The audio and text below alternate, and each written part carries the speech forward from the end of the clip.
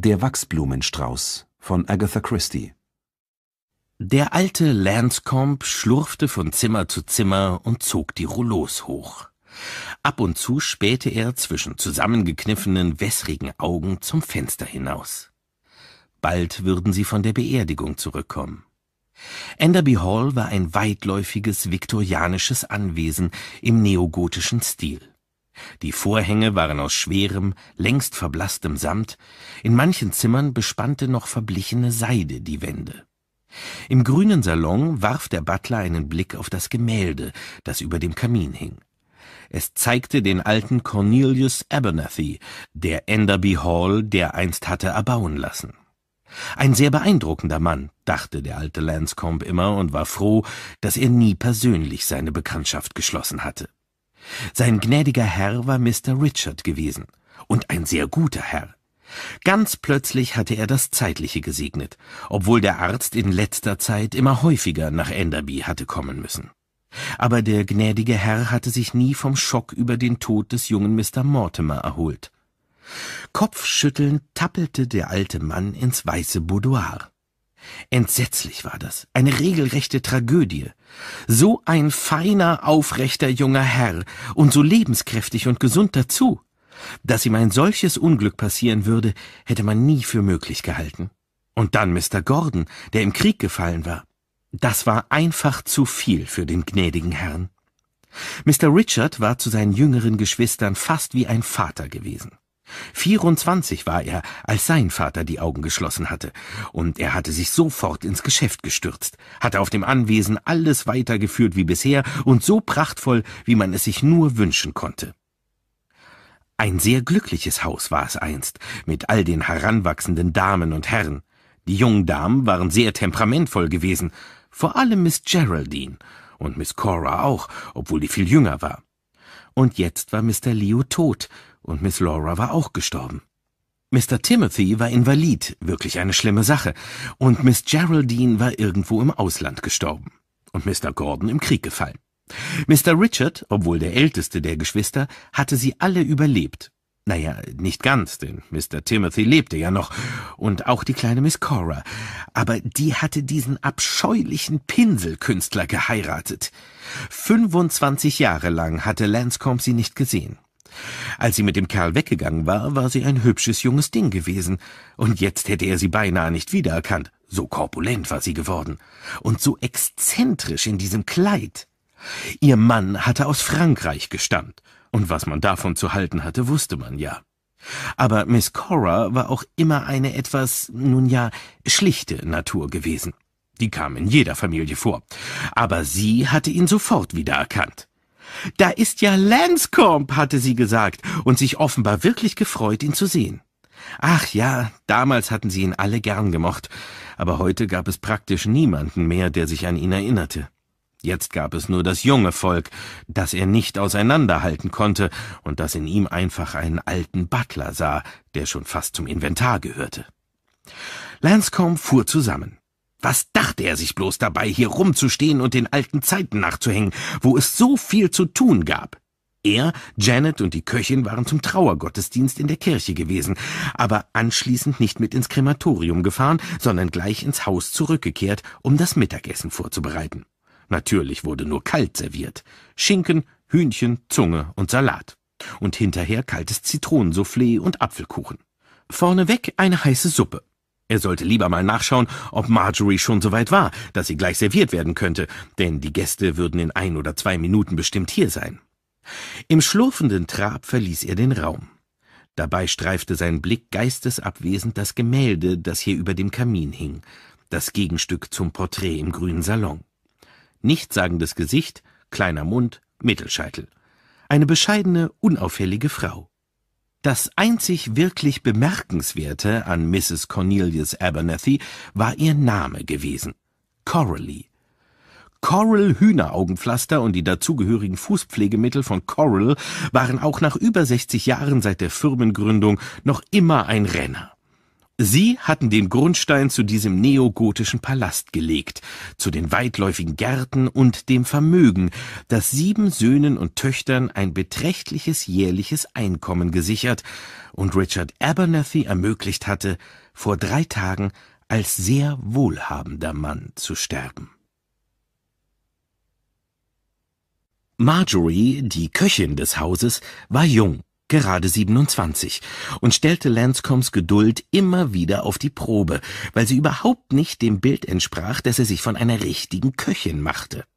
Außerdem nannte sie das Haus ein altes Mausoleum und beschwerte sich über den weitläufigen Küchenbereich, wo man zwischen Speisekammer und Spülküche eine halbe Tagesreise zurücklegen muss. Sie war seit zwei Jahren in Enderby und nur geblieben, weil sie zum einen gut bezahlt wurde und zum anderen, weil Mr. Abernathy ihre Kochkünste gebührend zu würdigen gewusst hatte. Janet, die sich am Küchentisch zur Erholung eine Tasse Tee gönnte, war ein älteres Dienstmädchen, das sich gegen die jüngere Generation meist mit ihm verbündete. Die vierte Person, die sich in der Küche befand, war Mrs. Jacks, die nur bei besonderen Anlässen aushalf und der die Beerdigung gut gefallen hatte. Es war wunderschön, sagte sie mit einem sittsamen Schniefen. Neunzehn Autos, die Kirche war fast voll, und der Pfarrer hat die Messe wunderbar gelesen. Ach, der arme Mr. Abernathy. Solche wie ihn gibt's nicht mehr viele. Alle haben sie Respekt vor ihm gehabt. Ein Hupen war zu hören und dann ein Auto, das die Auffahrt heraufkam. Die Wagen fuhren nacheinander vor, und die schwarz gekleideten Insassen stiegen aus und gingen zögernd durch die Eingangshalle in den großen grünen Salon. In Anbetracht der ersten frischen Herbsttage brannte im Kamin ein Feuer. Lanscombe betrat den Raum und bot auf einem Silbertablett Gläser mit Sherry an.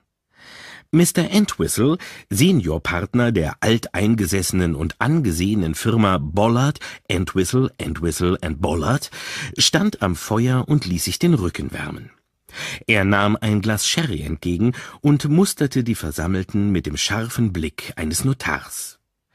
Nicht alle Anwesenden waren ihm persönlich bekannt, und er musste sie erst zuordnen. Als erstes betrachtete er den alten Lanscombe. Der ist schon ziemlich wackelig auf den Beinen, dachte Mr. Entwistle.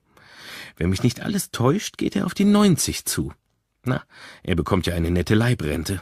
Der hat ausgesorgt. Treue Seele. Für Mr. Entwistle mit seinen 72 Jahren war Richard Abernathys Tod im Alter von 68 eindeutig verfrüht. Der Notar hatte sich zwei Jahre zuvor aus dem aktiven Geschäft zurückgezogen, aber als Richard Abernathys Testamentsvollstrecker und aus Respekt vor einem seiner ältesten Klienten, mit dem er auch persönlich befreundet gewesen war, hatte er die Reise nach Nordengland auf sich genommen. Während er im Geiste die Verfügung des Testaments durchging, betrachtete er die Familienmitglieder. Mrs. Leo, Helen, kannte er natürlich gut. Sie war eine reizende Dame, die er gerne mochte und auch schätzte. Er betrachtete sie mit Sympathie. Schwarz stand ihr besonders gut. Sie hatte auf ihre Figur geachtet. Ihm gefielen die klar geschnittenen Züge, der Schwung, mit dem die grauen Haare von den Schläfen nach hinten gekämmt waren, und die Augen, die früher mit Kornblumen verglichen worden und auch heute noch leuchtend blau waren. Wie alt Helen jetzt wohl sein mochte? Etwa ein oder zweiundfünfzig, vermutete er. Seltsam, dass sie nach Leos Tod nie wieder geheiratet hatte. Sie war eine attraktive Frau. Sein Blick wanderte weiter zu Mrs. Maud Timothy. Sie kannte er kaum. Eine kräftige, vernünftige, lebenstüchtige Person, die Timothy immer eine aufopferungsvolle Ehefrau gewesen war. Hatte sich um seine Gesundheit gekümmert, hatte ihn umsorgt, wahrscheinlich etwas zu sehr ob Timothy wirklich etwas fehlte? In Mr. Entwhistles Augen war er ein Hypochonder. Der Meinung war Richard Abernathy auch gewesen. Nun ja, jeder brauchte ein Steckenpferd. Timothy musste sein gutes Auskommen haben. Er hatte das Geld nie zum Fenster hinausgeworfen. Aber der warme Segen würde ihm durchaus gelegen kommen, vor allem heutzutage mit den hohen Steuern. Jetzt wandte Mr. Entwistle seine Aufmerksamkeit George Crossfield zu, dem Sohn Lauras. Laura hatte ja einen sehr dubiosen Kerl geheiratet, über den man nie viel erfahren hatte. Angeblich Börsenmakler. Der junge George war in einer Anwaltskanzlei, keine sehr angesehene Firma. Gut aussehend, aber irgendwie verschlagen. Allzu viel zum Leben hatte der bestimmt nicht. Laura hatte mit ihren Geldanlagen kein gutes Händchen bewiesen. Bei ihrem Tod vor fünf Jahren hatte sie so gut wie nichts hinterlassen. Mr. Entwistles Blick wanderte weiter zu den beiden jungen Frauen. Welche war welche? Ach ja, das war Geraldines Tochter Rosamund, die sich gerade die Wachsblumen auf dem Malachittisch ansah. Ein hübsches Ding, bildhübsch sogar, etwas dümmliches Gesicht. Schauspielerin. Bei einer Boulevardtruppe oder sowas ähnliches.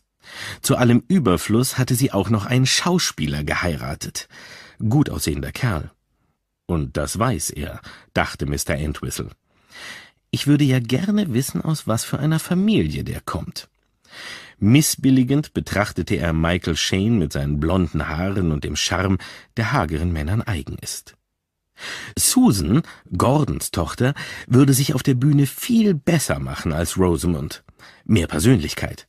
Sie stand ganz in seiner Nähe, darum beobachtete Mr. Entwistle sie nur verstohlen. Dunkle Haare, haselnussfarbene Augen, ein attraktiver, etwas trotziger Mund. Neben ihr stand ihr Ehemann, den sie erst vor kurzem geheiratet hatte. Ein Apothekengehilfe, man stelle sich nur vor. Mr. Entwistles Ansicht nach heirateten junge Frauen keine Männer, die hinter einer Ladentheke arbeiteten. Der junge Mann mit dem blassen, nichtssagenden Gesicht und den dunkelblonden Haaren machte den Eindruck, als sei ihm unbehaglich zumute. Mr. Entwistle fragte sich nach dem Grund, kam dann aber zu dem Schluss, das käme von der Anstrengung, die große Verwandtschaft seiner Frau kennenzulernen. Als letztes nahm Mr. Entwistle schließlich Cora Lansquenet in Augenschein. Cora war in der Familie immer der Nachzügler gewesen, Richards jüngste Schwester. Ihre Mutter, bei der Geburt fast fünfzig, hatte die Niederkunft nicht überlebt. Die arme kleine Cora. Ihr ganzes Leben war sie eine blamable Gestalt gewesen und immer mit Bemerkungen herausgeplatzt, die besser ungesagt geblieben wären. Ihre Geschwister waren immer sehr nett zu ihr gewesen. Niemand hatte sich träumen lassen, dass Cora je heiraten würde. Sie war zu groß geraten, etwas einfältig und nicht besonders hübsch gewesen, und ihre allzu auffälligen Annäherungsversuche an die jungen Männer, die nach Anderby zu Besuch kamen, hatten diese meist zu verschreckten Rückzugsmanövern veranlasst. Und dann, erinnerte sich Mr. Entwistle, war die Sache mit Lansquenet passiert. Pierre Lansquenet, ein halber Franzose. Sie hatte ihn an einer Kunstakademie kennengelernt, wo sie Unterricht im Malen von Blumenaquarellen genommen hatte. Aber irgendwie war sie in den Kurs für Aktmalerei geraten, und dort war sie Pierre Lansquenet begegnet, war nach Hause gekommen und hatte verkündet, sie wolle ihn heiraten. Richard Abernethy hatte energisch Einspruch erhoben. Er vermutete, dass der junge Mann im Grunde nur auf eine wohlhabende Ehefrau aus war. Aber noch während er Nachforschungen über Lansquenets Herkunft anstellte, war Cora mit dem Kerl durchgebrannt und hatte ihn kurzerhand geheiratet. Den Großteil ihrer Ehe hatten die beiden in der Bretagne, in Cornwall und anderen Künstlerkolonien verbracht. Lansquenet war ein sehr schlechter Maler gewesen und, wie es hieß, kein sehr netter Mann. Aber Cora hatte ihn hingebungsvoll geliebt und ihrer Familie nie verziehen, dass sie ihn nicht freundlich aufgenommen hatte. Richard hatte seiner jüngsten Schwester jedes Jahr eine Leibrente ausgezahlt, und von dem Geld hatten die beiden gelebt, soweit Mr. Entwistle wusste. Er bezweifelte, dass Lansquenet je auch nur einen Penny verdient hatte. Jetzt war er wohl schon seit zwölf oder mehr Jahren tot. Und hier war nun die Witwe, nach vielen Jahren zum ersten Mal wieder im Haus ihrer Kindheit. Sie hatte ihre beinahe kissenförmige Figur in wehendes Künstlerschwarz gekleidet, mit vielen Jetschnüren um den Hals. Sie ging im Raum umher, fasste alles an und freute sich überschwänglich, wenn sie auf eine kindliche Erinnerung stieß. Sie gab sich wenig Mühe, Trauer über den Tod ihres Bruders vorzutäuschen.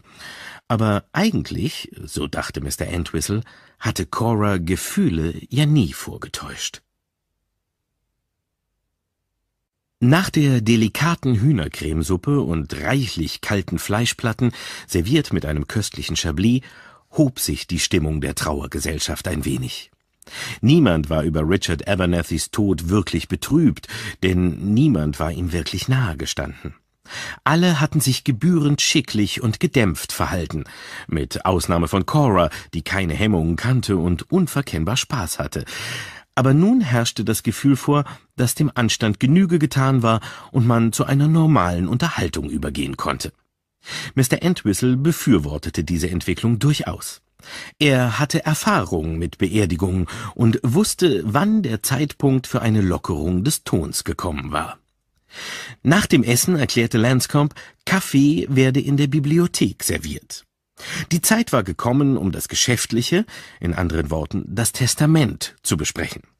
Dafür bot die Bibliothek mit ihren Bücherschränken und den schweren Vorhängen aus rotem Samt die richtige Atmosphäre.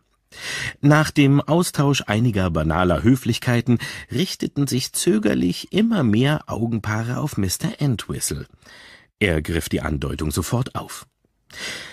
Wie Sie wissen, bin ich Richard Abernethys Testamentsvollstrecker. Ich habe das nicht gewusst, sagte Cora Lansquenet munter. Wirklich?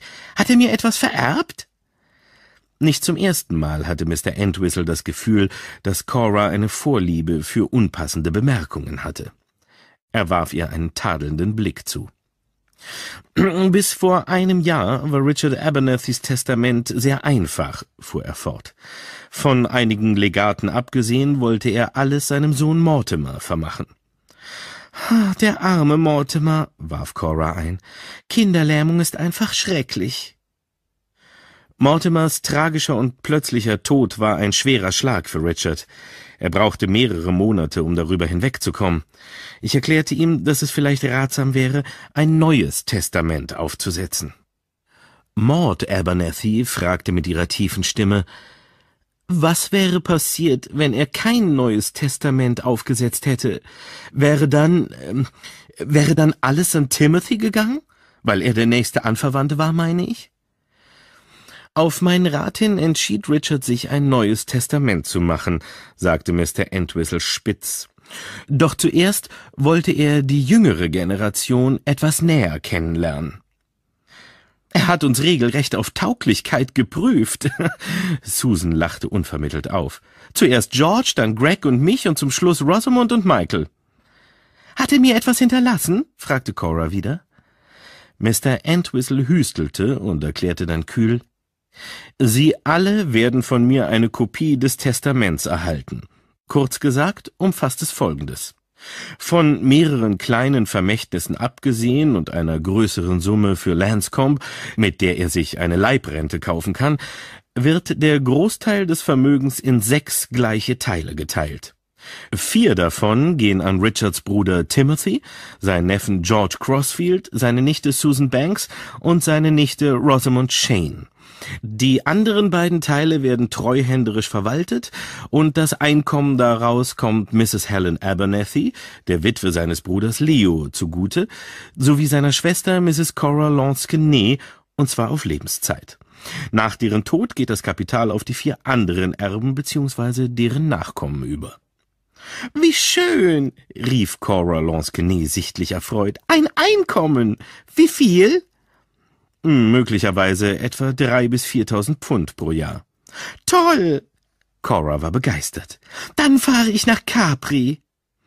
Helen Abernethy sagte leise, das ist wirklich sehr nett von Richard und sehr großzügig.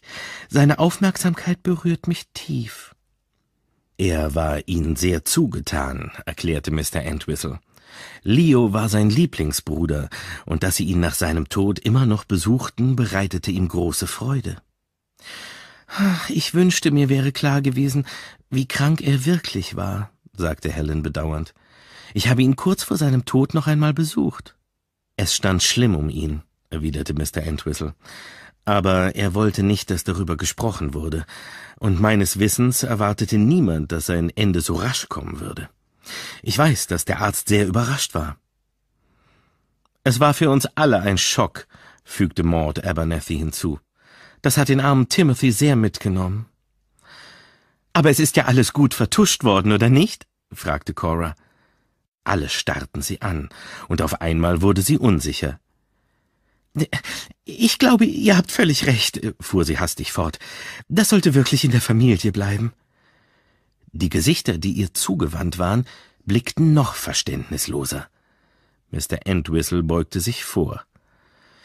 Cora, leider verstehe ich nicht, was Sie damit sagen wollen. Cora Lenskene sah sich mit weit aufgerissenen Augen im Kreis um. Dann legte sie wie ein Vögelchen den Kopf zur Seite. Aber er ist doch ermordet worden, oder nicht? Auf der Fahrt nach London, die er auf dem Fensterplatz eines Abteils erster Klasse verbrachte, dachte Mr. Entwistle über Cora Lansquenets Bemerkung nach. Ihm war etwas unwohl dabei. Natürlich, Cora war eine eher unausgeglichene und außerordentlich dumme Person und schon als Mädchen für ihre peinliche Art bekannt gewesen, mit unliebsamen Wahrheiten herauszuplatzen. Aber nein, nicht mit Wahrheiten, das war das völlig falsche Wort, mit unbedachten Bemerkungen. In Gedanken ging er noch einmal die Minuten direkt nach diesem unglückseligen Satz durch. Erst durch die vielen Augenpaare, die sich entsetzt und missbilligend auf sie richteten, war Cora die ganze Tragweite ihrer Frage aufgegangen, und sie war sofort beschämt in einen wirren Redeschwall ausgebrochen. Ach, es tut mir leid, das war wirklich dumm von mir, aber ich dachte nach dem, was er mir sagte. Äh, ach, natürlich weiß ich, dass alles in Ordnung ist, aber sein Tod kam so plötzlich. Ähm, bitte vergesst einfach, dass ich überhaupt etwas gesagt habe. Ich weiß schon, ich sage immer das Verkehrte. Dann hatte sich die Aufregung wieder gelegt und eine praktische Diskussion über die Veräußerung der persönlichen Gegenstände des Verstorbenen hatte begonnen. Das Haus und sein Inhalt, so hatte Mr. Entwistle ergänzt, würden verkauft werden. Coras unglückseliger Fauxpas war vergessen. Schließlich war sie immer schon, nun, vielleicht nicht beschränkt, aber doch unverzeihlich naiv gewesen. Sie hatte nie begriffen, was man sagen oder nicht sagen durfte. Mit neunzehn hatte das noch keine so große Rolle gespielt, aber ein Enfant terrible von fast fünfzig war entschieden zu viel des Guten, mit unliebsamen Wahrheiten herauszuplatzen. Mr. Entwistles Gedankengang kam zu einem abrupten Stillstand. Zum zweiten Mal war ihm das leidige Wort in den Sinn gekommen. Wahrheiten. Und warum war es so leidig? Weil genau das die Wahrheit, der Grund war, warum Coras freimütige Bemerkungen schon immer Empörung ausgelöst hatten. Weil ihre naiven Äußerungen entweder der Wahrheit entsprochen oder zumindest ein Körnchen Wahrheit enthalten hatten. Obwohl Mr. Entwistle in der fülligen 49-jährigen Frau kaum etwas gesehen hatte, das ihn an das linkische Mädchen früherer Zeiten erinnerte, waren ja einige ihrer Manierismen erhalten geblieben, die kleine vogelartige Kopfbewegung, wenn sie eine besonders unerhörte Bemerkung machte, der Ausdruck beinahe gespannter Erwartung. Mr. Entwistle dachte eingehender über sein Unbehagen nach. Was war an Coras lächerlichen Bemerkungen, das sein Unterbewusstsein einfach nicht losließ? Nach einer Weile führte er das vor allem auf zwei Sätze zurück. Ich dachte nach dem, was er mir sagte. Und sein Tod kam so plötzlich. Die zweite Bemerkung untersuchte Mr. Entwistle als erstes. Doch Richards Tod konnte in gewisser Hinsicht durchaus als plötzlich bezeichnet werden. Mr. Entwistle hatte über Richards Gesundheitszustand sowohl mit ihm selbst als auch mit seinem Arzt gesprochen. Dieser hatte unmissverständlich zu verstehen gegeben, dass sein Patient kein hohes Alter erreichen würde. Aber wenn Mr. Abernethy sich schone, könne er noch zwei oder drei Jahre leben. Auf jeden Fall hatte der Arzt keinen baldigen Tod vorhergesehen. Nun, der Arzt hatte sich getäuscht, aber es war Ärzten, wie sie selbst zugaben, ja auch nicht möglich, genaue Aussagen über den individuellen Verlauf einer Krankheit zu machen. Es gab Patienten, bei denen man jede Hoffnung aufgegeben hatte und die auf wundersame Weise genasen. Und es gab Kranke, die praktisch schon über den Berg waren und dann plötzlich doch starben. Viel hing von der Lebenskraft eines Patienten ab, von seinem Lebenswillen. Und Richard Abernethy war zwar ein kräftiger, zupackender Mann gewesen, aber ihn hatte nur noch wenig am Leben gehalten. Denn sechs Monate zuvor war sein einziger noch lebender Sohn Mortimer an Kinderlähmung erkrankt und binnen einer Woche gestorben. Sein Tod war ein Schock gewesen, nicht zuletzt auch deswegen, weil er ein kerngesunder, lebensfroher junger Mann gewesen war, ein begeisterter Sportler und einer der Menschen, von denen man sagt, sie seien keinen Tag ihres Lebens krank gewesen. In wenigen Wochen hatte er sich mit einem reizenden Mädchen verloben wollen. Die Hoffnungen seines Vaters hatten ganz auf diesem geliebten und überaus gut geratenen Sohn geruht. Stattdessen hatte das Schicksal zugeschlagen. Und danach hielt die Zukunft für Richard Abernathy nur wenig bereit, das ihn interessiert hätte. Er hatte keine Enkel. Nach ihm gab es niemanden, der den Namen Abernathy tragen würde. Er besaß ein immenses Vermögen mit weit verzweigten Geschäftsinteressen. Auf wen sollten dieses Vermögen und die Kontrolle dieser Geschäfte übergehen? Diese Fragen hatten Richard sehr belastet, das wusste Entwistle. Sein einziger noch lebender Bruder Timothy war praktisch invalide. Es blieb nur die jüngere Generation. Richard war immer davon ausgegangen, dass er einen einzigen Erben einsetzen würde, auch wenn er sicher diese oder jene Person mit einem kleinen Vermächtnis bedacht hätte. Entwistle wusste, dass Richard Abernethy in den letzten sechs Monaten vor seinem Tod nacheinander seinen Neffen George, seine Nichte Susan mit Mann, seine Nichte Rosamond mit Mann sowie seine Schwägerin Mrs. Leo Abernethy zu Besuch eingeladen hatte. Unter den drei Erstgenannten hatte Abernethy nach einem Erben Ausschau gehalten. Helen Abernethy war wohl aus persönlicher Zuneigung eingeladen worden und möglicherweise auch als Ratgeberin, denn Richard hatte immer große Stücke auf ihren gesunden Menschenverstand und ihr praktisches Urteilsvermögen gehalten. Mr. Entwistle wusste auch, dass Richard irgendwann im Verlauf dieser sechs Monate seinem Bruder Timothy einen kurzen Besuch abgestattet hatte. Als Ergebnis all dessen war das Testament entstanden, das der Notar jetzt in seiner Aktentasche bei sich trug.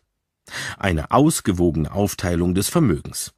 Das ließ nur den Schluss zu, dass Richard Abernethy von seinem Neffen ebenso enttäuscht gewesen war wie von seinen Nichten oder vielleicht auch von deren Ehemännern.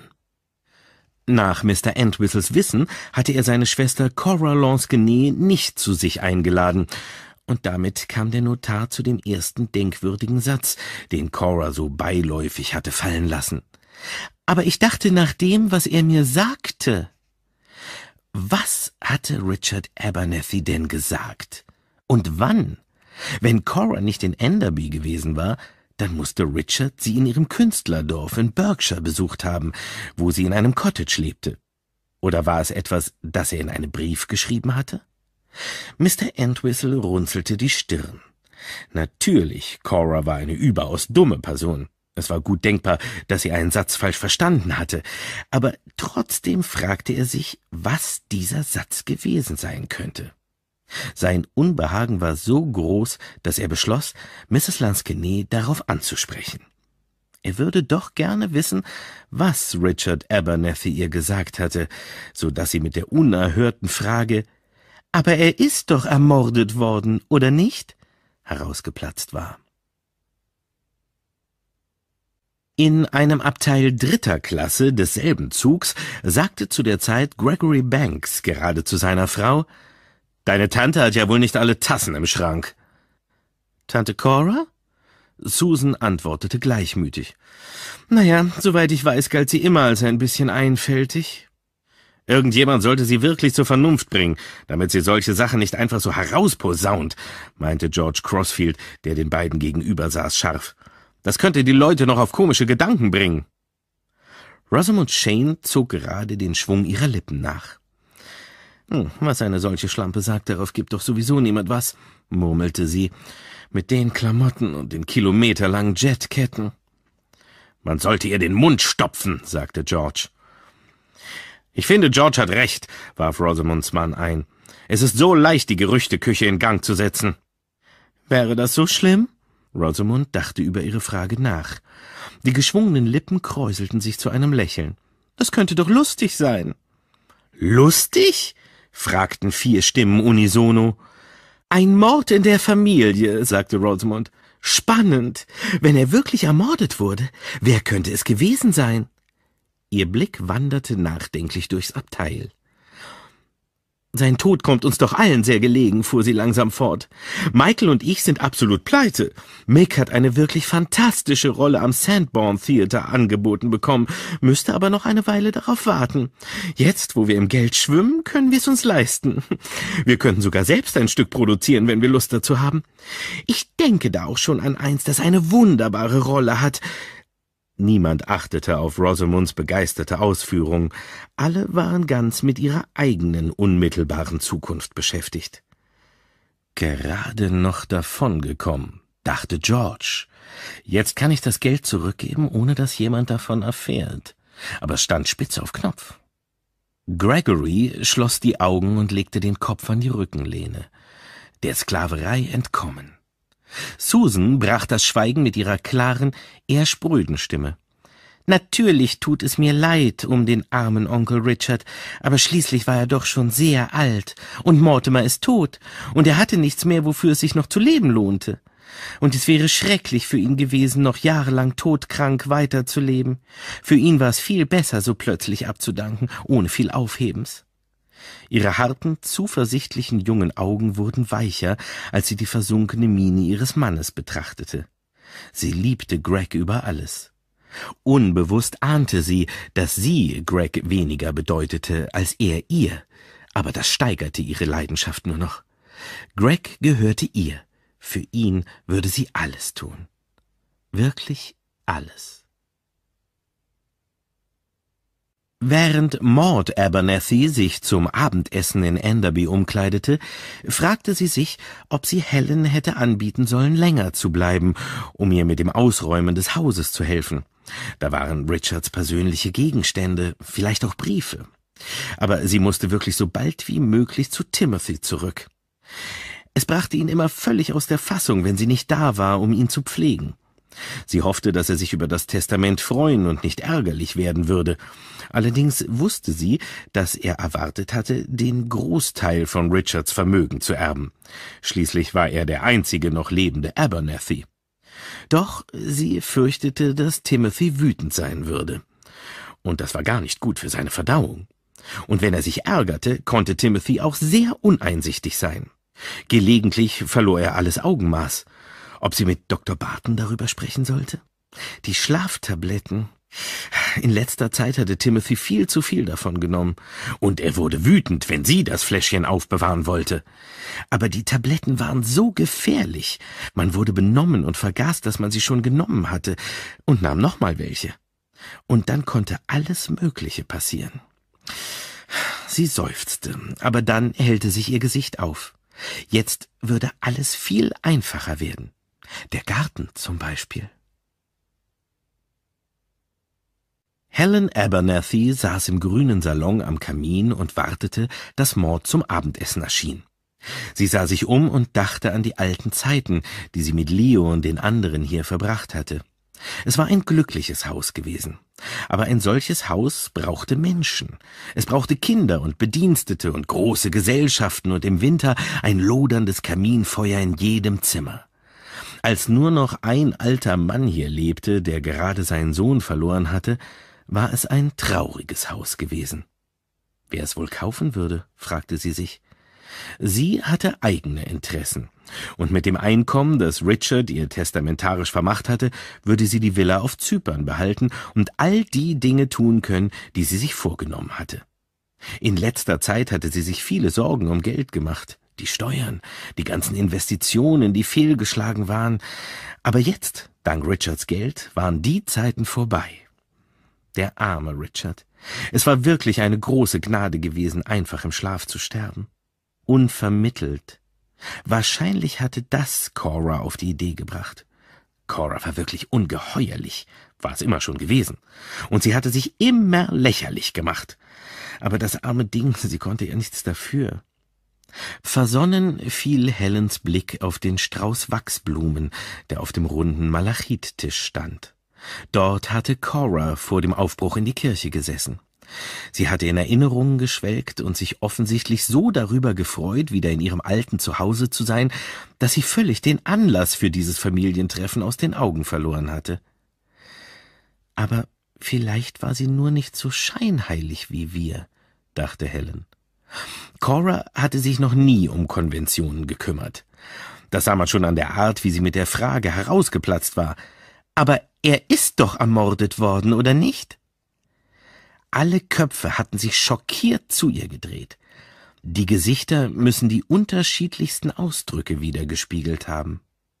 Als Helen die Szene vor sich heraufbeschwor, runzelte sie die Stirn. In dem Bild stimmte etwas nicht. War es der Gesichtsausdruck von jemandem? War's das? Etwas, das nicht dorthin gehörte? Sie wusste es nicht. Sie konnte es nicht näher benennen. Aber irgendwie hatte irgendetwas nicht ganz gestimmt. Im Bahnhofslokal in Swindon aß unterdessen eine Dame in wallender Trauerkleidung und mit Jet behängt glasierte Rosinenbrötchen, trank dazu Tee und freute sich auf die Zukunft. Sie hatte keine böse Vorahnung. Sie war glücklich. Diese Zugfahrten quer durchs Land waren doch sehr anstrengend. Es wäre leichter gewesen, über London nach Litchett St. Mary zurückzufahren, aber dann hätte sie mit der Familie reisen und sich wahrscheinlich die ganze Zeit unterhalten müssen. Viel zu anstrengend. Wie selbstgerecht Leute doch waren. Und wie scheinheilig. All die Gesichter, als sie das mit dem Mord gesagt hatte. Wie alle sie angestarrt hatten. Aber es war richtig, dass sie es gesagt hatte. Doch, sie nickte, zufrieden mit sich selbst. Ein Augenblick saß sie träumend da, malte sich die Zukunft aus, die sich vor ihr auftat. Sie lächelte glücklich wie ein Kind. Endlich würde ihr das Leben richtig Spaß machen. Mr. Entwistle verbrachte eine sehr unruhige Nacht. Am nächsten Morgen fühlte er sich so müde und schlapp, dass er nicht aufstand. Seine Schwester, die ihm den Haushalt führte, trug ihm das Frühstück auf einem Tablett nach oben. Beerdigungen, brummelte sie entrüstet. Für einen Mann deines Alters sind Beerdigungen tödlich. Wenn du nicht besser auf dich aufpasst, liegst du auf einmal genauso plötzlich unter der Erde wie dein heiliger Mr. Abernathy. Bei dem Wort plötzlich fuhr Mr. Entwistle innerlich zusammen. Cora Lansquenet. Was sie gesagt hatte, war völlig außerhalb des Bereichs des Möglichen, aber trotzdem würde er gerne wissen, warum sie es gesagt hatte. Doch er würde sie in Litchett St. Mary besuchen, und zwar bald. Um etwa Viertel vor sechs abends läutete das Telefon. Er nahm den Hörer ab. Die Stimme am anderen Ende gehörte Mr. James Parrott, dem neuen Juniorpartner von Bollard, Entwistle, Entwistle and Bollard. Hören Sie, Mr. Entwistle, sagte Mr. Parrott, mich hat gerade die Polizei aus einem Dorf namens äh, Litchett St. Mary angerufen. Mr. Parrott schien beklommen. Es hat etwas mit einer gewissen ähm, Mrs. Cora Lansquenet zu tun. War sie nicht eine der Erben von Abernethys Vermögen? Ja, sicher. Ich habe sie gestern bei der Beerdigung gesehen. Was ist mit ihr? Also, Mr. Parrott klang, als wolle er sich entschuldigen. Es ist wirklich höchst seltsam. Sie ist ähm, ermordet worden. Ermordet? Wieso ist die Polizei auf uns gekommen? Ihre Gesellschaftsdame oder Haushälterin, eine gewisse Miss Gilchrist. Die Polizei fragte sie nach Mrs. Laskinets nächsten Verwandten oder ihrem Notar. Diese Miss Gilchrist wusste mit der Verwandtschaft nicht genau Bescheid, aber sie kannte unseren Namen. Deswegen hat die Polizei uns kontaktiert. Und weswegen glaubt die Polizei, dass es ein Mord war? fragte Mr. Entwistle. Mr. Parrott klang wieder entschuldigend. Ähm, daran kann offenbar überhaupt kein Zweifel bestehen. Ich meine, es war ein Beil oder so etwas. Ein sehr brutaler Mord. Raubmord? Offenbar. Ein Fenster wurde eingeschlagen, ein paar Sachen fehlen, Schubladen wurden herausgezogen, aber offenbar glaubt die Polizei, dass da etwas, ähm, nun ja, äh, nicht ganz mit rechten Dingen zugeht. Um welche Uhrzeit ist es passiert? Zwischen zwei und halb fünf heute Nachmittag. Wo war die Haushälterin? In der Bücherei in Reading. Sie kam gegen fünf nach Hause und fand Mrs. Lanskin tot vor. Die Polizei will wissen, ob wir eine Ahnung haben, wer sie überfallen haben könnte. Mr. Parrots Stimme überschlug sich beinahe vor Empörung. Es muss jemand aus dem Dorf gewesen sein. Ein Verrückter, der dachte, da gäbe es etwas zu holen. Und dann hat er die Nerven verloren und sie überfallen. So muss es doch gewesen sein. Meinen Sie nicht, Entwistle? Doch, doch, antwortete Mr. Entwistle geistesabwesend. Aber dann hörte er in seinem Kopf Cora mit ihrer hellen Stimme sagen, aber er ist doch ermordet worden, oder nicht? Mr. Entwistle hatte Inspektor Morton alle wesentlichen Informationen über Cora Lansquenet mitgeteilt. Ihre Kindheit und Jugend, ihre Heirat, der Tod ihres Mannes, ihre finanzielle Lage, ihre Verwandten. Mr. Timothy Abernethy ist ihr einziger noch lebender Bruder und ihr nächster Anverwandter, aber er ist sehr gebrechlich, lebt zurückgezogen und kann das Haus nicht verlassen. Er hat mich bevollmächtigt, in seinem Namen zu handeln und alle notwendigen Vorkehrungen zu treffen. Der Polizist nickte. Wenn ich Miss Gilchrist richtig verstanden habe, dann war Mrs. Lansquenet am Tag vor ihrem Tod bei der Beerdigung eines älteren Bruders. In der Tat, Inspektor. Ich war selbst auch dort. Hm, ist Ihnen an Ihrer Art etwas Ungewöhnliches aufgefallen? Etwas Seltsames? Angst vielleicht? Mr. Entwistle hob in gut gespielter Überraschung die Augenbrauen. Ist es üblich, dass ein Mensch, der wenig später ermordet wird, ein seltsames Verhalten an den Tag legt? Inspektor Morton lächelte kläglich. Ich glaube, ich verstehe nicht ganz, was Sie meinen, Inspektor, sagte Mr. Entwistle. Der Fall ist auch nicht leicht zu verstehen, Mr. Entwistle. Nehmen wir mal an, jemand sieht, wie diese Gilchrist um zwei Uhr nachmittags das Haus verlässt und zur Bushaltestelle ins Dorf geht. Dann nimmt dieser jemand das Beil, das neben dem Holzschuppen liegt, schlägt damit das Küchenfenster ein, steigt ins Haus, geht nach oben und überfällt Mrs. Lansquenet mit dem Beil. Überfällt sie aufs Brutalste. Sechs oder achtmal hat er zugeschlagen. Dann reißt der Eindringling ein paar Schubladen auf, greift sich ein paar Kleinigkeiten, insgesamt keine zehn Pfund wert, und geht wieder. Sie lag im Bett? Ja. Offenbar war sie am Abend zuvor erst spät aus Nordengland zurückgekommen und war erschöpft und sehr aufgeregt. Wenn ich es richtig verstanden habe, hatte sie eine Erbschaft gemacht? Ja.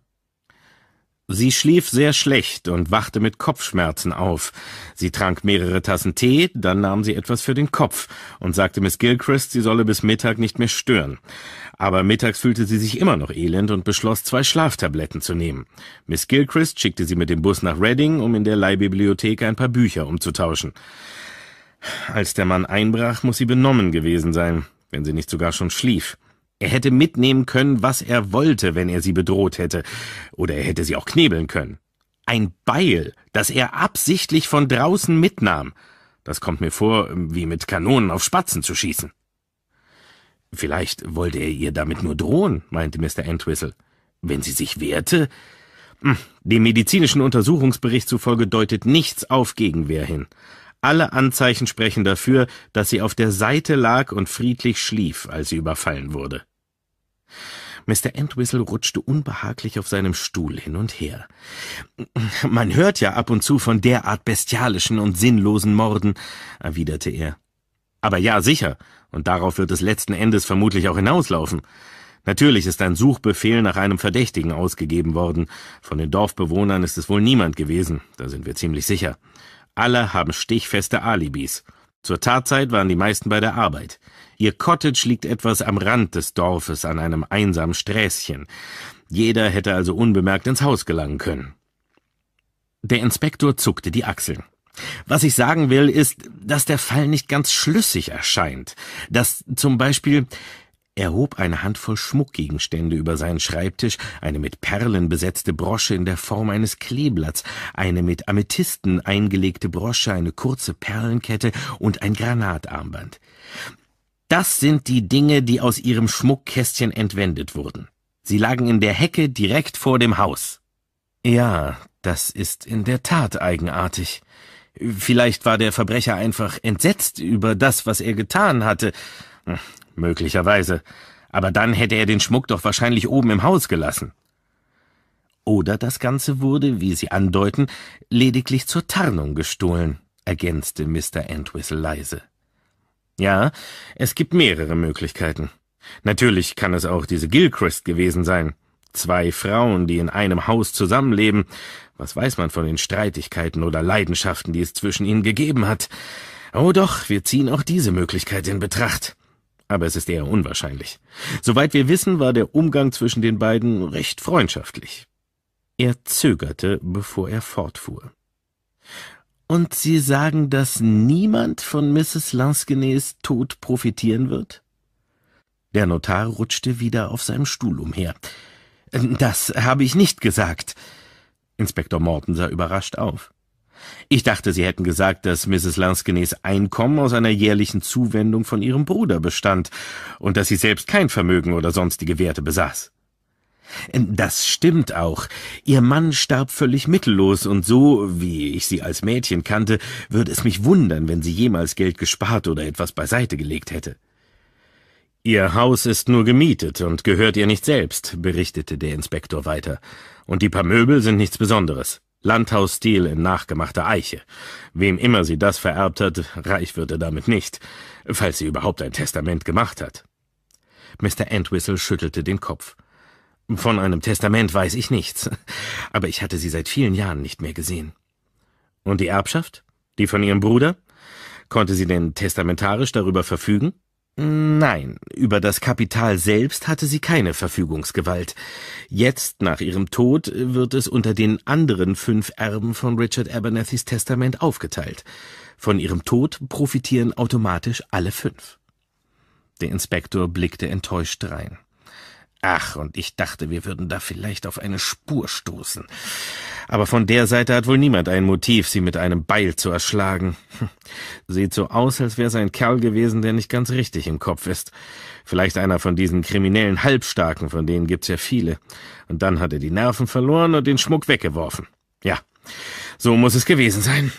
Außer es war die höchst ehrbare Miss Gilchrist, aber das ist wohl eher unwahrscheinlich. Wann hat sie die Leiche entdeckt?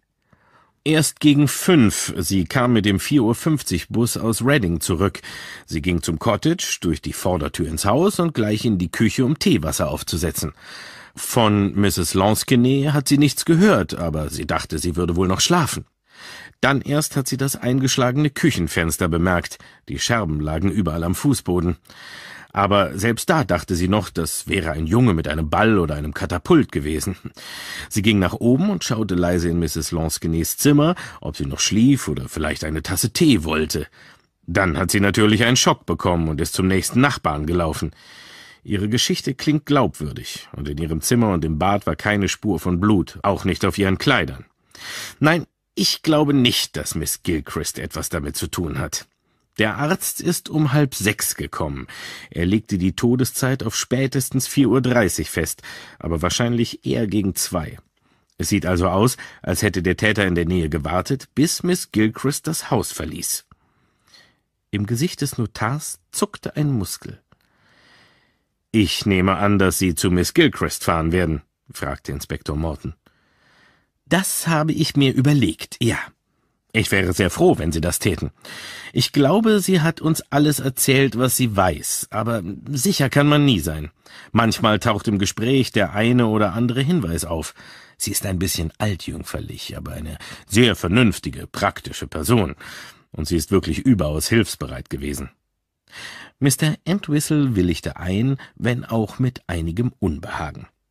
Angenommen, Miss Gilchrist könnte etwas Licht darauf werfen, was Richard zu Cora gesagt hatte, äh, aber das war unwahrscheinlich. Ich dachte nach dem, was er mir sagte. Was hatte Richard denn gesagt? Ich muss sofort zu Miss Gilchrist fahren, beschloss Mr. Entwistle.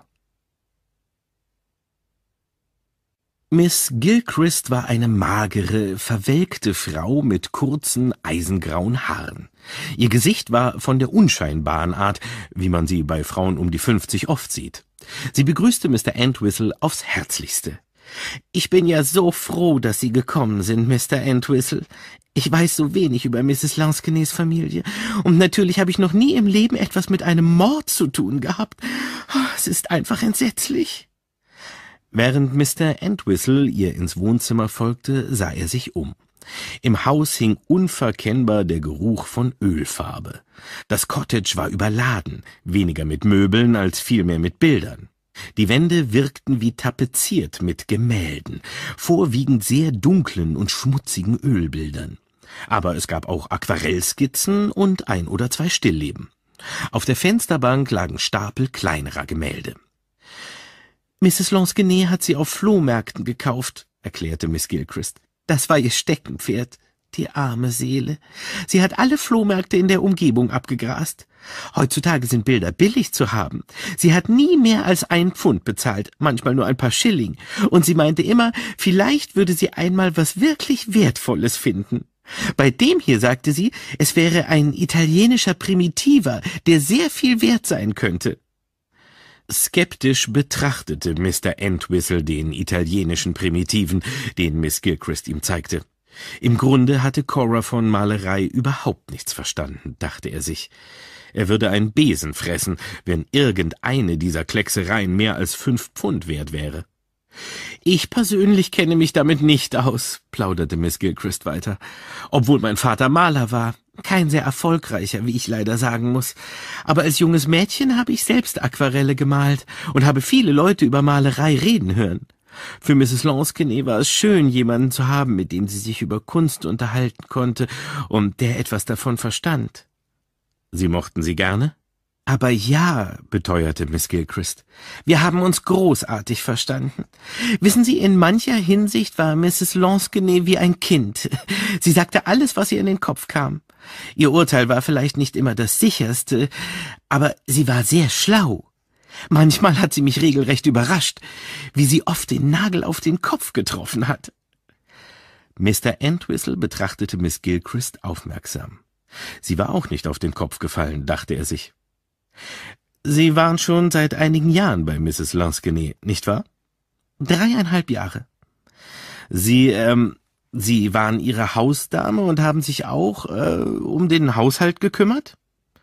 Es war unverkennbar, dass er damit ein heikles Thema angesprochen hatte. Miss Gilchrist errötete ein wenig. Aber ja, ich habe meistens gekocht. Ich koche sehr gerne. Äh, gelegentlich Staub gewischt und leichte Hausarbeiten gemacht. Nichts Grobes, verstehen Sie. Miss Gilchrists Tonfall war zu entnehmen, dass es ihr dabei um ein Prinzip ging. Dafür ist Mrs. Panther aus dem Dorf gekommen, regelmäßig, zweimal die Woche. Wissen Sie, Mr. Entwistle, ich hätte mir nie vorstellen können, eine Dienststelle anzunehmen. Als ich meinen kleinen Teesalon aufgeben musste, das war eine Katastrophe. Ein reizender Salon, er hieß Willow Tree, so habe ich ihn genannt, und das ganze Geschirr hatte ein blaues Weidenmuster, wirklich entzückend, und die Kuchen waren einfach köstlich. Kuchen backen, das konnte ich immer schon gut. Doch, doch, der Salon lief sehr gut, aber dann ist der Krieg gekommen, die Lebensmittel wurden knapp und der Salon ging bankrott. Ich hatte das bisschen Geld, die Erbschaft von meinem Vater, in den Salon gesteckt, und das war dann natürlich alles weg, und so musste ich mich nach etwas anderem umsehen. Und so bin ich zu Mrs. Lansquenet gekommen, und wir haben uns auf Anhieb verstanden. Ihr Mann war ja auch Maler gewesen. Miss Gilchrist brach atemlos ab und fügte dann traurig hinzu Aber mein schöner kleiner Teesalon, ach, ich habe ihn geliebt, und die Gäste waren immer so fein. Ach, aber ich sollte nicht so viel über mich reden. Die Polizei ist sehr freundlich und rücksichtsvoll gewesen. Ein Inspektor Morton vom Hauptrevier war hier und war überaus verständnisvoll. Er wollte sogar, dass ich die Nacht bei Mrs. Lake hier in der Straße verbringe, aber das habe ich abgelehnt. Ich empfand es als meine Pflicht, hier im Haus zu bleiben, bei all den hübschen Sachen von Mrs. Lansquenet. Sie haben die die Leiche weggeholt und das Zimmer versiegelt, und der Inspektor sagte mir, dass ein Polizeibeamter die ganze Nacht in der Küche Wache stehen würde, wegen des eingeschlagenen Fensters. Heute Morgen ist es ersetzt worden, Gott sei Dank. Hier erlahmte Miss Gilchrists Redeschwall. Mr. Entwistle nutzte die Gunst des Moments. Alle wesentlichen Tatsachen habe ich bereits von Inspektor Morton erfahren. Aber wenn es Sie nicht zu sehr belastet, wäre ich Ihnen dankbar, wenn Sie mir alles selbst noch einmal berichten könnten. Aber natürlich, Mr. Entwistle. Am Abend zuvor war Mrs. Lansquenet also von der Beerdigung nach Hause gekommen. Mr. Entwistle gab ihr das Stichwort. Ja, der Zug kam erst sehr spät. Ich hatte ihr ein Taxi bestellt, das sie am Bahnhof abholte. Äh, darum hatte sie mich gebeten. Sie war sehr müde, die Arme, aber sonst war sie guter Dinge. Hat sie etwas von der Beerdigung erzählt? Nur kurz. Ich habe ihr einen Becher heiße Milch gemacht, sonst wollte sie nichts, und sie erzählte mir, dass die Kirche sehr voll gewesen war und lauter Blumen überall. Ach ja, und sie sagte, es täte ihr sehr leid, dass sie ihren anderen Bruder nicht gesehen hatte. Timothy heißt er, nicht? Ja, Timothy. Sie sagte, sie hätte ihn seit zwanzig Jahren nicht mehr gesehen und hätte gehofft, dass er kommen würde. Aber dann hat sie verstanden, dass es für ihn unter den Umständen viel besser war, nicht zu kommen, aber dass seine Frau da gewesen war und dass sie Mord nie hatte leiden können. Ach du, meine Güte, bitte verzeihen Sie, Mr. Entwistle, das ist mir so rausgerutscht. Und dann wurde sie sehr müde und wollte gleich ins Bett. Ich hatte ihr schon eine Wärmflasche gemacht, und dann ist sie nach oben gegangen. Sonst hat sie, soweit Sie sich erinnern, nichts Besonderes gesagt? Sie hatte keine Vorahnung, wenn Sie das meinen, Mr. Entwistle. Da bin ich mir sicher. Sie war bester Laune, von ihrer Müdigkeit einmal abgesehen und von, nun ja, dem traurigen Anlass. Sie fragte mich, ob ich Lust hätte, nach Capri zu fahren. Nach Capri! Ich sagte natürlich, das wäre wunderbar, und sie sagte, dann fahren wir. Einfach so.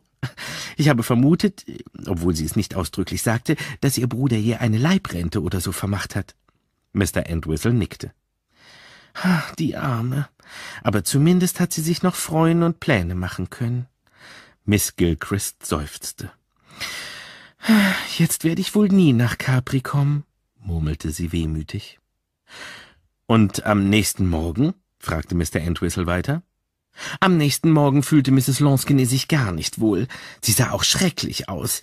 Sie sagte, sie hätte kaum ein Auge zugetan. Albträume. Sie wollte im Bett frühstücken und ist gar nicht aufgestanden, und mittags sagte sie mir, sie habe immer noch nicht schlafen können. Ich bin so unruhig, sagte sie zu mir, mir gehen ständig lauter Sachen durch den Kopf. Und dann meinte sie, sie würde ein paar Schlaftabletten nehmen und versuchen, am Nachmittag zu schlafen. Sie bat mich, mit dem Bus nach Reading zu fahren, ihre zwei Bücher in der Bücherei abzugeben und zwei neue zu holen. Also bin ich kurz nach zwei aus dem Haus und das, das war das letzte Mal. Miss Gilchrist schniefte dezent. Wissen Sie, sie muss geschlafen haben. Sie wird nichts gehört haben, und der Inspektor hat mir versichert, dass sie nicht gelitten hat. Er glaubt, dass schon der erste Schlag tödlich war. Ach, mir wird ganz anders, wenn ich nur daran denke. Bitte, beruhigen Sie sich. Es liegt mir fern, Sie mit der Bitte um weitere Einzelheiten zu behelligen. Ich wollte nur hören, was für einen Eindruck Sie von Mrs. Lansquenet hatten, bevor die Tragödie passierte. Das kann ich verstehen. Sagen Sie Ihrer Familie doch bitte, dass sie, abgesehen von der schlimmen Nacht, sehr glücklich war und sich auf die Zukunft freute. Bevor Mr. Entwistle weitersprach, zögerte er ein wenig. Ähm, über den Tod Ihres Bruders hat sie nichts gesagt? Über äh, die Todesursache? Etwas in der Richtung? Nein. Auf Miss Gilchrists Gesicht war kein Aufblitzen zu sehen was sicher der Fall gewesen wäre, wenn Cora ihr von ihrer Mordtheorie erzählt hätte, dachte Mr. Entwistle. Soweit ich weiß, war er schon einige Zeit krank, fuhr Miss Gilchrist fort, obwohl ich überrascht war, das zu hören. Er sah völlig gesund aus. Wann haben Sie ihn gesehen? fragte Mr. Entwistle rasch. Als er Mrs. Lansquenet besuchen kam. Wann war das? Vor ungefähr drei Wochen. Hat er hier übernachtet? Aber nein, er ist nur zum Mittagessen gekommen. Ganz überraschend. Mrs. Lansquenet hatte ihn gar nicht erwartet. Soweit ich weiß, hat es in der Familie Streit gegeben. Sie sagte mir, sie hätte ihn seit Jahren nicht gesehen. Wusste sie, dass er krank war? Oh ja, daran erinnere ich mich genau, weil ich mich fragte, ob Mr. Abernethy vielleicht an Gehirnerweichung litt. Mrs. Lansquenet sagte etwas wie, der arme Richard. Mortimers Tod muss ihm sehr zugesetzt haben. Er klingt, als wäre er senil. Er hat die fixe Idee, dass er verfolgt wird und jemand ihn vergiften will. Aber das passiert bei alten Leuten oft. Aber ich nehme an, Mrs. Lansquenet hat das alles nicht ernst genommen, oder? fragte der Notar. Überhaupt nicht. Mr. Entwistle wusste, dass Richard Abernethy keineswegs senil gewesen war, sondern ganz im Gegenteil im Vollbesitz seiner geistigen Kräfte. Und er war kein Mensch, der unter Verfolgungswahn litt. Er war, was er immer gewesen war, ein nüchterner Geschäftsmann, und daran hatte auch seine Krankheit nichts geändert. Seltsam, dass er seiner Schwester so etwas gesagt haben sollte. Aber vielleicht hatte Cora mit ihrem kindlichen Vorwitz zwischen den Zeilen gelesen und sich einen eigenen Reim gemacht auf das, was ihr Bruder tatsächlich gesagt hatte. Dabei ließ Mr. Entwistle es bewenden. Er war überzeugt, dass Miss Gilchrist ihm alles erzählt hatte, was sie wusste. Auf seine Frage, ob Cora Lansquenet womöglich ein Testament hinterlassen habe, erklärte Miss Gilchrist ohne Umschweife, das Testament liege bei der Bank. Nachdem Mr. Entwistle noch einige Vorkehrungen getroffen hatte, wollte er sich von Miss Gilchrist verabschieden. Er bestand darauf, ihr etwas Bargeld zu geben, um ihre laufenden Unkosten zu decken, und sagte ihr, er werde sich bald wieder bei ihr melden. Er würde sich freuen, wenn sie im Cottage wohnen bleiben würde, während sie sich nach einer neuen Stellung umsah. Das wäre ihr eine große Hilfe, meinte Miss Gilchrist, und sie habe auch überhaupt keine Angst. Doch er entkam Miss Gilchrist nicht, ohne mit ihr noch einen Rundgang durch das kleine Haus zu machen und eine Anzahl von Bildern des verstorbenen Pierre Lansquenet zu betrachten, die alle im kleinen Esszimmer hingen. Ihn schauderte, als er sie sah. Es waren vorwiegend Akte, gemalt von einem ebenso untalentierten wie detailversessenen Künstler. Außerdem musste der Notar mehrere kleine Ölbilder von hübschen Fischerdörfern bewundern, die Cora selbst angefertigt hatte. Polperro, sagte Miss Gilchrist stolz. Da waren wir im letzten Jahr. Mrs. Lansquenet war entzückt, weil das Dorf so malerisch ist. Mr. Entwistle betrachtete Ansichten von Polperro aus dem Südwesten, dem Nordwesten und vermutlich aus allen anderen Himmelsrichtungen. Mrs. Lansquenet hatte versprochen, mir ihre Bilder zu vermachen, meinte Miss Gilchrist wehmütig. Ich habe sie so bewundert. Auf diesem hier zum Beispiel kann man doch richtig sehen, wie die Wellen sich brechen, finden Sie nicht? Selbst wenn sie es vergessen hat. Glauben Sie, ich könnte wenigstens eines zur Erinnerung behalten? Das lässt sich bestimmt arrangieren, antwortete Mr. Entwistle wohlwollend. Am Abend kam ein Anruf für Mr. Entwistle. Als er den Hörer abnahm, hörte er am anderen Ende die Stimme Maud Abernethys. Gott sei Dank erreiche ich sie endlich. Timothy ist in einem erbärmlichen Zustand. Die Sache mit Cora hat ihn völlig aus der Fassung gebracht. Verständlicherweise, sagte Mr. Entwistle. Wahrscheinlich. Mord klang zweifelnd. Wollen Sie damit sagen, dass es wirklich ein Mord war? Ja, es war Mord, bestätigte Mr. Entwistle. Ich mache mir große Sorgen um Timothy. Das tut ihm alles gar nicht gut. Jetzt habe ich ihn ins Bett geschickt, aber er will unbedingt, dass ich Sie dazu überrede, nach Yorkshire zu kommen und ihn zu besuchen. Er hat hunderte von Fragen, ob es eine gerichtliche Untersuchung geben wird, wer daran teilnehmen muss, wie bald die Beerdigung stattfinden kann, wie viel Vermögen da ist, ob Cora ein Testament hinterlassen hat. Bevor die Liste zu lang wurde, unterbrach Mr. Entwistle die Anruferin. Ja, sie hat ein Testament aufgesetzt. Sie hat Timothy zu ihrem Testamentsvollstrecker ernannt. Ach du meine Güte, Timothy wird aber gar nichts tun können. Die Kanzlei wird sich um alles Notwendige kümmern. Das Testament ist sehr einfach. Sie hat ihre Bilder und eine Amethystbrosche ihrer Hausdame Miss Gilchrist hinterlassen und alles andere Susan. Susan? Warum denn Susan? Soweit ich weiß, hat sie Susan doch gar nicht gekannt. Nur als Baby hat sie sie einmal gesehen. Ich glaube, der Grund war, weil Susan angeblich eine Ehe einging, die der Familie nicht ganz standesgemäß erschien. Maud lachte verächtlich. Dabei ist Gregory noch um einiges besser als Pierre Lansquenet. Natürlich, zu meiner Zeit wäre es nie in Frage gekommen, einen Mann zu heiraten, der in einem Geschäft hinter der Theke steht. Aber eine Apotheke ist immerhin was anderes als ein Kurzwarenladen. Und zumindest wirkt Gregory ganz manierlich. Heißt das auch, dass Susan das Geld bekommt, das Richard Cora vermacht hat? Nein, das Kapital wird gemäß der Verfügung in Richards Testament aufgeteilt. Die arme Cora besaß nur ein paar hundert Pfund und die Möbel in ihrem Cottage. Wenn alle Schulden beglichen und die Möbel verkauft sind, werden kaum mehr als höchstens 500 Pfund bleiben. Es wird natürlich eine gerichtliche Untersuchung geben, um die genaue Todesursache festzustellen. Der Termin ist für kommenden Donnerstag angesetzt. Wie unangenehm. Haben Sie den Kerl schon gefasst? Noch nicht.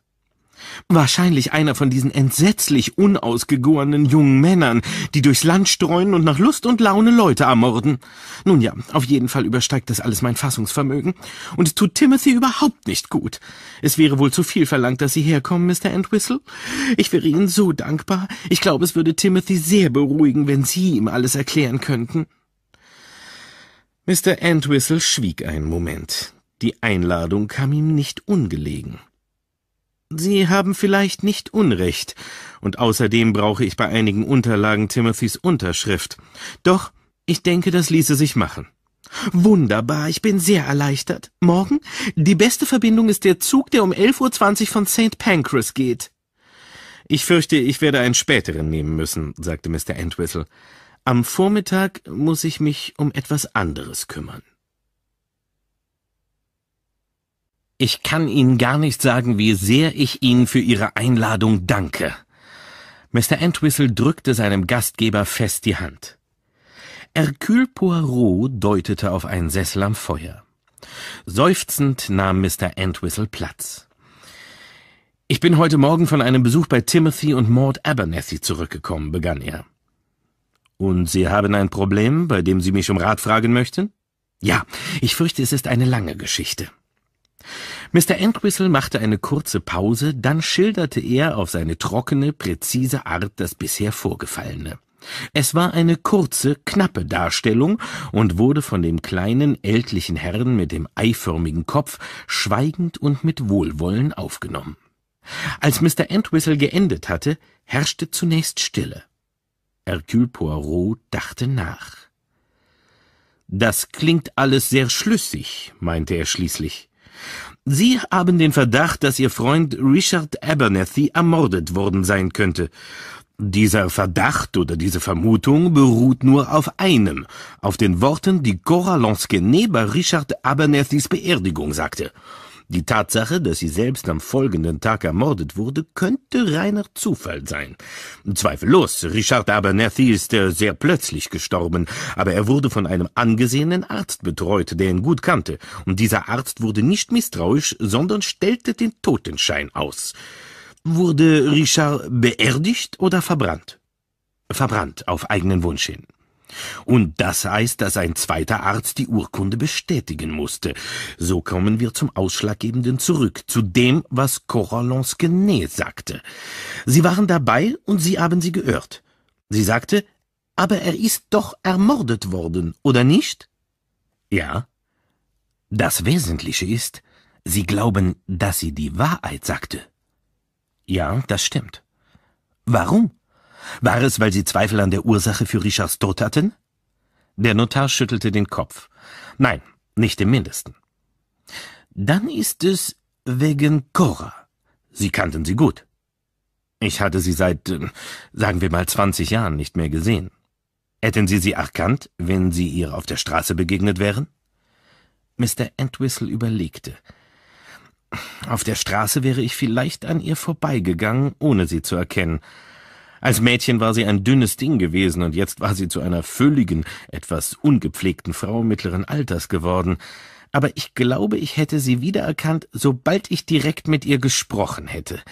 Sie trug die Haare noch wie früher, ein ganz gerade geschnittener Pony, und sie hatte die Eigenart, einen durch die Ponyfransen hindurch anzublicken wie ein scheues Reh. Und sie hatte eine sehr charakteristische, abrupte Art zu reden und dabei den Kopf zur Seite zu legen, ehe sie etwas ganz Unerhörtes sagte. Sie hatte Charakter, verstehen Sie? Und Charakter ist immer sehr individuell. Sie war also noch dieselbe Cora, die Sie vor Jahren gekannt hatten. Und sie sagte noch immer unerhörte Sachen. Die Sachen, die sie in der Vergangenheit gesagt hatte, waren sie meist äh, gerechtfertigt? Das war ja gerade das Unbequeme an Cora. Immer wenn die Wahrheit besser ungesagt geblieben wäre, hat sie sie ausgesprochen. Und diese Eigenart hatte sie beibehalten. Richard Abernethy wurde ermordet, und deswegen sagte Cora es auch. Mr. Entwistle rutschte auf seinem Stuhl umher.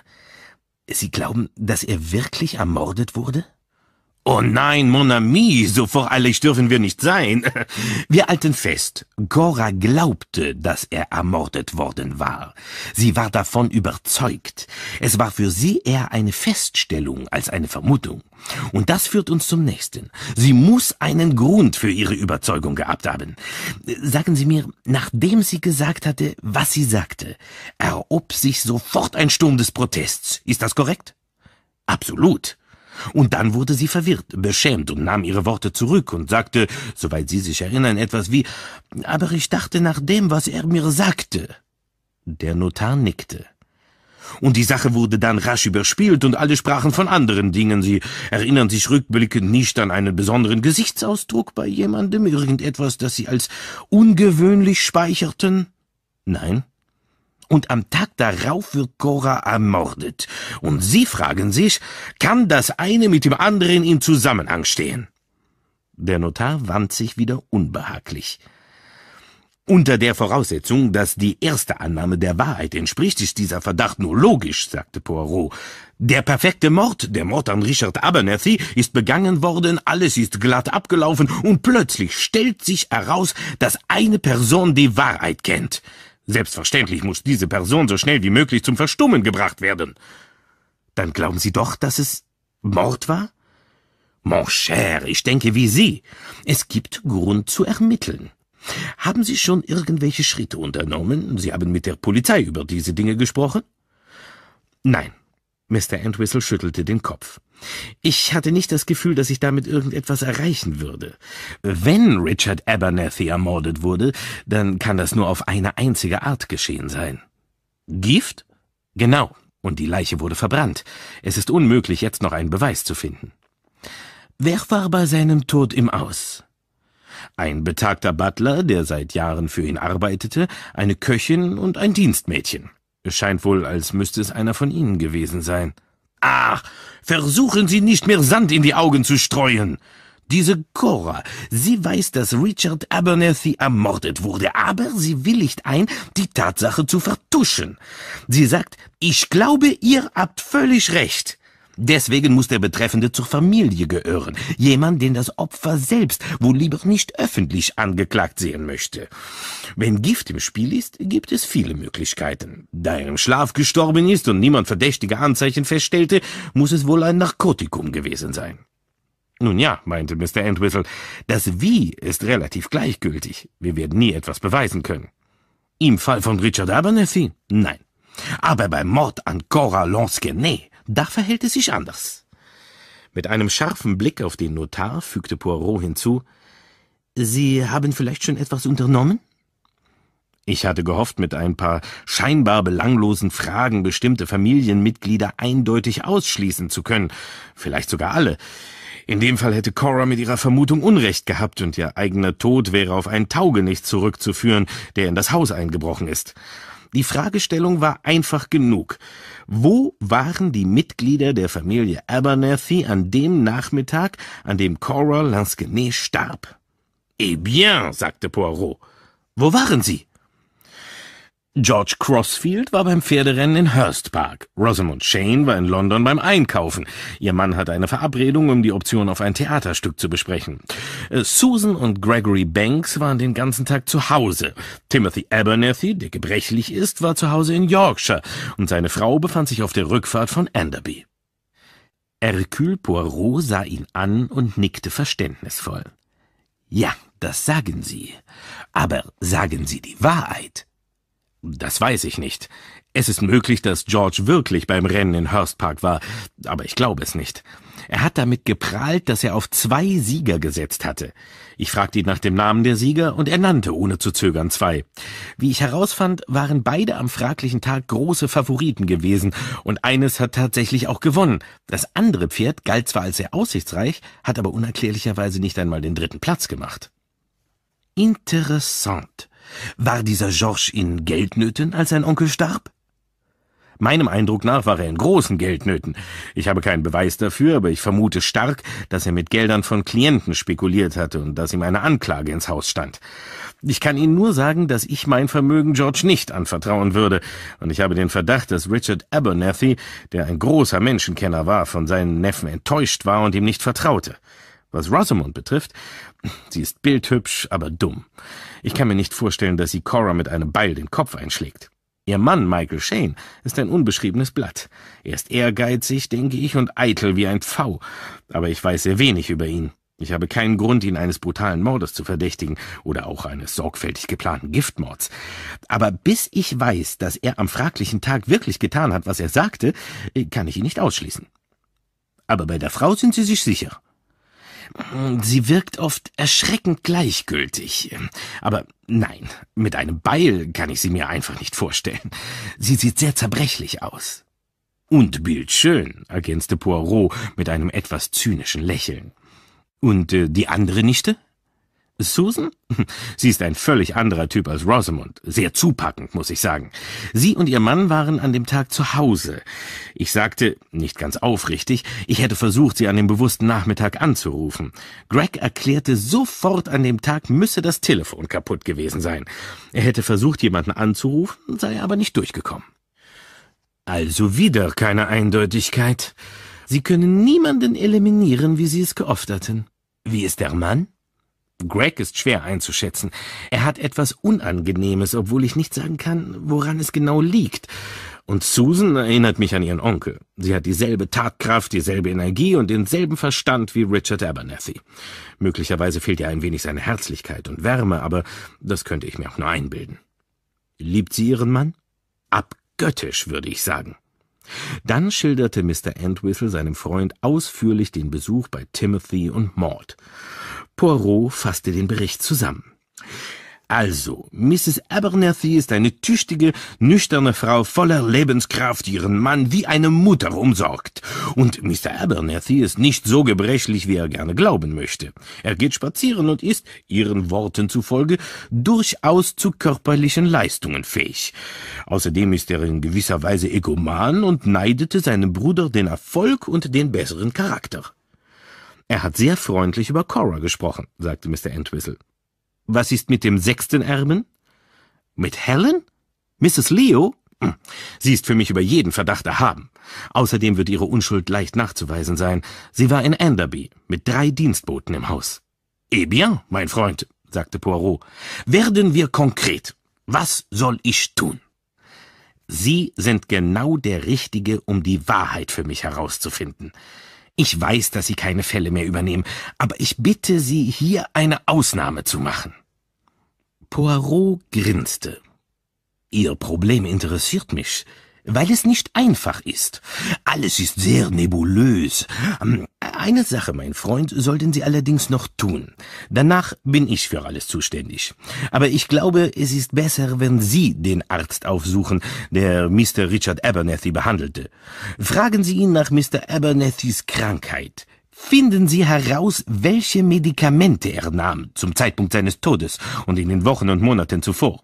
Finden Sie heraus, ob Richard Abernathy seinem Arzt gegenüber je erwähnte, dass er glaubte, vergiftet zu werden. Übrigens, äh, diese Miss Gilchrist ist sicher, dass er den Ausdruck vergiftet verwendete, als er sich mit seiner Schwester unterhielt? Mr. Entwistle überlegte. Doch, doch, das Wort hat sie gebraucht. Allerdings gehört sie zu der Art von Zeugen, die die tatsächlich gesagten Worte oft verändern. Ich könnte noch einmal mit ihr darüber reden. Ja, oder ich. Poirot verstummte, bevor er in weniger nüchternem Tonfall fortfuhr. Haben Sie sich schon überlegt, dass Ihre Miss Gilchrist selbst auch in Gefahr sein könnte? Mr. Entwistle schaute überrascht auf. Eigentlich nicht. Aber ja, Cora hat am Tag der Beerdigung ihren Verdacht geäußert. Die Frage, die sich der Mörder stellt, wird lauten, hat sie ihren Verdacht auch jemand anders gegenüber geäußert, gleich als sie von Richards Tod erfuhr. Und am wahrscheinlichsten ist, dass sie mit Miss Gilchrist darüber sprach.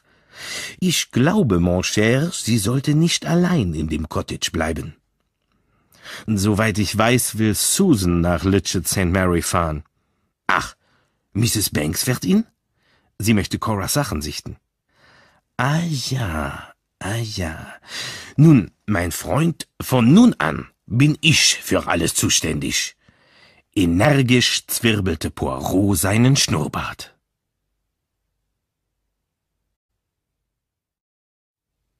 Mr. Entwistle betrachtete Dr. Larrabee nachdenklich. Dann räusperte er sich und begann beherzt. Ich möchte Sie in einer sehr heiklen Angelegenheit um Ihre Meinung bitten. Es geht um einen meiner Klienten, den kürzlich verstorbenen Mr. Abernathy. Ich äh, stelle Ihnen meine Frage ganz unverblümt.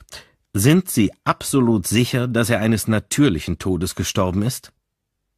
Dr. Larrabees freundliches, rosiges Gesicht wandte sich dem Notar überrascht zu. Natürlich. Ich habe doch den Totenschein ausgestellt. Abernathy war ein kranker Mann. Er litt an einer Krankheit, an der er spätestens in zwei Jahren gestorben wäre, möglicherweise auch sehr viel früher. Der Tod seines Sohnes hatte ihm den Lebenswillen genommen und auch seine Widerstandskraft. Zugegeben, ich hatte seinen Tod nicht so bald erwartet und auch nicht so plötzlich, aber man hat ja schon die ungewöhnlichsten Fälle erlebt. Jeder Mediziner, der eine Aussage darüber macht, wann genau ein Patient sterben wird, wie lange er noch zu leben hat, macht sich unglaubwürdig. Ich möchte Ihre Diagnose nicht in Zweifel ziehen. Meine Frage zielt vielmehr auf Folgendes ab.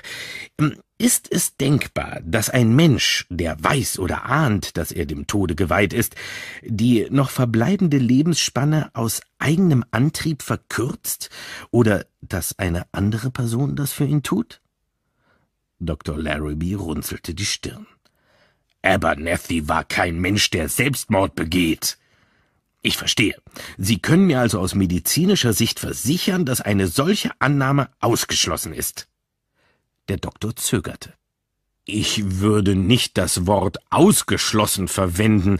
Nach dem Tod seines Sohnes hatte Abernathy nur noch wenig Interesse am Leben. Ich persönlich glaube nicht, dass sein Selbstmord wahrscheinlich war, aber völlig ausschließen kann ich das nicht. Mr. Entwistle griff die zögerliche Antwort des Arztes sofort auf. Wenn wir also davon ausgehen, dass sein Tod nicht natürlich war, was könnte ihn verursacht haben? Ich meine, welche Art von Droge? Mehrere. Ein Beruhigungsmittel wäre indiziert. Für eine Zyanose gab es keine Anzeichen. Er sah sehr entspannt aus. Hat er regelmäßig ein Schlafmittel genommen? Ja, ich hatte ihm Slumberil verschrieben, ein sehr sicheres und zuverlässiges Schlafmittel. Aber selbst das drei- oder auch vierfache der verschriebenen Dosis wäre nicht tödlich gewesen. Ich weiß sogar noch, ich habe das Döschen nach seinem Tod am Waschbecken stehen gesehen, und es war noch fast voll. Hatten Sie ihm noch andere Medikamente verordnet? Mehrere. Eines, das eine kleine Dosis Morphium enthielt und das er nehmen sollte, wenn er unter starken Schmerzen litt. Vitaminkapseln, ein Mittel zur Anregung der Verdauung. Mr. Entwistle unterbrach den Arzt. Vitaminkapseln? Ich glaube, ich hätte einmal etwas Ähnliches bekommen. Äh, kleine, runde Gelatinekapseln? Genau. Wäre es möglich, den Inhalt der Kapseln durch etwas anderes zu ersetzen? Durch etwas Tödliches, meinen Sie? Dr. Larrabee erhob sich und schritt im Zimmer auf und ab. Natürlich ist es möglich. Jeder hätte das Öl aus der Kapsel saugen und es durch, sagen wir, reines Nikotin ersetzen können oder durch ein halbes Dutzend anderer Mittel. Oder jemand hätte ihm etwas ins Essen oder den Tee tun können. Wäre das nicht wahrscheinlicher? Vielleicht, aber sehen Sie, als er starb, waren nur die Dienstboten im Haus. Und ich glaube nicht, dass es einer von Ihnen war, da bin ich mir sogar absolut sicher. Also suche ich nach einem Mittel, das mit Verzögerung wirkt. Gibt es keine Droge, an der man erst Wochen später stirbt?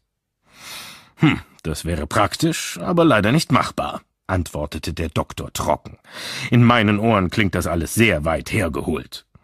Hat Abernathy Ihnen gegenüber nie etwas erwähnt, nie angedeutet, dass einer seiner Verwandten ihn aus dem Weg räumen möchte? Der Arzt sah ihn neugierig an. Nein, zu mir hat er nichts dergleichen gesagt. Mit großem Unbehagen, weil sein Verdacht durch diesen Besuch keineswegs ausgeräumt worden war, verabschiedete Mr. Entwistle sich. Sobald er nach Enderby zurückkam, wollte er mit Lanscombe reden. Als erstes fragte er den alten Butler nach seinen Plänen für die Zukunft. Mrs. Leo hat mich gebeten, hier zu bleiben, bis das Haus verkauft ist, Sir, und natürlich erfülle ich ihr diesen Wunsch mit Freuden. Er seufzte. Es betrübt mich, dass das Haus verkauft werden muss, Sir. Ich habe viele Jahre hier verbracht und all die jungen Herrschaften hier aufwachsen sehen. Es war vorgesehen, dass ich ins Pförtnerhaus ziehen sollte, wenn ich nicht mehr im Haus arbeite, und ich hatte mich darauf gefreut, es mir dort schön zu machen. Aber damit ist es jetzt wohl vorbei. Ich fürchte, dem ist leider so. Das Haus muss mit dem Grundstück als Ganzes verkauft werden. Oh, ich will mich nicht beklagen, Sir. Ich bin mir bewusst, wie großzügig Mr. Abernethy war. Ich werde ein gutes Auskommen haben, wenn ich mir die Bemerkung erlauben darf, Sir. In meinen Augen ist das Testament sehr gerecht. Doch, es ist ein gerechtes Testament. Alle Erben werden gleichmäßig bedacht. Aber ich glaube, es ist nicht das Testament, das Mr. Abernethy gleich nach dem Tod seines Sohnes zu machen gedachte. Vor seinem Tod hat er doch einige seiner Verwandten nach Enderby eingeladen, nicht? Sein Neffen und seine beiden Nichten mit ihren Männern. Ja, Sir, das stimmt. Freute er sich über die Besuche oder war er eher enttäuscht? Nach dem Besuch von Mr. George war Mr. Abernethy sehr enttäuscht, Sir. Wenn ich das so sagen darf, Sir, Mr. George genügte nicht seinen Anforderungen. Lanscombe machte eine Pause, ehe er fortfuhr. Dann kamen die jungen Damen mit ihren Ehemännern. Miss Susan hat ihn sofort beeindruckt. Sie ist eine sehr lebhafte und attraktive junge Dame, aber meiner Ansicht nach konnte er ihren Mann nicht leiden. Und das andere Paar? Darüber kann ich nicht viel sagen. Ein sehr freundliches und gut aussehendes junges Paar. Ich glaube, der gnädige Herr hat sich über Ihren Besuch sehr gefreut, aber nun ja, der gnädige Herr hatte nie viel vom Theater gehalten. Eines Tages sagte er zu mir, ich kann nicht verstehen, wie jemand Theater besessen sein kann. Es ist doch ein verrücktes Leben. Es bringt die Leute um das letzte bisschen Verstand, das sie vielleicht besitzen. Und nach diesen Besuchen ist Mr. Abernethy selbst weggefahren. Zuerst zu seinem Bruder und dann zu seiner Schwester, Mrs. Lansquenet. Davon wusste ich nichts, Sir. Ich meine, er erzählte mir, dass er zu Mr. Timothy fahren würde und dann nach äh, irgendwas St. Mary. Richtig. Erinnern Sie sich, ob er nach seiner Rückkehr von der Reise etwas über seinen Besuch sagte? Lanscombe überlegte. Mhm, nicht direkt. Er war sehr froh, wieder hier zu sein. Es hat ihn sehr angestrengt zu reisen und in fremden Häusern zu übernachten. Mr. Entwistle verabschiedete sich. Er ließ sich durch den Kopf gehen, was er alles erfahren hatte. Eigentlich nichts. Das heißt nichts, was er nicht vorher schon vermutet hatte.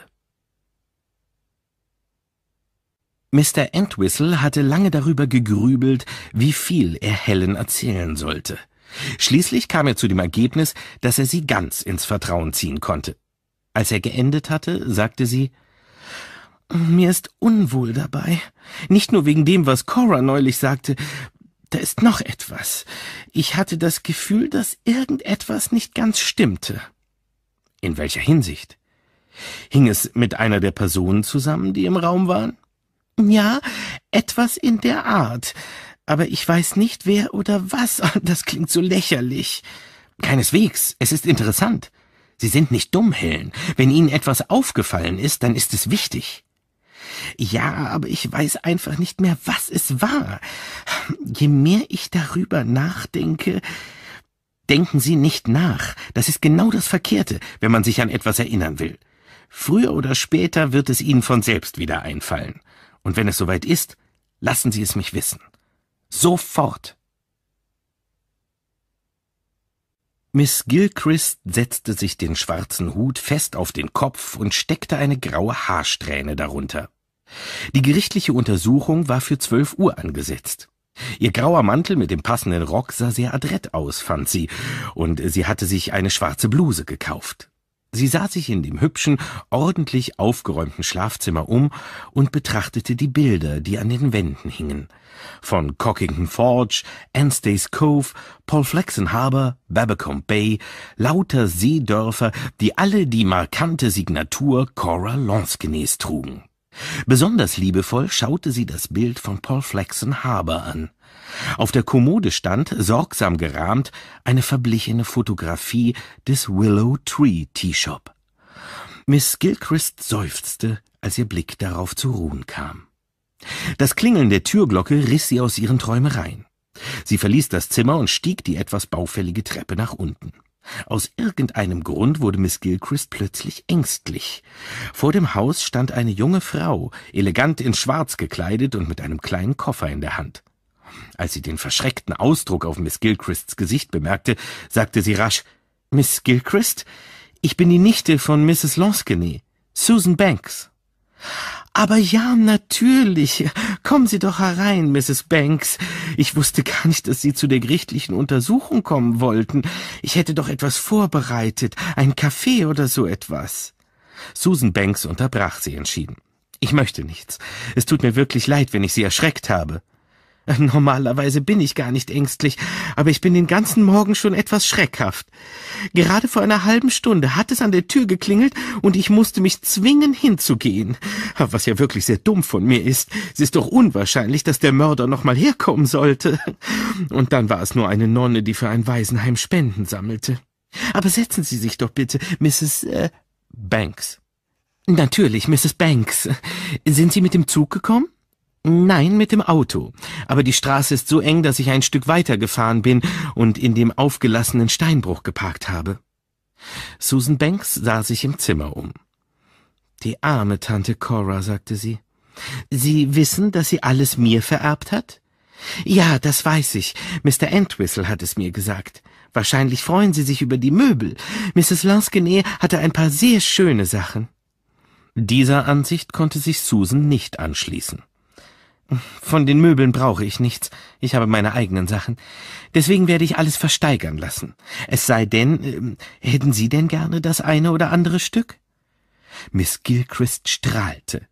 Oh, das ist wirklich sehr nett von Ihnen, Mrs. Banks, aber ich habe meine eigenen Möbel aufgehoben, für den Fall, dass ich sie irgendwann einmal brauchen könnte. Wissen Sie, ich hatte früher einen kleinen Teesalon, aber dann ist der Krieg gekommen. Es war alles sehr traurig. Ich habe nicht alles verkauft, weil ich nie die Hoffnung aufgegeben habe, eines Tages vielleicht doch wieder mein eigenes kleines Heim zu haben. Also habe ich die besten Stücke eingelagert, zusammen mit den Bildern meines Vaters. Aber was ich schrecklich gerne hätte, wenn Sie Sie wirklich nichts dagegen haben, das wäre der kleine bemalte Teetisch von Mrs. Lansquenet. Er ist so hübsch und wir haben immer unseren Tee daran getrunken. Mit einem leichten Schauder betrachtete Susan den kleinen grünen, mit großen lilafarbenen Clematisblüten bemalten Tisch und erwiderte rasch, sie würde sich sehr freuen, wenn Miss Gilchrist ihn nehmen würde. Haben Sie vielen Dank, Mrs. Banks. Ich komme mir doch ein bisschen habgierig vor. Wissen Sie, jetzt habe ich die ganzen wunderschönen Bilder von ihr bekommen und außerdem eine hübsche Amethystbrosche, aber ich finde, die sollte ich Ihnen zurückgeben. Nein, gar nicht. Sie möchten Ihre Sachen durchsehen? Vielleicht nach der gerichtlichen Untersuchung? Ich hatte mir überlegt, zwei Tage hier zu bleiben, alles zu sichten und zu ordnen. Ich werde Ihnen mein Bett frisch beziehen, und ich kann hier unten auf dem Sofa schlafen. Aber es gibt doch Tante Coras Zimmer, oder nicht? Kann ich nicht dort schlafen? Das, das würde Sie nicht stören? Sie meinen, weil sie dort ermordet worden ist? Aber nein, das stört mich ganz und gar nicht. Ich bin aus zähem Holz geschnitzt, Miss Gilchrist. Es ist doch wieder in Ordnung. Miss Gilchrist verstand die Frage sofort. Aber natürlich, Mrs. Banks, alle Decken sind in der Reinigung und Mrs. Panther und ich haben das ganze Zimmer von oben bis unten geschrubbt und wir haben reichlich Ersatzdecken. Aber kommen Sie doch mit nach oben und sehen Sie selbst. Sie ging Susan voraus die Treppe hinauf. Das Zimmer, in dem Cora Lansquenet gestorben war, roch sauber und frisch, und die Atmosphäre hatte gar nichts Düsteres an sich. Wo sind Tante Coras Bilder? In meinem Zimmer. Möchten Sie sie sehen? Stolz führte Miss Gilchrist ihre Schätze vor. Susan meinte, ihre Tante habe offenbar eine Vorliebe für Seebäder gehabt. Ah, das ist wahr. Wissen Sie, sie hat mit Mr. Lansquenet jahrelang in einem kleinen Fischerdorf in der Bretagne gelebt. Fischerboote sind einfach zu malerisch, finden Sie nicht? Offensichtlich, murmelte Susan. Nach Cora Lansquenets Bildern, detailgetreue und sehr bunte Darstellung, hätte man eine ganze Postkartensammlung produzieren können, dachte sie. In ihr stieg sogar der Verdacht auf, dass sie von Postkarten abgemalt worden waren. Die gerichtliche Untersuchung brachte nichts Sensationelles an den Tag. Die Identität der Toten wurde festgestellt, ein medizinischer Gutachter erläuterte die Art der Verletzungen, an denen sie gestorben war. Nichts deute darauf, dass sie Gegenwehr geleistet habe. Die Tote habe zur Zeit des Überfalls vermutlich unter Drogen gestanden und sei völlig überrascht worden. Es sei unwahrscheinlich, dass der Tod später als 4.30 Uhr eingetreten sei, vermutlich zwischen 2 und 4.30 Uhr. Miss Gilchrist sagte aus, dass sie die Leiche gefunden hatte, ein Polizist und Inspektor Morton gaben ihr Zeugnis ab. Zum Schluss fasste der Untersuchungsrichter die Aussagen kurz zusammen, woraufhin die Geschworenen einstimmig auf Mord durch einen oder mehrere Unbekannte befanden. Mr. Entwistle führte Susan und Miss Gilchrist in King's Arms, wo er vorsorglich einen Tisch reserviert hatte. Ich hatte keine Ahnung, dass Sie heute herkommen wollten, Susan, sagte Mr. Entwistle. Wir hätten zusammenfahren können. Ich hätte es ziemlich herzlos gefunden, wenn niemand von der Familie da gewesen wäre. George sagte, er hätte zu viel zu tun. Rosamund hatte irgendeinen Termin zum Vorsprechen und Onkel Timothy ist ja ein Wrack. Also musste ich kommen. Ihr Mann wollte sie nicht begleiten? Greg musste mit seinem Laden abrechnen. Als sie den bestürzten Ausdruck auf Miss Gilchrists Gesicht bemerkte, erklärte sie, mein Mann arbeitet in einer Apotheke. Wir haben große Pläne für die Zukunft. Ein Schönheitssalon und dazu ein Labor, in dem wir unsere eigene Kosmetik herstellen. Sehr schön. Es war offensichtlich, dass diese Idee Miss Gilchrists Billigung fand. Sie begann, Susan vom Willow Tree zu erzählen. Mr. Entwistle, der das alles schon einmal gehört hatte, überließ sich seinen Gedanken. Susan musste ihn zweimal ansprechen, bevor er reagierte. Äh, verzeihen Sie, meine Liebe, entschuldigte er sich. Ich mache mir Sorgen um Mrs. Timothy. Offenbar ist sie die Treppe heruntergefallen und hat sich den Knöchel verstaucht. Sie muss die ganze Zeit liegen und ihr Onkel ist völlig überfordert. Weil er zur Abwechslung sie pflegen muss und nicht umgekehrt wie sonst? Das wird ihm nur gut tun, antwortete Susan. Mr. Entwistle hatte sich für die Nacht im King's Arms ein Zimmer genommen. Susan und Miss Gilchrist gingen zum Cottage. Am folgenden Tag sollte die Beerdigung stattfinden. Mein Wagen steht noch im Steinbruch, sagte Susan. Das hatte ich ganz vergessen. Ich fahre ihn nachher ins Dorf. Aber nicht zu spät. Miss Gilchrist klang besorgt. Sie werden doch nicht in der Dunkelheit rausgehen wollen. Susan lachte. Sie glauben doch nicht, dass sich noch ein Mörder hier herumtreibt, oder? Nein, wahrscheinlich nicht. Miss Gilchrist verschwand in der Küche. Wenige Minuten später läutete es an der Tür, gefolgt von einem staccatoartigen Klopfen. Susan ging in den Flur und in demselben Augenblick trat Miss Gilchrist aus der Küche. Sie hatte eine Schürze umgebunden und wischte sich die bemehlten Hände daran ab. Gottchen, wer kann das denn sein? Ich wollte gerade zum Tee ein paar süße Brötchen backen. Ich kümmere mich darum. Während Susan zur Haustür ging, blieb Miss Gilchrist zögernd im Flur stehen. Der Besucher erwies sich als älterer Herr, der höflich den Hut zog, als Susan ihm die Tür öffnete. Ich heiße Alexander Guthrie. Ich bin ein sehr alter Freund von Mrs. Lansquenet. Ich vermute, Sie sind ihre Nichte, die frühere Miss Susan Abernethy. In der Tat. Darf ich eintreten? Natürlich. Ein trauriger Anlass, sagte Mr. Guthrie. Ich war zufällig gerade in der Gegend und dachte mir, das Mindeste, was ich tun könnte, wäre zur gerichtlichen Untersuchung zu gehen und natürlich zur Beerdigung. Die arme, närrische Cora. Ich kenne sie praktisch seit ihrer Hochzeit. Eine temperamentvolle junge Frau, aber überhaupt keinen Kunstverstand hatte sie, obwohl sie in anderer Hinsicht sehr scharfsichtig war. Das sagen alle, erwiderte Susan. Sicher fragen Sie sich, warum ich gekommen bin, sagte Mr. Guthrie. Um ehrlich zu sein, ich habe ein schlechtes Gewissen. Ich hatte Cora vor einigen Wochen versprochen, sie zu besuchen. Meistens habe ich sie einmal im Jahr gesehen und in letzter Zeit hatte sie ja angefangen, auf Flohmärkten Bilder zu kaufen und sie wollte, dass ich sie mir ansehe. Ich bin von Beruf Kunstkritiker, müssen Sie wissen. Die meisten Bilder, die Cora gekauft hat, waren natürlich schauerlich, aber im Grunde ist es gar kein so schlechtes Geschäft. Auf diesen Flohmärkten kann man Bilder ja für einen Apfel und ein Ei bekommen, und oft sind die Rahmen allein schon mehr wert, als man dafür bezahlt. Zu den großen Auktionen gehen natürlich immer Kunsthändler hin, und Meisterwerke findet man kaum. Aber gerade neulich wurde beim Verkauf eines Bauernhofs ein kleiner Gapp für ein paar Pfund versteigert. Doch, solche Sachen kommen wirklich manchmal vor, und Cora war überzeugt, dass sie einen Blick für Gemälde hatte. Als letztes schrieb sie mir ganz euphorisch von einem italienischen Primitiven, den sie auf einem Trödelmarkt gekauft hatte, und sie hat mir das Versprechen abgenommen, dass ich ihn mir ansehe. Wahrscheinlich meinte sie das da drüben, sagte Susan und deutete auf die Wand hinter sich. Mr. Guthrie erhob sich, setzte die Brille auf und betrachtete den Stich. Die arme Cora, urteilte er nach einer Weile. Da sind noch viele andere, meinte Susan. Mr. Guthrie begann eine eingehende Untersuchung der Kunstschätze, die Mrs. Lansquenet so hoffnungsvoll erworben hatte.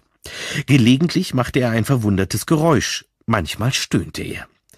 Schließlich nahm er die Brille wieder ab. Schmutz ist etwas Wunderbares, Mrs. Banks, erklärte er. Es verleiht auch den schauderhaftesten Beispielen der Malerei eine romantische Patina. In der Küche holte Miss Gilchrist gerade ein letztes Backblech mit süßen Brötchen aus dem Ofen. Das Tablett mit den Teesachen war bereits gedeckt. Ein Mr. Guthrie ist gekommen und ich habe ihn eingeladen, mit uns Tee zu trinken. Mr. Guthrie? Ja, er war gut mit Mrs. Lansquenet befreundet, der lieben Seele. Er ist der berühmte Kunstkritiker. Was für ein Glück. Ich habe reichlich süße Brötchen gebacken und es gibt auch noch ein bisschen selbstgemachte Erdbeermarmelade. Ihrem Protest zum Trotz brachte Susan das Tablett ins Wohnzimmer. Miss Gilchrist folgte mit der Teekanne und dem Kessel. Nachdem sie Mr. Guthrie begrüßt hatte, bedienten sich alle von den aufgetischten Köstlichkeiten. Der Geist des Willow Tree hing in der Luft. Es war nicht zu übersehen, dass Miss Gilchrist hier in ihrem Element war. Nach dem Tee verabschiedete sich Mr. Guthrie höflich von den beiden Frauen. Miss Gilchrist brachte ihn zur Tür und half ihm in den Mantel. Durchs Wohnzimmerfenster sah Susan ihm nach, wie er mit flotten Schritten zum Gartentor ging. Miss Gilchrist kehrte mit einem Päckchen in der Hand ins Zimmer zurück. Der Postbote muss hier gewesen sein, während wir bei der gerichtlichen Untersuchung waren. Er hat es durch den Briefschlitz gesteckt und es ist in die Ecke gefallen. Ich würde ja gerne wissen, ah, das muss wohl ein Stück Hochzeitskuchen sein. Beglückt riss Miss Gilchrist das Papier auf, und eine weiße Schachtel mit einer silbernen Schleife kam zum Vorschein. Stimmt! Sie löste das Band. In der Schachtel lag ein kleines Stück Früchtekuchen mit Marzipan und dickem weißem Zuckerguss. Wie nett! Aber wer. Sie schaute auf die beiliegende Karte. John und Mary. Wer soll das denn sein? Wie dumm, dass Sie nicht den Nachnamen hingeschrieben haben. Na ja, es wird mir schon noch einfallen. Sie griff nach dem Tablett und trug es in die Küche. Susan erhob sich ebenfalls. Und ich sollte wahrscheinlich jetzt das Auto umparken. Susan ging zum Steinbruch, wo sie ihren Wagen abgestellt hatte, und fuhr ins Dorf. Dort gab es aber keine Garage und deswegen wurde ihr geraten, das Auto beim King's Arms abzustellen. Sie parkte ihn neben einem großen Jaguar, der gerade wegfahren wollte. Am Steuer saß ein Chauffeur, auf der Rückbank ein älterer, ausländisch aussehender Herr mit einem überdimensionalen Schnurrbart, der in einen schweren Mantel gehüllt war. Der Junge, mit dem Susan wegen des Parkens sprach, starrte sie fasziniert an. Schließlich fragte er ehrfürchtig Sie sind die Nichte des Opfers, nicht? Ach so, ja, das bin ich. Ha, hab ich mir doch gedacht, dass ich Sie schon mal gesehen habe. Wie gut, dass Sie heil und ganz wieder da sind, begrüßte Miss Gilchrist sie. Sie mögen doch Spaghetti, oder? Auf meine Spaghetti au gratin bin ich nämlich sehr stolz. Und zu Recht, wie Susan feststellte. Miss Gilchrist war in der Tat eine exzellente Köchin. Etwas später kam sie mit zwei Tassen Kaffee ins Wohnzimmer. Dazu bot Miss Gilchrist ein Stück vom Hochzeitskuchen an. Susan lehnte dankend ab. Der Kuchen schmeckt aber sehr gut, drängte Miss Gilchrist sie, nachdem sie einen Bissen gegessen hatte. Susan ließ Miss Gilchrist weiter plaudern, bis sie allmählich von selbst verstummte. Als die beiden Frauen dann behaglich am Kamin saßen, schnitt Susan schließlich das Thema an, das sie die ganze Zeit beschäftigt hatte. Mein Onkel Richard ist doch vor seinem Tod hier gewesen, nicht? fragte sie. Wann war das genau? Lassen Sie mich überlegen, das muss ein, zwei, fast drei Wochen vor seinem Tod gewesen sein.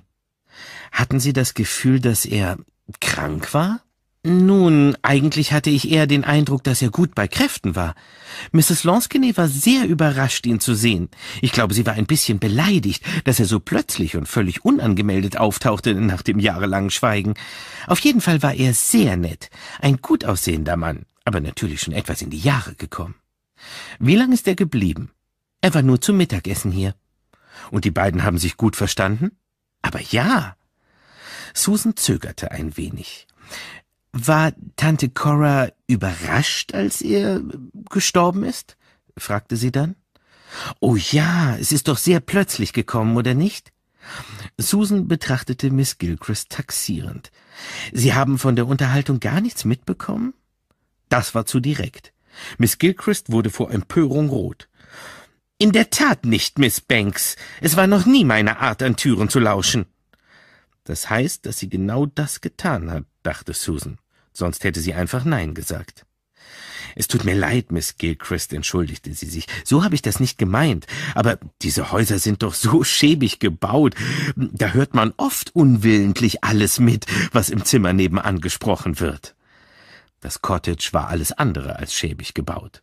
Aber Miss Gilchrist griff die Ausrede sofort auf. Da haben Sie natürlich recht, Miss Banks. Das Haus ist wirklich sehr klein. Und natürlich kann ich verstehen, dass Sie gerne wissen möchten, was zwischen den beiden geredet wurde. Aber ich fürchte, ich kann Ihnen nicht viel weiterhelfen. Susan vermutete, dass Miss Gilchrist weitaus mehr wusste, als sie zugeben wollte. Möglicherweise wusste sie sogar sehr viel. Susan beschloss, das Thema für den Augenblick auf sich beruhen zu lassen. Welche Pläne haben Sie denn für die Zukunft, Miss Gilchrist? erkundigte sie sich. Ach, darüber wollte ich noch mit Ihnen reden, Mrs. Banks. Wären Sie vielleicht bereit, ich meine, dürfte ich Sie bitten, mich zu empfehlen? Zu sagen, dass ich bei einer Verwandten von Ihnen gearbeitet habe und dass meine Arbeit zufriedenstellend war? Aber natürlich. Miss Gilchrists Hände begannen zu zittern. Aber wäre es vielleicht möglich, dass Sie die Umstände nicht erwähnen, nicht einmal den Namen? Susan starrte sie an. Ich verstehe Sie nicht. Es war ein Mord, der in allen Zeitungen stand. Verstehen Sie? Die Leute denken vielleicht, zwei Frauen leben zusammen, eine von ihnen wird umgebracht, womöglich war es die Hausdame. Wenn ich nach jemandem suchen würde, dann würde ich es mir zweimal überlegen, ob ich mich selbst anstellen würde. Man kann doch nie wissen. Darüber habe ich mir große Sorgen gemacht, Mrs. Banks. Ich bin nachts oft wach gelegen und habe mir gedacht, dass ich vielleicht keine andere Stelle finde, keine Stelle als Hausdame. Und was soll ich denn sonst tun? Susan schämte sich ein wenig, denn erst jetzt wurde ihr die Verzweiflung dieser durch und durch redlichen Frau bewusst. Es stimmte zwar, dass Miss Gilchrist aus Cora Lansquenets Tod keinen Vorteil zog, aber wer sollte das schon wissen? Machen Sie sich keine Sorgen, Miss Gilchrist, sagte sie aufmunternd. Ich werde für Sie eine Stelle in meinem Bekanntenkreis finden. Nachdenklich verzog sie das Gesicht. Dann kam ihr plötzlich eine Idee. Sie ging zum Telefon, nahm den Hörer ab und ließ sich mit der Vermittlung für Ferngespräche verbinden. Susan hörte dem Läuten des Telefons in der Ferne zu. Plötzlich brach es ab und eine griesgrämige, leicht empörte Männerstimme erklang. Ja, wer ist da? Onkel Timothy? Hier ist Susan Banks, deine Nichte. Was ist denn los? Weswegen rufst du zu dieser nachtschlafenden Zeit an? Ich war schon im Bett. Dann gehst du aber ziemlich früh zu Bett. Wie geht es Tante Maud? Ist das der einzige Grund, warum du anrufst? Deine Tante hat große Schmerzen und kann nichts tun. Sie ist völlig hilflos. Hier geht es drunter und drüber, das kann ich dir sagen. Der Arzt dieser Dämlack behauptet, er könnte nicht mal eine Pflegeschwester auftreiben. Er wollte Mord ins Krankenhaus einliefern. Dem habe ich aber kräftig die Meinung gegeigt. Jetzt versucht er jemanden für uns zu finden. Ich kann ja nicht mal den kleinen Finger heben. Ich weiß wirklich nicht, was wir tun sollen. Deswegen rufe ich ja an. Würdet ihr Miss Gilchrist nehmen? Noch nie gehört. Wer soll das sein? Die Hausdame von Tante Cora. Sie ist sehr nett und tüchtig. Hm, kann sie kochen? Ja, sie kocht sehr gut und könnte sich um Tante Maud kümmern. Ja, wann könnte sie denn kommen? Ich bin ja ganz auf mich allein angewiesen. Mein Herz spielt schon verrückt. Ich werde zusehen, dass sie so bald wie möglich zu euch fährt. Wie wär's mit übermorgen? Ja, also, äh, vielen Dank. Timothy Abernethys Stimme klang widerwillig. Du bist ein gutes Mädel, Susan. Susan legte auf und ging in die Küche. Wären Sie bereit, nach Yorkshire zu fahren und meine Tante zu pflegen? Sie ist gestürzt, hat sich einen Knöchel gebrochen und mein Onkel ist ohne sie völlig aufgeschmissen. Er ist eine alte Nervensäge, aber Tante Maud ist recht umgänglich. Eine Frau aus dem Dorf macht den Haushalt. Sie bräuchten nur zu kochen und sich um Tante Maud zu kümmern. Vor Aufregung glitt Miss Gilchrist die Kaffeekanne fast aus der Hand. Oh, danke, danke. Das ist wirklich sehr nett von Ihnen.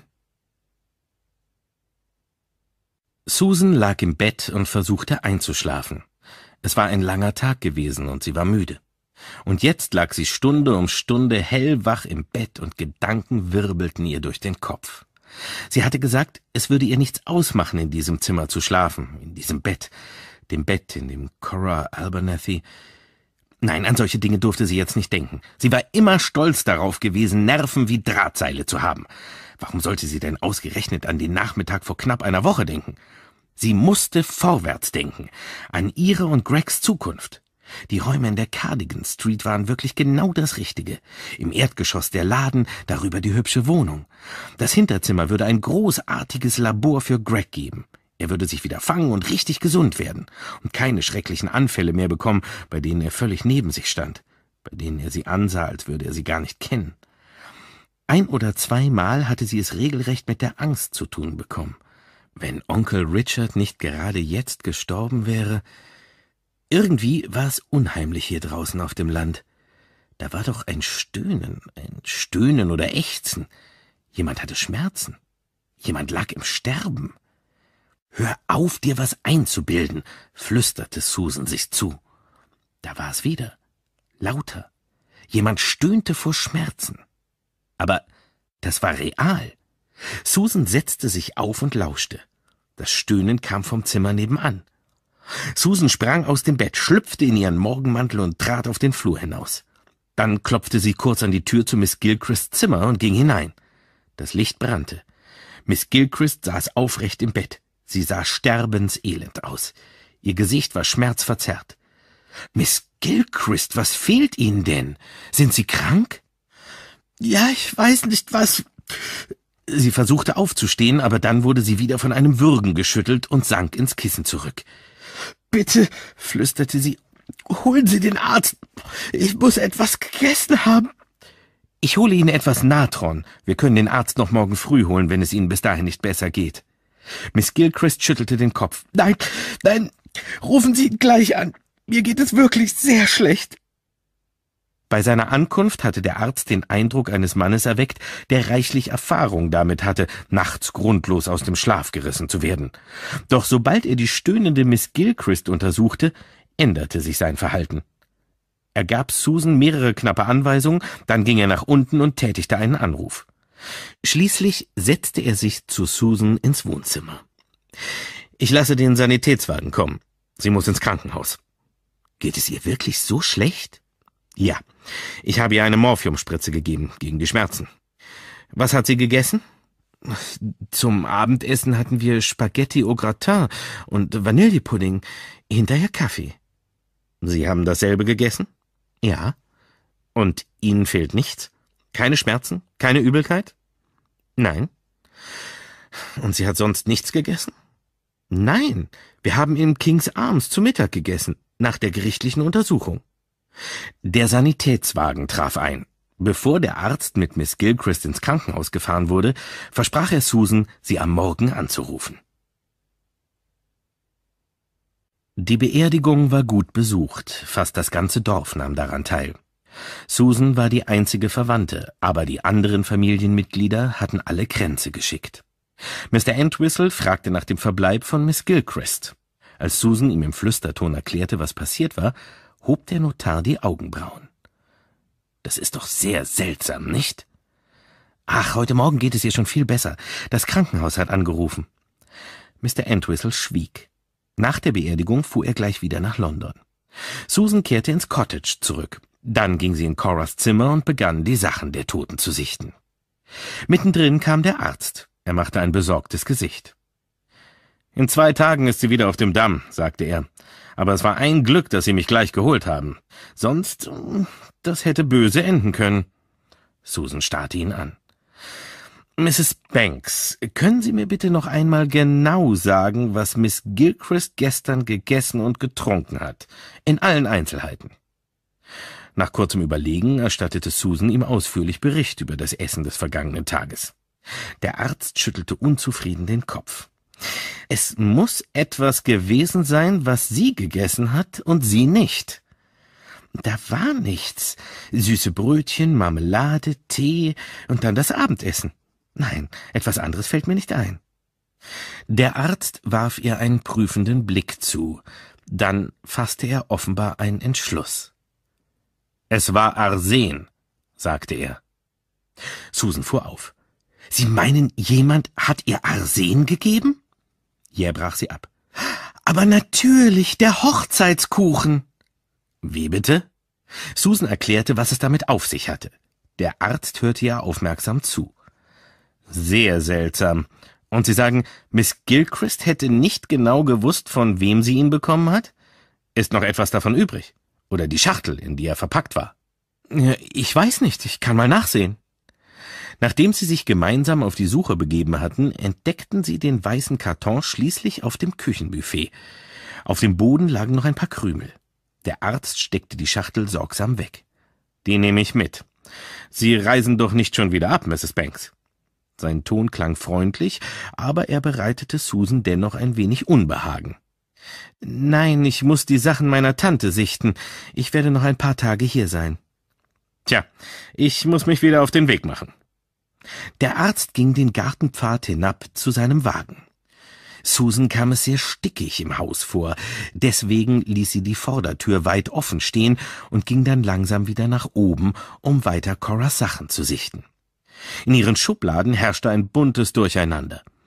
Eine enthielt Toilettenartikel, Taschentücher und Pinsel, in einer anderen entdeckte Susan mehrere alte Briefe und Rechnungen.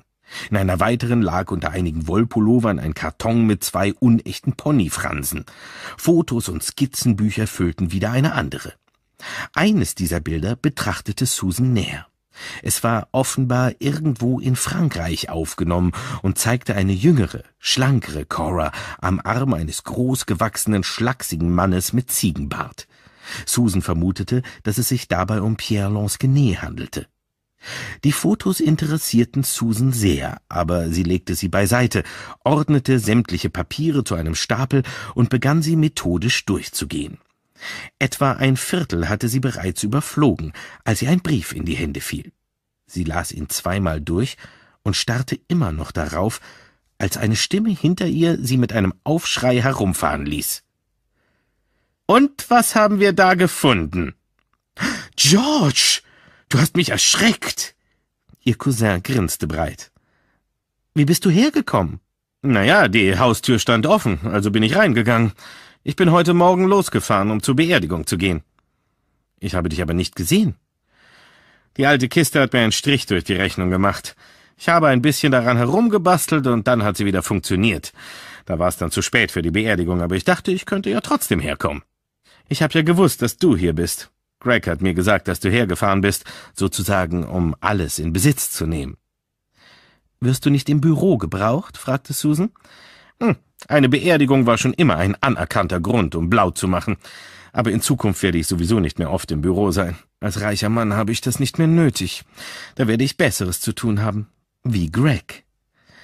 Susan betrachtete ihren Cousin nachdenklich.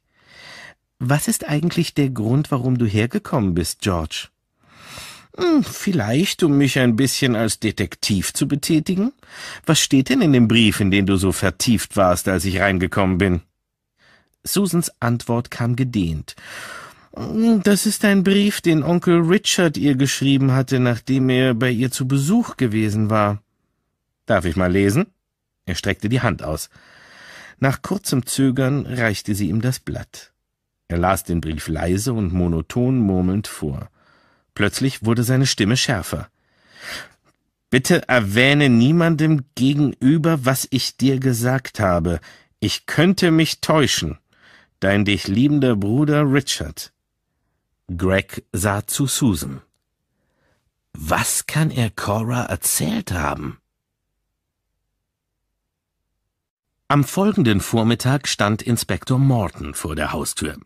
Er war um die vierzig und hatte eine ruhige, zurückhaltende Art, aber seine Augen blitzten hellwach. Die Krümel vom Hochzeitskuchen sind analysiert worden. Sie enthalten Spuren von Arsen. Das heißt, jemand hat es darauf angelegt, sie zu vergiften? fragte Susan. Es scheint so. Außerdem bestehen Zweifel daran, dass das Päckchen überhaupt mit der Post kam. Andrew, der die Pakete ausfährt, kann sich nicht erinnern, es hier abgeliefert zu haben. Aber äh, wie soll es sonst hergekommen sein?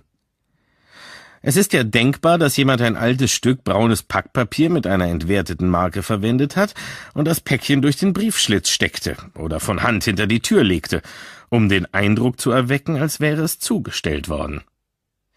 War genug Gift drin, um sie zu töten? Hm, das lässt sich schwer sagen. Es würde vor allem davon abhängen, ob Miss Gilchrist das ganze Stück gegessen hat. Offenbar glaubt sie, dass noch ein Rest da sein müsste. Können Sie sich erinnern? Sie hat mir davon angeboten, aber ich habe abgelehnt. Und dann hat sie davon probiert und gesagt, er sei sehr gut. Aber ich weiß nicht mehr, ob sie alles aufgegessen hat. Wenn Sie nichts dagegen haben, würde ich gerne nach oben gehen, Mrs. Banks. Natürlich. Susan folgte dem Inspektor in Miss Gilchrists Zimmer. Inspektor Morton ging zum Bett, fuhr mit der Hand unter das Kopfkissen und hob es ein Stück an. Auf seinem Gesicht erschien ein kleines Lächeln. Da ist es ja, sagte er. Auf dem Laken lag ein mittlerweile zerdrücktes Stück Hochzeitskuchen. Vielleicht kennt Ihre Generation diese Sitte nicht mehr, aber es ist ein alter Brauch. Wenn ein Mädchen sich ein Stück Hochzeitskuchen unter das Kissen legt, träumt sie von ihrem zukünftigen Ehemann. Sie wollte es uns nicht sagen, sicher weil sie sich töricht vorkam, das in ihrem Alter noch zu machen. Ein Glück für sie, dass sie so töricht war, sonst wäre sie heute vielleicht nicht mehr am Leben. Aber wer könnte sie denn umbringen wollen? fragte Susan. Das werden wir wohl herausfinden müssen, meinte Inspektor Morton.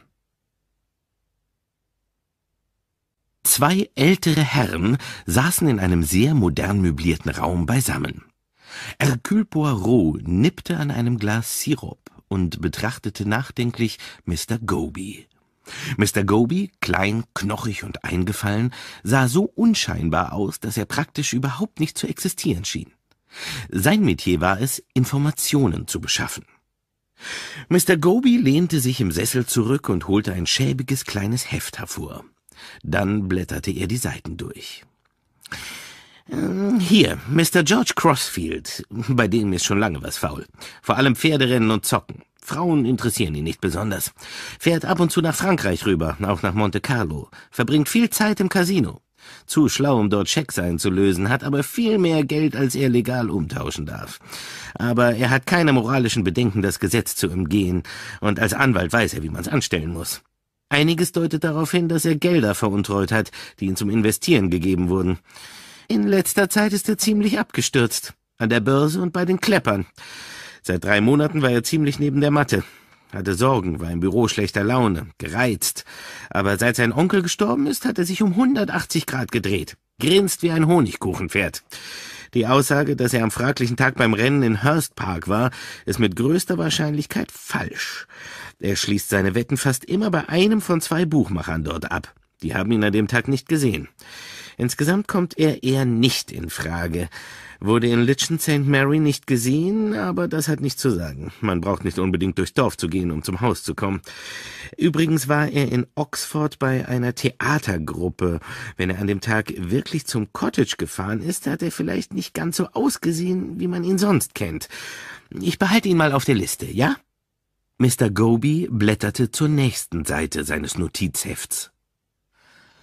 Mr. Michael Shane.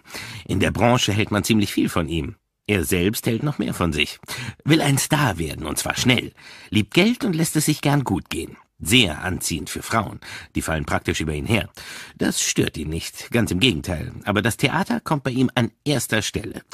Er treibt sich mit Sorrel Dainton herum, die in seinem letzten Stück die Hauptrolle spielte. Er hatte nur eine kleine Rolle, kam aber sehr gut an. Seine Frau weiß nichts von dieser Verbindung. Auch keine besonders gute Schauspielerin, aber was fürs Auge. Verrückt nach ihrem Mann. Es heißt, dass es vor kurzem einen handfesten Krach zwischen ihnen gegeben hat, aber das ist jetzt offenbar vorbei, seit dem Tod von Mr. Richard Abernethy. Den letzten Satz unterstrich Mr. Goby, indem er einem Sofakissen zunickte. Am fraglichen Tag, sagte Mr. Shane, habe er sich mit einem Mr. Rosenheim und einem Mr. Oscar Lewis getroffen, um etwas Geschäftliches zu besprechen. Stimmt nicht. Er hat ihnen telegrafiert, es täte ihm sehr leid, er sei verhindert. Dann ist er zu den Leuten von Emerald Car gegangen, wo man Autos mieten kann. Etwa um zwölf Uhr hat er den Wagen abgeholt und ist weggefahren. Abends um sechs war er wieder da.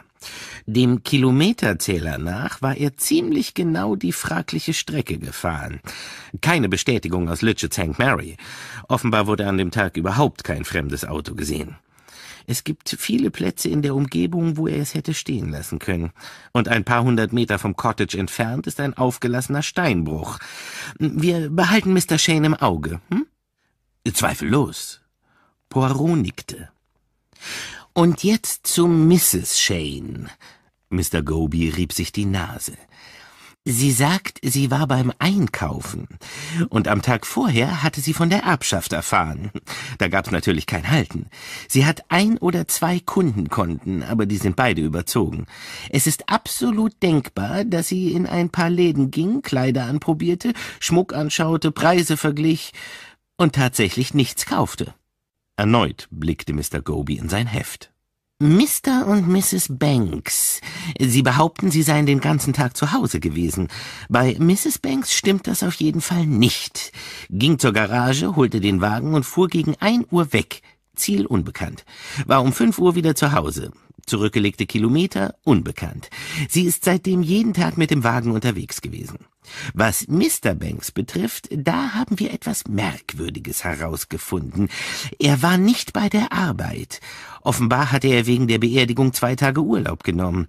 Inzwischen hat er gekündigt, ohne jede Rücksicht auf die Firma. Nette, gut eingeführte Apotheke. Die sind nicht mehr allzu gut auf ihn zu sprechen. Offenbar hat er immer wieder seltsame Erregungszustände bekommen.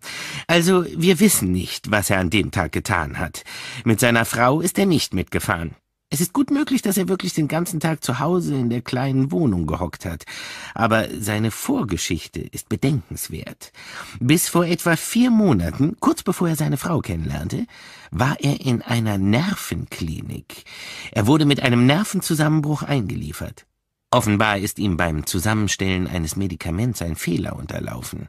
Er arbeitete damals bei einer Apotheke in Mayfair. Die Frau hat sich wiederholt und es ist nicht zur Anklage gekommen. Die Apotheke hat ihm nicht gekündigt, aber er ist von selbst gegangen sagte, die Sache hätte ihn zu sehr erschüttert. Aber offenbar ist es ihm danach sehr schlimm ergangen, und er hat dem Arzt gesagt, er würde von Schuldgefühlen geplagt. Er hätte es absichtlich gemacht. Die Frau sei arrogant und grob zu ihm gewesen, als sie in die Apotheke kam, und er hätte sich über sie geärgert und ihr deswegen absichtlich eine fast tödliche Dosis von einem Medikament gegeben. Und dann hat er geheult und gesagt, er wäre zu verderbt, um noch am Leben bleiben zu dürfen, und derlei Schmonzes mehr. Die Ärzte haben ein langes Wort für sowas. Schuldkomplex und sind davon überzeugt, dass er es nicht absichtlich getan hat, sondern dass er alles nur aufbauschen und sich wichtig machen wollte. Auf jeden Fall ist er in diese Klinik gekommen und sie haben ihn behandelt und als geheilt entlassen.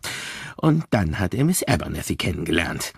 Und er hat eine Stelle in dieser angesehenen, aber kleinen Apotheke bekommen. Mon ami, sagte Hercule Poirot, es überrascht mich immer wieder, wie Sie an Ihre Informationen herankommen. Mr. Gobys Augen wanderten durchs Zimmer. Kommen wir zur Fraktion der Landbewohner, Mr. und Mrs. Timothy Abernethy. Schönes Haus, das aber dringend renoviert gehört. Das kostet Geld. Finanziell sind sie knapp dran, sehr knapp. Steuern und unkluge Investitionen. Mr. Abernethy erfreut sich schlechter Gesundheit, jammert ständig, lässt alle für sich laufen, holen und besorgen, hat einen herzhaften Appetit und ist körperlich gut bei Kräften, wenn er nur will.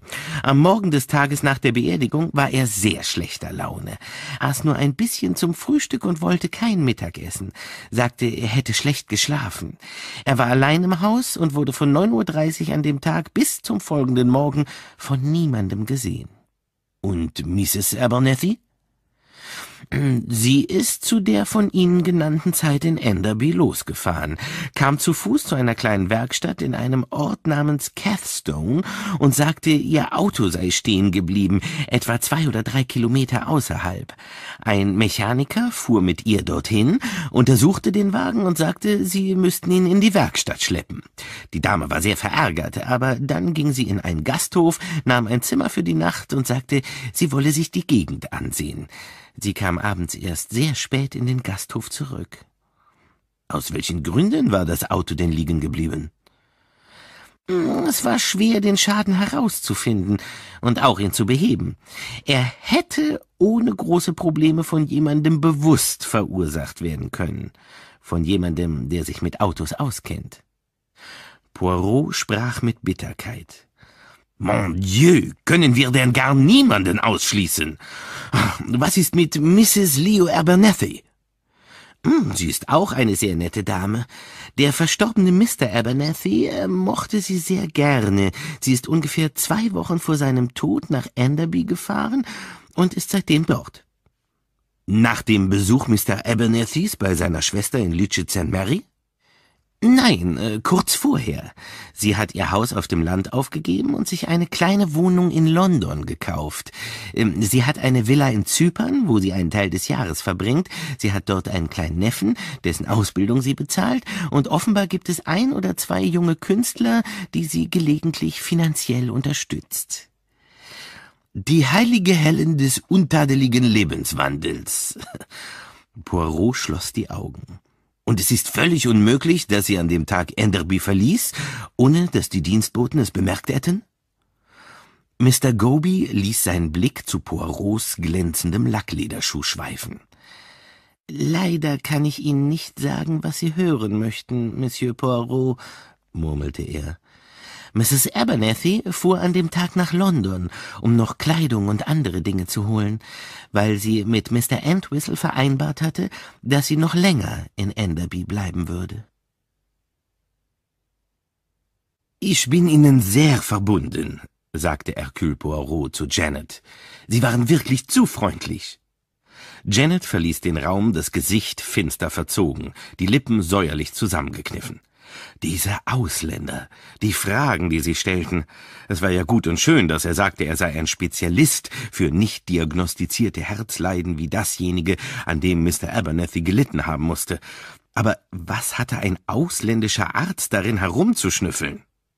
Der selbsternannte Mediziner Monsieur Pontalier ging seufzend ins Erdgeschoss und begab sich auf die Suche nach Lanscombe.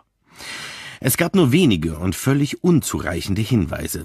Letztlich liefen sie darauf hinaus, dass Richard Abernethy Vitaminölkapseln verschrieben bekommen hatte und dass sie in einem großen Gefäß aufbewahrt wurden, das zum Zeitpunkt seines Todes fast leer war.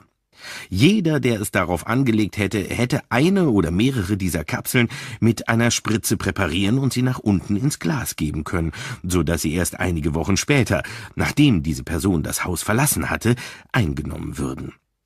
Es war auch möglich, dass diese Person am Tag vor Richard Abernethys Tod ins Haus geschlichen war und die Kapsel dann präpariert hatte. Oder auch, und das war noch wahrscheinlicher, die Schlaftabletten in dem Fläschchen neben dem Bett durch etwas anderes ersetzt hatte. Denkbar war auch, dass diese Person etwas ins Essen getan hatte. Der alte Butler zeigte sich höflich, aber zurückhaltend. Ja, Sir? Poirot ließ sich auf einem Schemel nieder. Mrs. Abernethy hat mir gesagt, Sie hätten gehofft, in das Pförtnerhaus beim nördlichen Tor zu ziehen, wenn Sie Ihren Dienst ihr quittierten? In der Tat, Sir.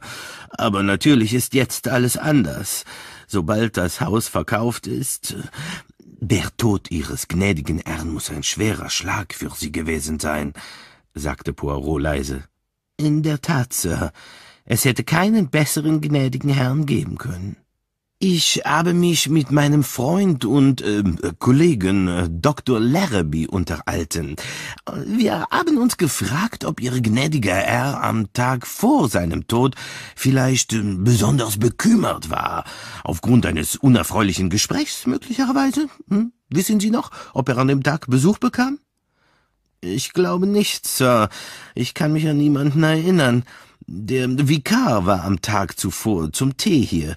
Sonst haben ein paar Nonnen um eine Spende gebeten. Und ein junger Mann kam zum rückwärtigen Eingang und wollte Marjorie Bürsten und Topfreiniger verkaufen. Sonst niemand. Poirot drang nicht weiter in ihn. Alles, was Lanscombe wusste, hatte er bereits Mr. Entwistle erzählt. Nun schlüpfte er in seinen Mantel und band sich zwei Schals um den Hals. Derart gegen die Kühle Nordenglands gewappnet, trat er auf die Terrasse hinaus, wo Helen Abernethy ein paar späte Rosen pflückte. Haben Sie etwas Neues herausgefunden? fragte sie. Nein, aber Mr. Entwistle hat mir erzählt, dass Sie an dem Tag, äh, in dem Augenblick, in dem Cora ihre Bemerkung machte, dass Sie das Gefühl hatten, etwas stimme nicht. Ist das wahr? Ja, aber ich weiß nicht, in welcher Hinsicht hat etwas nicht gestimmt? War es etwas Unerwartetes, etwas Überraschendes, ein unbehagliches Gefühl vielleicht, ein bedrohliches? Oh nein, nicht bedrohlich, nur etwas, das nicht. Ach, ich weiß nicht. Ich kann mich nicht erinnern. Vor Anstrengung erschienen Falten auf Helens Stirn. Nun, eines Tages wird es Ihnen wieder einfallen. Ähm, jetzt sagen Sie mir, Madame, äh, wer von den Anwesenden kannte Cora am besten? Helen überlegte. Hm, wahrscheinlich Lanscombe, er kannte sie schon als Kind. Janet, das Dienstmädchen, kam erst her, als sie schon verheiratet und weggezogen war. Und äh, außer Lanscombe? Hm, ich denke, das war ich, meinte Helen nachdenklich. Maud kannte sie praktisch überhaupt nicht. Poirot wechselte das Thema. Nach der Beerdigung ist Mrs. Timothy Abernethy die Nacht ihr geblieben? Ja. Hat sie mit Ihnen darüber geredet, was Cora gesagt hatte? Ja, sie sagte, das wäre unerhört, typisch Cora. Sie hat die Bemerkung nicht ernst genommen? Nein. Nein, da bin ich mir sicher. Das zweite Nein klang in Poirots Ohren ein wenig zögernd. Und Sie, Madame, haben Sie sie ernst genommen? Helen Abernethy, deren Augen unter den grauen Locken sehr blau und erstaunlich jung wirkten, blieb nachdenklich. Doch, Monsieur Poirot, ich glaube schon. Wegen Ihres Gefühls, dass etwas nicht ganz stimmte. Vielleicht. Mrs. Lansquenet und ihre Familie waren einander seit vielen Jahren entfremdet? fragte Poirot. Ja, keiner von uns konnte ihren Ehemann leiden, und sie war darüber beleidigt, so dass die Entfremdung immer größer wurde. Und dann ist ihr Schwager völlig unvermutet zu ihr zu Besuch gefahren. Weshalb? Ich weiß es nicht. Wahrscheinlich wusste oder ahnte er, dass er nicht mehr lange zu leben hatte und wollte sich mit ihr versöhnen. Aber das weiß ich wirklich nicht. Er hat es Ihnen nicht gesagt? Mir? Ja, Sie waren doch ihr bei ihm, bevor ihr zu ihr fuhr. Hat er Ihnen von seinem geplanten Besuch nicht erzählt? Poirot meinte, plötzlich eine gewisse Reserviertheit zu spüren. Er erzählte mir, dass er seinen Bruder Timothy besuchen wollte. Von Cora sagte er kein Wort. Sollen wir ins Haus gehen? Es wird bald Mittagessen geben. Sie betraten das grüne Esszimmer. Helen wählte eine chinesische Vase und begann die Rosen darin anzuordnen. Sie haben ein bewundernswertes Geschick mit Blumen, Madame, sagte Hercule Poirot. Ich glaube, alles, was Sie in die Hand nehmen, führen Sie mit Perfektion aus. Danke. Ich liebe Blumen sehr. Ich finde, die Rosen würden sich gut auf dem grünen Malachittisch machen. Auf diesem Tisch stand ein Strauß Wachsblumen unter einer Glasglocke.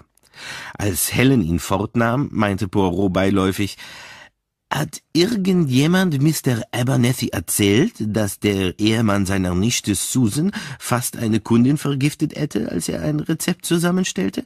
Oh, pardon! Er machte einen Satz nach vorne. Das viktorianische Gesteck war Helen aus der Hand geglitten, und Poirot war nicht schnell genug. Die Schale fiel zu Boden, die Glasglocke zerbrach. Unmutig verzog Helen das Gesicht. Oh, wie unachtsam von mir. Aber den Blumen ist nichts passiert. Die Glasglocke lässt sich ersetzen. Ich werde mich darum kümmern. Ach, jetzt stelle ich sie erst einmal in den großen Schrank unter der Treppe.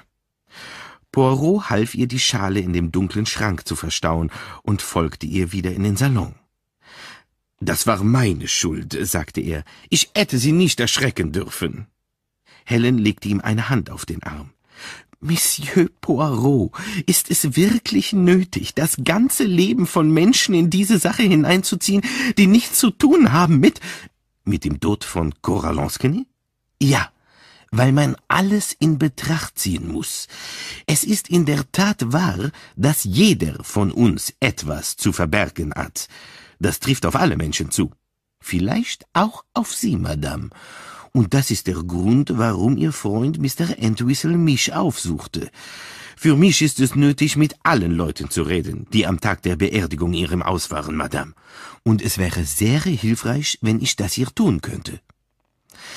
Ich fürchte, das wird sich schwer machen lassen, antwortete Helen bedächtig. Hm, nicht so schwer, wie Sie meinen. Ich habe schon einen Plan entworfen. Das Haus, es ist verkauft. Das wird Mr. Entwistle verkünden. Er wird alle Familienmitglieder einladen, noch einmal herzukommen und aus den Möbeln einige Stücke auszuwählen, bevor der Rest versteigert wird. Für den Zweck wird man sich sicher auf ein Wochenende einigen können. Helen sah ihn an. Ihre blauen Augen blickten kalt, fast eisig. Möchten Sie jemandem eine Falle stellen, Monsieur Poirot? Nein, ich habe noch keinen Plan. Aber möglicherweise gibt es den einen oder anderen Prüfstein. Damit Sie auch mich prüfen können? Sie, Madame, sind in die Pläne eingeweiht. Und nun, es gibt eine Sache, die diffizil werden könnte. Die jungen Leute werden, glaube ich, gerne kommen. Aber es könnte sich als schwierig erweisen, die Anwesenheit von Mr. Timothy Abernethy sicherzustellen. Wie ich gehört habe, verlässt er das Haus nie. Auf Helens Gesicht erschien ein Lächeln. Ich glaube, Sie haben Glück, Monsieur Poirot. Gestern hat Maud angerufen. Im Augenblick wird das Haus gestrichen und Timothy setzt der Geruch der Farbe sehr zu.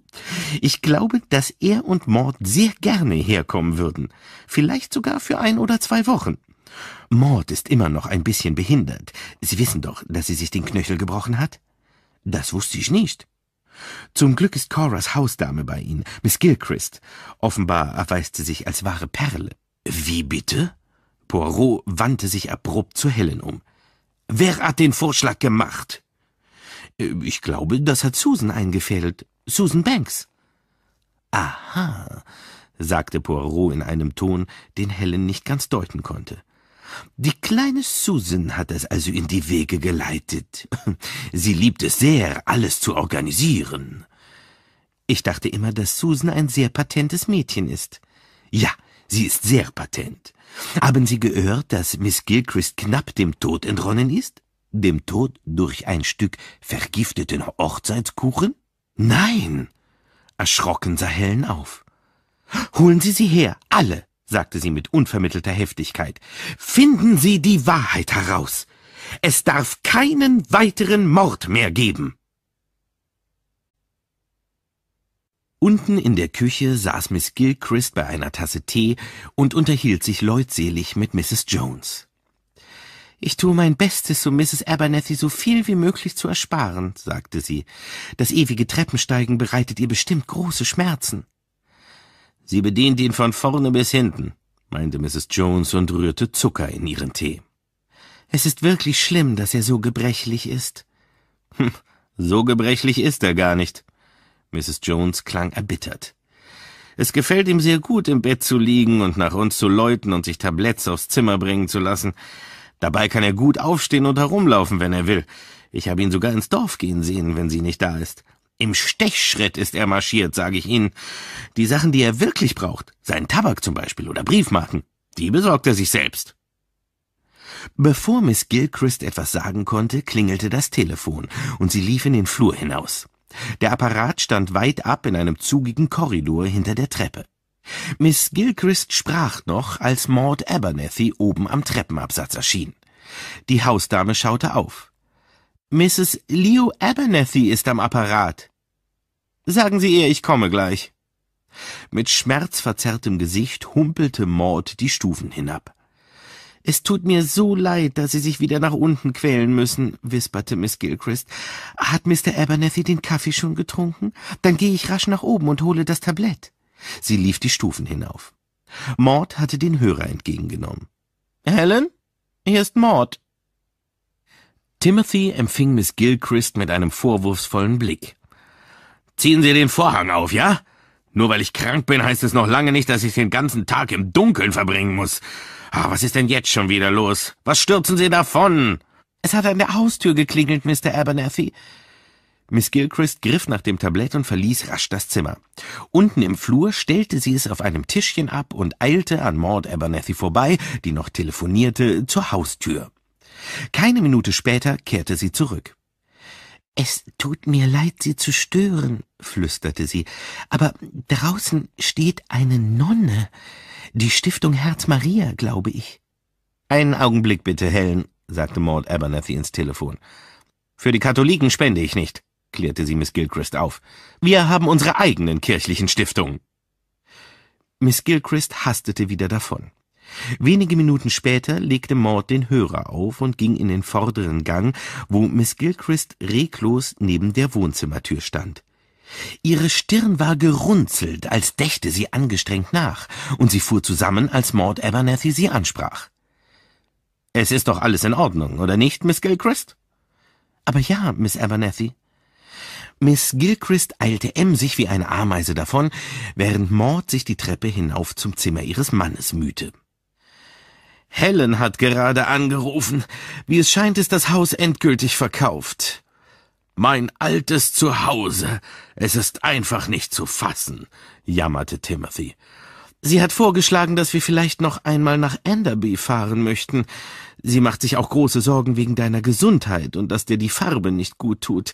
Sie meinte, vielleicht wäre es dir lieber, in Enderby zu wohnen, als in einem Hotel. Die Dienstboten sind noch alle dort, also wärst du auch gut versorgt.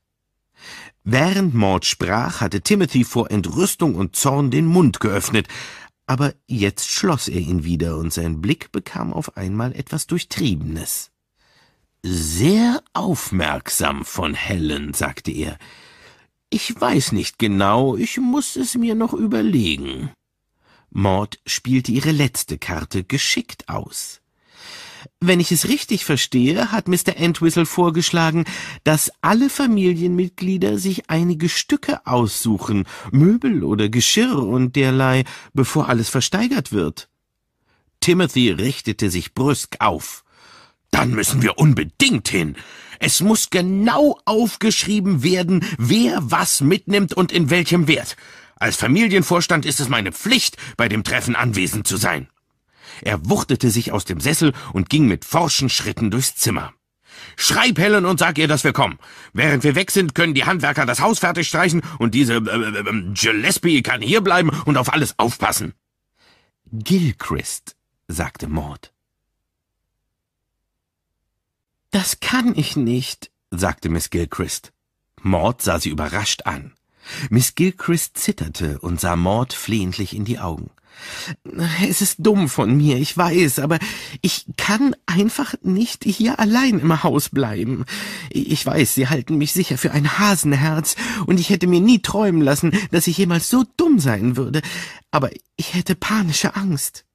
Aber natürlich, sagte Maud, es war dumm von mir, Ihnen den Vorschlag überhaupt zu machen, nach dem, was in Litchet St. Mary passiert ist. Es ist völlig äh, unlogisch, ich weiß. Am Anfang hat es mir nichts ausgemacht, allein im Cottage zu bleiben. Die Angst ist erst allmählich gekommen. Sie halten mich bestimmt für sehr töricht, Mrs. Abernathy, aber seitdem ich hier bin, habe ich Angst. Sogar die Nonne, die an der Tür geklingelt hat, hat mich erschreckt. Das nennt man wohl eine verzögerte Schockreaktion. Maud war nachsichtig. Wir werden uns etwas anderes einfallen lassen.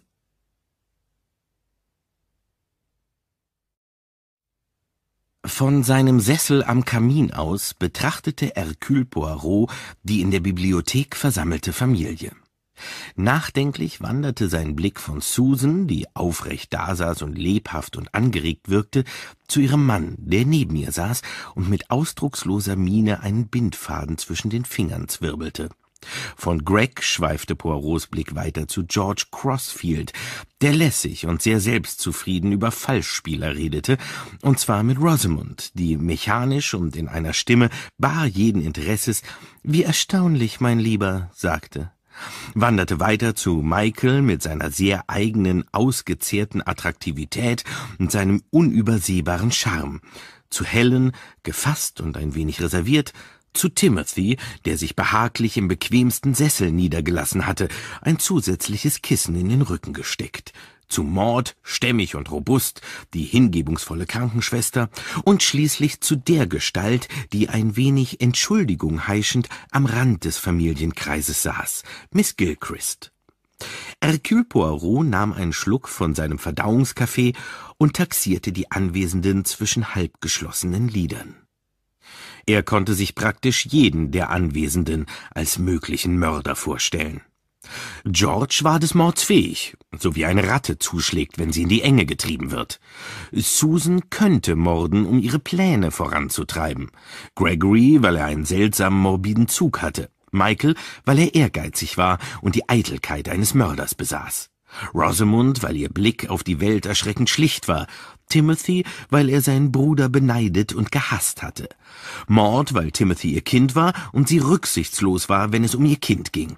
Sogar Miss Gilchrist, dachte er sich, hätte nicht vor Mord zurückgeschreckt, wenn sie damit ihren Willow Tree Salon mit seiner damenhaften Eleganz zurückgewonnen hätte.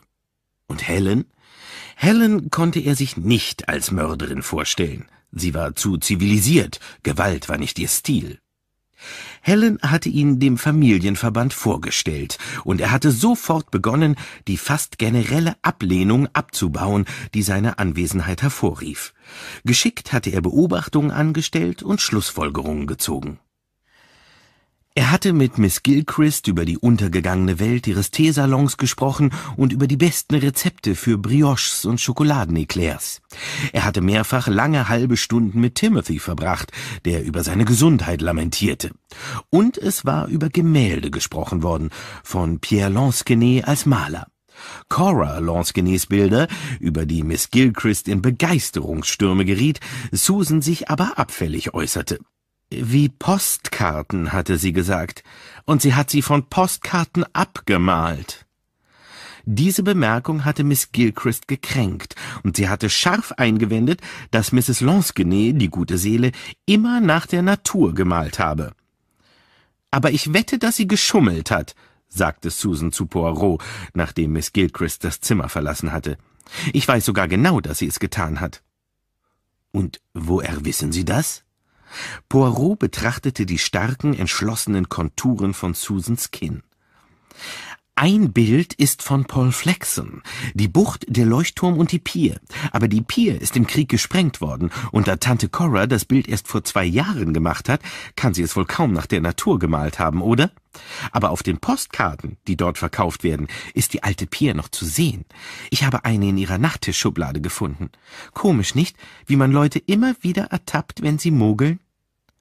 Poirot hatte mit Maud Abernathy gesprochen und über den glücklichen Umstand, dass Timothy nach Enderby hatte kommen können und wie liebenswürdig es von Helen gewesen war, die Einladung auch auf Miss Gilchrist zu erstrecken. Sie ist wirklich ungemein nützlich. Timothy braucht ja so oft ein kleines Häppchen zu essen. Ich glaube, die Vorsehung hat es gefügt, dass sie die Nerven verloren hat und nicht allein in unserem Haus bleiben wollte. Sie hat die Nerven verloren? Poirot horchte interessiert auf, während Maud ihm Miss Gilchrists plötzliche Ängstlichkeit schilderte. War an dem Tag etwas Besonderes vorgefallen? erkundigte er sich. Nein, ich glaube nicht. Offenbar hat sie diese Anfälle, seit sie aus Litchett St. Mary weg ist, oder zumindest sagt sie das. Irgendetwas dort im Haus hatte Miss Gilchrist Angst gemacht. Was war das gewesen? Als Poirot sich vor dem Abendessen eine kleine Weile allein mit Miss Gilchrist in einem Raum befand, sprach er das Thema freimütig an. Wie ich gehört habe, hatten Sie Angst davor, allein im Haus von Mr. Timothy Abernathy zu bleiben, als er und seine Frau ihr herkommen wollten? Miss Gilchrist sah ihn schuldbewusst an. Ich schäme mich sehr deswegen. Eigentlich war es sehr dumm von mir. Irgendwie hat mich Panik befallen, und ich weiß nicht warum.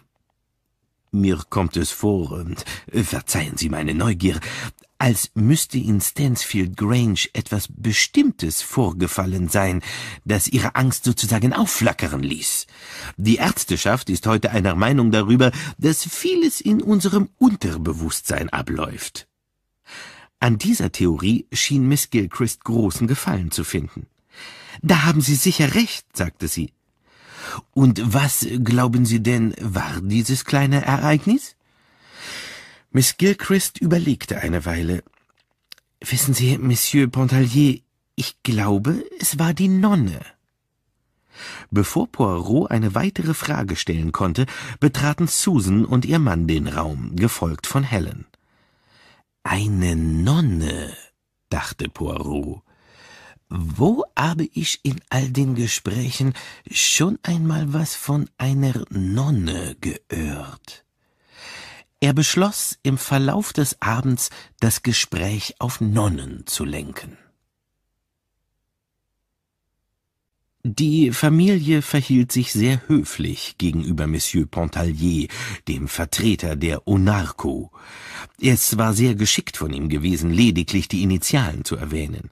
Alle hatten Unarco als gegeben hingenommen, hatten sogar so getan, als wüssten sie über die Organisation genau Bescheid. Wie sehr es Menschen doch widerstrebte, ihre Unwissenheit einzugestehen. Nur Rosamund war verwundert gewesen. Aber was ist das denn genau? hatte sie gefragt. Ich habe noch nie davon gehört. Zum Glück war zu dem Zeitpunkt niemand anderes im Raum gewesen. Poirot hatte die Organisation mit so gewichtigen Worten beschrieben, dass jeder außer Rosamund sich geschämt hätte zuzugeben, noch nie von dieser bekannten internationalen Institution gehört zu haben. Nachdem Richard Abernathys Erben 24 Stunden lang durchs Haus gestrichen waren und das Inventar begutachtet hatten, machten sie sich nun daran, ihre Wahl zu treffen und sie notfalls mit Zähnen und Klauen zu verteidigen. Michael Shane lachte auf. Wisst ihr, mir macht das alles großen Spaß. Das Voisey-Vermächtnis ist nur ein müder Abklatsch dagegen. Übrigens, Rosamund und ich wollen den Malachitisch aus dem Salon. Oh nein, rief Susan, den will ich. George verdrehte die Augen zur Decke. Wir brauchen uns nicht zu streiten, sagte Susan. Ich möchte ihn für meinen neuen Schönheitssalon. Nur als Farbtupfer. Und obendrauf ein großer Strauß Wachsblumen. Das wird sich großartig machen. Wachsblumen bekomme ich überall, aber ein grüner Malachitisch ist nicht so leicht zu finden. Aber das ist genau der Grund, warum wir ihn wollen, Süße, unterbrach Rosamund. Für das neue Bühnenbild. Wie du sagst, ein Farbtupfer und wunderbar altmodisch. Und dazu entweder Wachsblumen oder ausgestopfte Kolibris. Genau das Richtige. Also, meine Damen, warum keine sportliche Entscheidungsfindung? schlug George vor. Ihr könntet doch eine Münze werfen oder Karten abheben. Susan lächelte nachsichtig. Rosamund und ich werden uns morgen darüber unterhalten. Das Haus ist voll von wunderschönen Sachen, warf Miss Gilchrist beschwichtigend ein. Der grüne Tisch würde in Ihrem neuen Salon wirklich großartig zur Geltung kommen, Mrs. Banks. Er ist bestimmt sehr wertvoll. Und die Wachsblumen passen so schön zum Tisch. Richtig künstlerisch, einfach süß. Niemand achtete auf ihre wohlgemeinten Banalitäten. Bewusst wandte sich Helen an den ausländischen Gast. Ich fürchte, das langweilt Sie alles ein wenig, Monsieur Pontallier? Keineswegs, Madame. Ich betrachte es als Privileg, in Ihrem Familienkreis aufgenommen zu werden. Poirot deutete im Sitzen eine Verbeugung an. Was ich gerne sagen möchte, mein Bedauern, dass dieses Haus aus ihren Händen in den Besitz von Fremden übergehen muss, das ist zweifellos ein großer Schmerz. Aber nein, überhaupt nicht, versicherte Susan ihm. Wie ich höre, bestand auch die Möglichkeit, dass ihr eine Schule eingerichtet würde, ähm, ein Kloster, das von Religiös geleitet werden sollte, von äh, Nonnen. Wäre Ihnen das lieber gewesen, vielleicht? Absolut nicht, antwortete George. Das eilige Erz Maria, fuhr Poirot fort. Er wandte sich direkt an Miss Gilchrist. Ich glaube, Sie mögen Nonnen nicht? Miss Gilchrist errötete und blickte peinlich berührt zur Seite. Ach, Monsieur Pontallier, Sie dürfen nicht. Ich meine, das ist nichts Persönliches. Aber ich glaube nicht, dass es richtig ist, sich so von der Welt abzusondern. Es ist nicht nötig, wollte ich sagen. George meldete sich zu Wort. Was ich einfach nicht verstehen kann, ist, warum es dem guten Herrgott gefallen sollte, wenn man sich wie im Mittelalter verkleidet. Denn was anderes ist die Nonnentracht ja nicht. Bloß unpraktisch und unhygienisch. Und dann sehen sich alle so ähnlich, nicht? sagte Miss Gilchrist. Es ist dumm von mir, wissen Sie, aber ich habe einen richtigen Schreck bekommen, als ich im Haus von Mrs. Abernethy zur Tür ging und draußen stand eine Nonne und bat um eine Spende. Irgendwie kam sie mir als genau dieselbe vor wie diejenige, die am Tag der gerichtlichen Untersuchung von der armen Mrs. Lansquenet in Litchet St. Mary sammelte. Fast hatte ich das Gefühl, als würde sie mich verfolgen. Beide hatten dieselben Gesichtszüge? fragte Hercule Poirot. Er klang interessiert. Miss Gilchrist wandte sich zu ihm. Ich glaube, das muss es gewesen sein. Die Oberlippe. Fast als hätte sie einen Schnurrbart. Wissen Sie, ich glaube, das hat mich so erschreckt. Eine Nonne wäre eine gute Verkleidung, meinte Susan nachdenklich. Dann sieht man nicht die Füße. Aber eigentlich sieht man andere Leute fast nie richtig an, sagte George. Deswegen hört man vor Gericht von den verschiedenen Zeugen auch völlig unterschiedliche Beschreibungen von ein und demselben Menschen. Ihr würdet euch wundern. Es ist ja auch seltsam, wenn man sich selbst unerwartet im Spiegel sieht, fügte Susan hinzu. Noch schwieriger wäre es, wenn man sich wirklich selbst sehen könnte und nicht als Spiegelbild, ergänzte George. Wieso? fragte Rosamund verwundert. Naja, man sieht sich selbst nie so, wie andere einen sehen. Man sieht sich immer nur im Spiegel, also seitenverkehrt. Aber wieso sieht man da anders aus? Das ist doch klar, sagte Susan rasch, weil man unterschiedliche Gesichtshälften hat. Die Augenbrauen sind anders, der Mund geht auf einer Seite mehr nach oben, die Nase ist nicht ganz gerade. Das kann man mit einem Bleistift gut nachprüfen. Hat jemand einen Bleistift? Ein Bleistift wurde geholt und sie machten Experimente, hielten den Stift rechts und links der Nasenflügel und lachten über die schiefen Gesichter. Die Stimmung war jetzt gelöst, alle waren guter Dinge. Nur Helen Abernethy sagte wenig und wirkte geistesabwesend. Schließlich erhob Hercule Poirot sich seufzend aus seinem Sessel und wünschte seiner Gastgeberin höflich gute Nacht. Und vielleicht, Madame, sollte ich mich auch gleich verabschieden. Mein Zug fährt um neun Uhr in der Früh. Das ist sehr zeitig. So möchte ich Ihnen allen für Ihr Entgegenkommen und Ihre Gastfreundschaft danken. Monsieur Pontallier, ich habe hier alles getan, was ich tun wollte. Sie fahren jetzt in Ihre Villa auf Zypern? Ja. Auf Helen Abernethys Lippen erschien ein kleines Lächeln. Sie sind froh, ja? sagte Poirot. Sie haben kein Bedauern? Oh nein, es ist nicht gut an der Vergangenheit festzuhalten, nicht wahr? Man muss sie hinter sich lassen. Wenn man kann. Mit unschuldig blinzelnden Augen lächelte Poirot in die höflichen Gesichter, die ihn umgaben. Manchmal lässt die Vergangenheit sich nicht begraben. Er duldet nicht, dass sie in Vergessenheit gerät. Susan lachte verlegen. Er meinte uns, erklärte Rosamund. Er meint Onkel Richard und Tante Cora und das Beil und das alles. Poirot sah sie mit ausdruckslosem Gesicht an. Warum denken Sie das, Madame? fragte er. Weil Sie ein Detektiv sind, stimmt's? Deswegen sind Sie auch hier. Narko oder wie immer Sie das auch nennen, ist doch nur Fassade, oder? Sie haben großen Scharfblick, Madame, sagte er mit einer kleinen Verbeugung. Hm, das nicht gerade, sagte Rosamond, aber jemand hat mich in einem Restaurant mal auf Sie aufmerksam gemacht. Ich habe Sie wiedererkannt. Aber Sie haben nichts gesagt? Bis jetzt? Ich dachte, so wäre es lustiger, erklärte Rosamond. Langsam ließ Poirot den Blick über alle Gesichter wandern. Michael war wütend und noch etwas. Hatte er Angst? Susan zornig und wachsam, Gregory ausdruckslos und verschlossen, Miss Gilchrist töricht, der Mund offen, George argwöhnisch, Helen bestürzt und nervös. Poirot straffte die Schultern und beugte sich vor. Ja, sagte er, ich bin ein Detektiv. Ich bin Hercule Poirot. In der Nacht schlief Hercule Poirot nicht gut. Er war irritiert und er wusste nicht genau warum. Gerade als er eindöste, durchzuckte ihn ein Gedanke und er war wieder hellwach. Farbe. Timothy und Farbe. Ölfarbe, der Geruch von Ölfarbe, das hing irgendwie mit Mr. Entwistle zusammen. Farbe und Cora, Coras Bilder, Postkartenbilder. Cora hatte bei ihren Bildern gemogelt. Nein, zurück zu Mr. Entwistle. Etwas, das er gesagt hatte. Oder war es Lanscombe?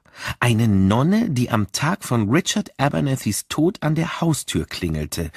Eine Nonne mit einem Schnurrbart. Eine Nonne in Stansfield Grange und in Litchett St. Mary. Das waren entschieden zu viele Nonnen.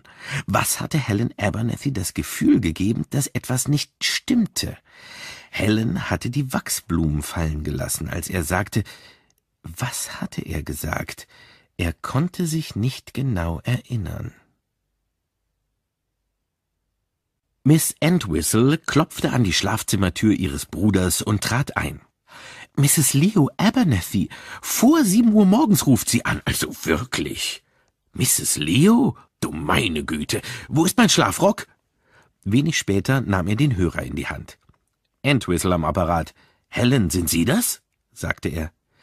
Ja, es tut mir leid, Sie aus dem Schlaf zu reißen, aber Sie sagten, ich solle Sie sofort anrufen, wenn mir wieder einfiele, was mir damals am Tag der Beerdigung merkwürdig vorkam, als Cora uns alle mit ihrer Bemerkung schockierte.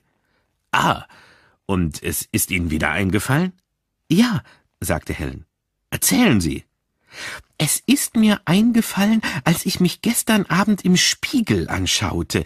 Oh, oh, auf den leisen, erschreckten Aufschrei folgte ein Geräusch, das lange durch die Leitung hallte. Ein dumpfer, schwerer Schlag, den Mr. Entwistle überhaupt nicht deuten konnte. Hallo? Seine Stimme war besorgt. Hallo? Sind Sie noch dran? Helen, sind Sie da? Helen! Erst eine knappe Stunde später, nach zahlreichen Gesprächen mit der Störungsstelle, hatte Mr. Entwistle schließlich Hercule Poirot am anderen Ende der Leitung. Gott sei Dank, sagte Mr. Entwistle, das Fernamt hatte die größten Schwierigkeiten, eine Verbindung herzustellen. Das ist nicht überraschend. Der Hörer war nicht aufgehängt. Vor etwa 20 Minuten wurde Mrs. Leo Abernethy vom Ausmädchen hier beim Telefon am Boden liegend gefunden. Sie war bewusstlos eine schwere Gehirnerschütterung. Sie meinen, es war ein Schlag auf den Kopf? Ich glaube schon. Sie hatte gerade mit mir telefoniert. Ich habe mich gewundert, warum das Gespräch so plötzlich abbrach. Wir werden warten müssen, bis sie wieder bei Bewusstsein ist. Das könnte lange dauern, sagte Poirot düster. Vielleicht nie. Aber das ist entsetzlich, Poirot. Und deswegen dürfen wir nicht warten denn es beweist, dass wir es mit jemandem zu tun haben, der entweder völlig ruchlos ist oder der sehr große Angst hat, und das läuft auf dasselbe hinaus. Aber hören Sie mal, Poirot, was ist mit Helen? Ich mache mir Sorgen um sie. Sind Sie sicher, dass sie in Enderby gut aufgehoben ist? Nein, sie wäre ihr nicht gut aufgehoben. Der Sanitätswagen war schon ihr und fährt sie in ein Genesungsheim, wo niemand sie besuchen darf. Es entstand eine Pause, dann hörte Mr. Entwistle wieder Poirots Stimme. Ich musste mich vergewissern, dass niemand mitirrt. Alles ist gut. Und nun, was ich von Ihnen möchte. Sie müssen eine kleine Reise unternehmen in die Umgebung von London. Sie reisen nach Bury St. Edmunds und dort mieten Sie sich einen Wagen und fahren nach Forsdyke aus. Das ist eine Nervenklinik. Sie erkundigen sich nach den Details eines Patienten, der vor einigen Monaten entlassen wurde. Sein Name ist Gregory Banks. Finden Sie heraus, wegen welcher Art von Geistesgestörtheit er in Behandlung war. Wollen Sie damit sagen, dass Gregory Banks geistesgestört ist? Psst, seien Sie vorsichtig, was Sie sagen. Es fährt ein guter Zug nach Bury St. Edmunds um zwölf Uhr. Wenn ich mehr erfahre, rufe ich Sie vorher noch einmal an. Passen Sie auf sich auf, Poirot, sagte Mr. Entwistle besorgt. Aber ja, ich, ich will keinen Schlag auf den Kopf bekommen. Und jetzt auf Wiedersehen. Poirot hörte, wie der Hörer des Apparats in London aufgelegt wurde. Dann vernahm er ein zweites, sehr leises Klicken. Er lächelte in sich hinein. Jemand hatte den Hörer am Telefon im Flur aufgelegt. Poirot schlüpfte in seinen Mantel und trat durch den Seiteneingang aus dem Haus. Nach einem flotten Marsch erreichte er das Postamt und meldete ein Ferngespräch an. Wenig später sprach er erneut mit Mr. Entwistle. Ja, ich bin es wieder. Vergessen Sie den Auftrag. C'était une blague. Jemand irrte mit. Und nun zu Ihrem wahren Auftrag. Sie müssen, wie ich schon sagte, eine Zugreise machen. Ich möchte, dass Sie sich zum Aus von Mr. Timothy Abernethy begeben. Aber Timothy und Maud sind in Enderby. Exakt. Im Aus ist niemand als eine Frau namens Mrs. Jones, die sich durch das Angebot einer beträchtlichen Summe dazu bewegen ließ, das auszuüten. Sie werden der guten Mrs. Jones sagen, dass Mr. oder Mrs. Abernethy sie gebeten hat, diesen bestimmten Gegenstand abzuholen und mit nach London zu nehmen. Sie wird ihre Worte nicht bezweifeln. Mr. Entwistles Stimme war gequält. Und welchen Gegenstand muss ich abholen? Poirot erklärte es ihm. Sie bringen es nach London zu einer Adresse in den Elm Park Gardens. Nachdem Mr. Entwistle die Adresse aufgeschrieben hatte, fragte er, ich hoffe, Sie wissen, was Sie tun, Poirot. Natürlich weiß ich, was ich tue. Wir nähern uns dem Ende. Für elf Uhr berief Hercule Poirot ein informelles Treffen in der Bibliothek ein. Nachdem sich alle versammelt hatten, betrachtete er nachdenklich die Gesichter, die im Halbkreis um ihn saßen. Gestern Abend, begann er, hat Mrs. Shane Ihnen verkündet, dass ich ein Privatdetektiv bin. Und nun, bitte, hören Sie mir aufmerksam zu, was ich Ihnen zu sagen habe. Ich bin seit vielen Jahren mit Mr. Entwistle befreundet. Er war sehr bestürzt über den Tod seines alten Freundes Mr. Richard Abernethy. Besonders bestürzt war er über die Worte, die am Tag der Beerdigung von Mr. Abernethys Schwester, Mrs. Lonskenny, geäußert wurden. Noch mehr bestürzt war Mr. Entwistle über Mrs. Lonskenys Tod. Ihm ging es nur um eines. Er wollte Gewissheit haben, dass es sich bei ihrem Tod wirklich um einen Zufall handelte. In anderen Worten, er wollte bestätigt haben, dass Richard Abernethy eines natürlichen Todes gestorben war. Zu dem Zweck beauftragte er mich, den nötigen Erkundigungen einzuholen. Niemand sagte ein Wort. Eh bien, Sie werden alle entzückt sein zu erfahren, dass als Ergebnis meiner Ermittlungen nicht der mindeste Grund zur Annahme besteht, dass Mr. Abernethy keines natürlichen Todes gestorben ist. Es gibt überhaupt keinen Grund zu glauben, dass er ermordet wurde. Er lächelte und breitete die Hände zu einer triumphierenden Geste. Das ist eine gute Nachricht, nicht wahr? Offenbar nicht nach der Reaktion der Versammelten zu urteilen. Alle starrten Hercule Poirot an. Alle blickten zweifelnd und misstrauisch. Hercule Poirot saß im viktorianischen Sommerhaus. Er holte seine große Uhr aus der Tasche und legte sie vor sich auf den Tisch. Er hatte verkündet, dass er mit dem Zwölf-Uhr-Zug fahren würde. Eine halbe Stunde blieb ihm also noch Zeit. Eine halbe Stunde, in der jemand einen Entschluss fassen und ihn aufsuchen könnte. Vielleicht nicht nur eine Person. Als erstes kam Miss Gilchrist. Sie war aufgebracht und bekümmert. Ja? Poirots Stimme war sanft und ermunternd. Sie möchten mir etwas sagen? Wie gesagt, ich tue es nicht gern. Sie ist so nett zu mir gewesen. Sie hat mir die Stelle bei Mrs. Timothy verschafft und alles. Sie sprechen von Mrs. Banks? erkundigte Poirot sich leise. Ja, sehen Sie. Miss Gilchrist blickte zu Boden. Dann schaute sie auf und schluckte heftig. Wissen Sie, ich habe gelauscht an dem Tag, als Mr. Richard Abernethy seine Schwester besuchte. Ich war neugierig, weil er nach all den Jahren so plötzlich auftauchte. Sie haben gehört, was Mr. Abernethy zu Mrs. Lansquenet sagte? Ja, er sagte etwas wie, es ist sinnlos, mit Timothy zu reden, aber ich würde es gern bei dir loswerden, Cora. Wir drei sind die einzigen, die noch am Leben sind. Und obwohl du dich immer gern wie eine Närrin aufgeführt hast, hast du ziemlich viel gesunden Menschenverstand. Also, was würdest du an meiner Stelle tun? Ich konnte nicht genau hören, was Mrs. Lansquenet darauf sagte, aber ich habe das Wort Polizei verstanden. Und dann ist Mr. Abernethy ziemlich laut geworden und hat gesagt, das kann ich nicht, nicht wenn es um meine eigene Nichte geht. Und dann musste ich in die Küche laufen, weil etwas übergekocht war. Und als ich wieder zurückkam, sagte Mr. Abernethy gerade, selbst wenn ich eines unnatürlichen Todes sterbe, möchte ich nicht, dass die Polizei geholt wird, wenn es sich irgend vermeiden lässt. Das verstehst du doch, meine Liebe. Aber mach dir keine Sorgen. Jetzt, wo ich Bescheid weiß, passe ich gut auf und er meinte, er hätte ein neues Testament aufgesetzt, und sie, Cora, würde auch etwas bekommen.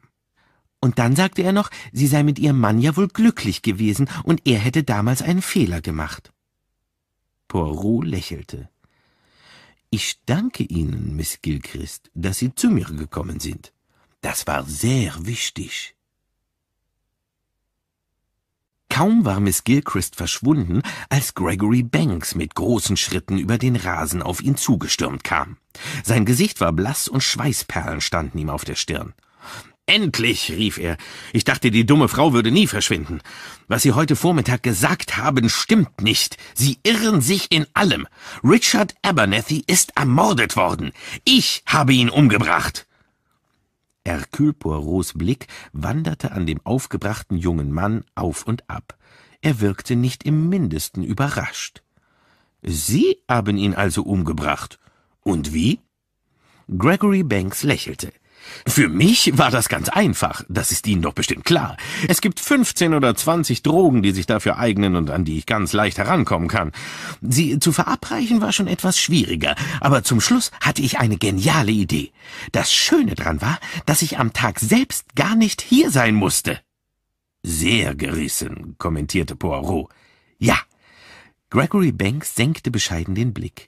Er wirkte zufrieden mit sich selbst. Und warum haben Sie ihn getötet? fragte Poirot interessiert. Wegen des Geldes, das Ihre Frau dann erben würde? Nein, natürlich nicht. Ich bin nicht geldgierig.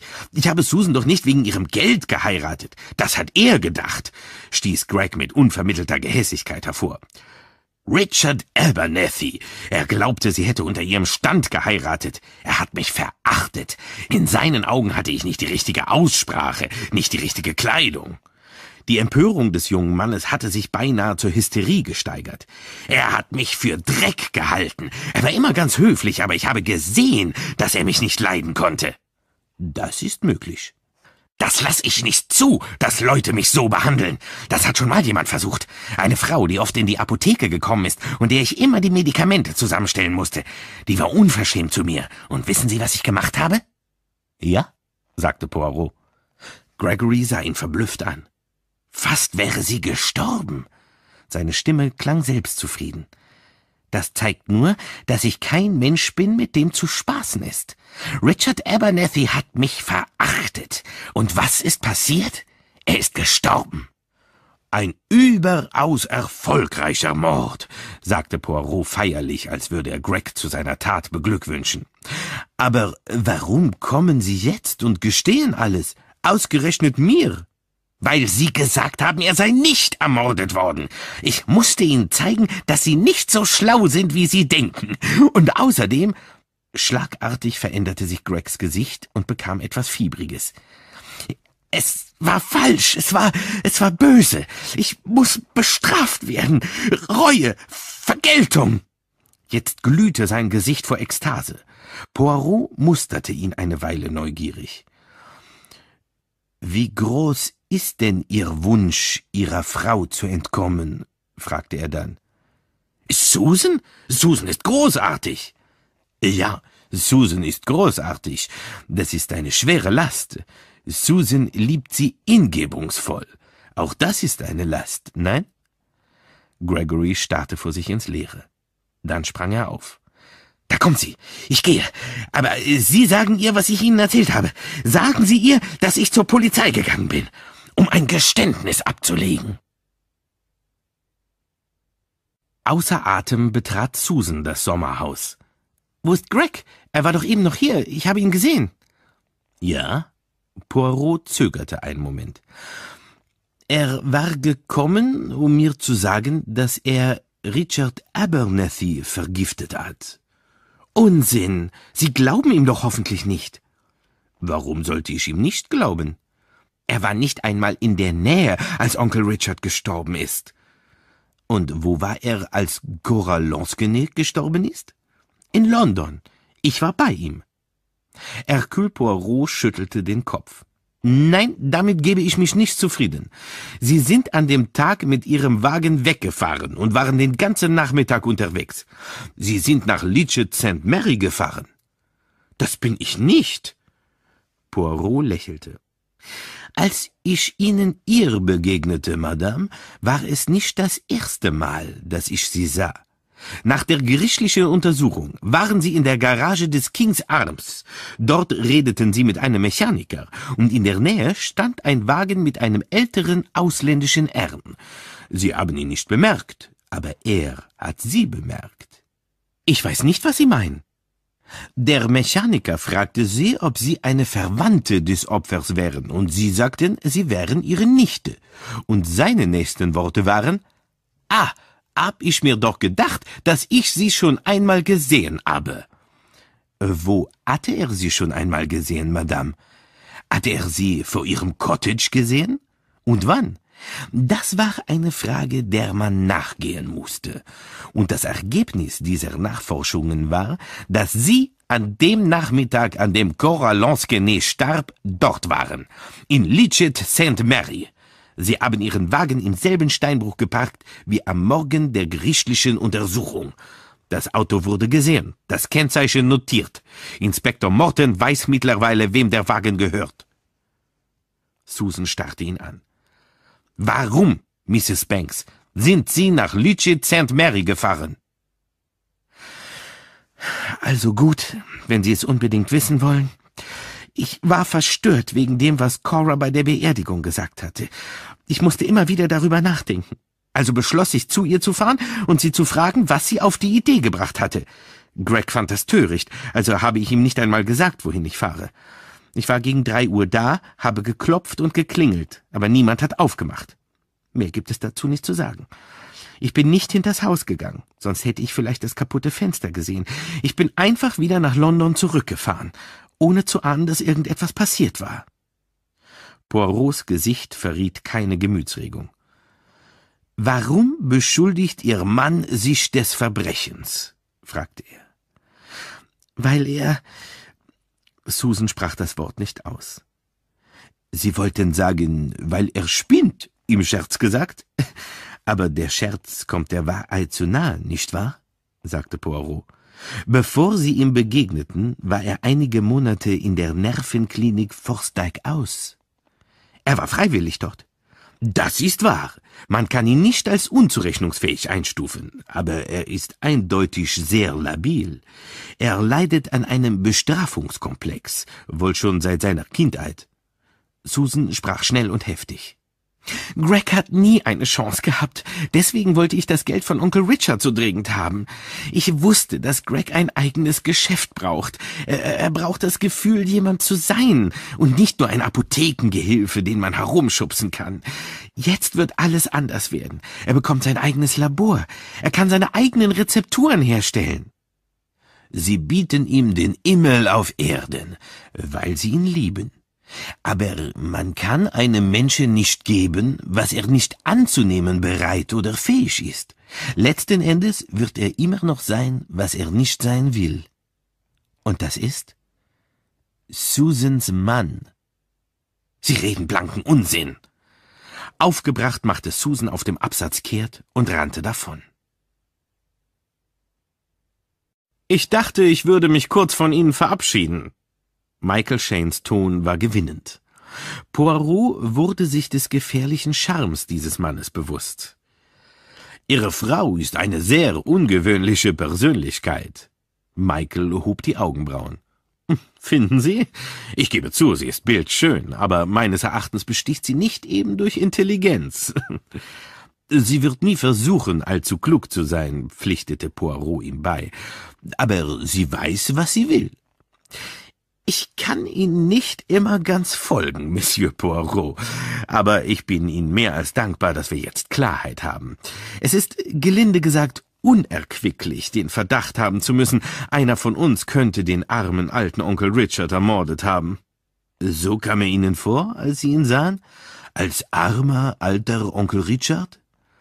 Nun ja, natürlich hatte er sich sehr gut gehalten und so, und war im Vollbesitz seiner geistigen Kräfte. Auch das und ein großer Menschenkenner. Sie dürfen nicht von mir erwarten, dass ich Ihnen da zustimme, Monsieur Poirot. Er mochte mich nicht. Er hielt Sie womöglich für den Typ des untreuen Ehemannes? fragte Poirot nach. Michael lachte. Was meinen Sie bitte damit? Poirot legte die Fingerspitzen aneinander. Es wurden Erkundigungen eingezogen, müssen Sie wissen, murmelte er. Michael Shane warf ihm einen kurzen, forschenden Blick zu. Er reagierte schnell. Das ist sehr unangenehm. Sehen Sie, ich habe Rosamund erzählt, dass ich an dem Tag mit einem gewissen Oscar Lewis beim Essen war. In Wirklichkeit bin ich mit dem Auto zu einer Frau namens Sorrel Dainton gefahren, eine ziemlich bekannte Schauspielerin. Rosamund wird nicht gerade glücklich sein, verstehen Sie? Ah. Poirot schlug einen diskreten Ton an. Äh, entre nous, äh, Sie hatten eine Affäre mit dieser Dame? Ach, wie es ebenso geht. Die Polizei wird zufriedengestellt sein. Glauben Sie? Na, ich könnte ja kaum mit einem Beil bewaffnet zu Cora fahren, wenn ich mich zu der Zeit meilenweit entfernt mit Sorrel amüsiert habe.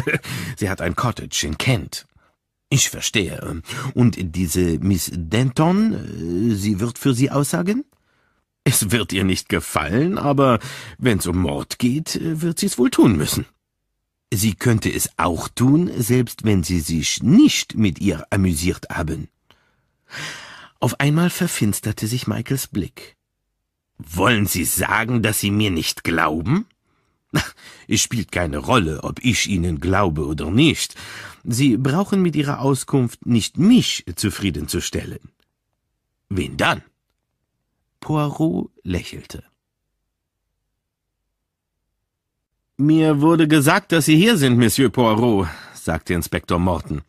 Die beiden Männer schlenderten Seite an Seite über die Terrasse. Wir haben eine etwas merkwürdige Information bekommen äh, von der Mutter Oberin eines Klosters. Zwei ihrer Nonnen waren beim Spendensammeln unterwegs. Offenbar standen sie bei Cora Lansquenet vor der Tür an dem Tag, bevor sie ermordet wurde. Aber niemand hat ihnen aufgemacht. Das ist begreiflich. Schließlich war sie oben in Nordengland bei der Beerdigung von Abernathy und die Gilchrist hatte den Tag frei bekommen und einen Ausflug nach Bournemouth gemacht. Das Seltsame ist, dass die beiden Nonnen sagten, da sei jemand im Haus gewesen. Sie sagen, sie hätten Stöhnen und Ächzen gehört. Ich habe nachgefragt, ob es nicht einen Tag später war, aber die Mutter Oberin beharrte darauf, dass es genau der Tag war. Offenbar führen sie über solche Sachen Buch. Hat jemand an dem Tag die Chance genutzt und das Haus durchsucht, während beide Frauen weg waren? Und hat dieser jemand nicht gefunden, wonach er suchte, und ist am nächsten Tag wiedergekommen?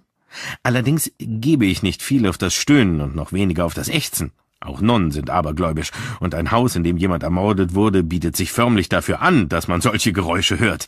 Die Frage ist, war da jemand, der im Haus nichts zu suchen hatte? Und wenn, wer war's? Die ganzen Abernethys waren bei der Beerdigung. Poirot stellte eine scheinbar unwesentliche Frage. Äh, diese Nonnen, die da in der Gegend sammelten, ähm, sind sie später noch einmal wiedergekommen? Ja, das sind sie. Ungefähr eine Woche später. Soweit ich weiß, war das am Tag der gerichtlichen Untersuchung. Das passt, erklärte Hercule Poirot. Das passt genau. Inspektor Morton sah ihn fragend an. Was hat dieses Interesse an den Nonnen zu bedeuten? Es wird Ihnen wohl kaum entgangen sein, Inspektor, dass sich der Besuch der Nonnen am selben Tag ereignete, an dem der vergiftete Hochzeitskuchen seinen Weg ins Haus fand. Und nun, mon cher, begebe ich mich auf die Suche nach der Nichte des verstorbenen Richard Abernethy. Bitte passen Sie auf, was Sie Mrs. Banks sagen.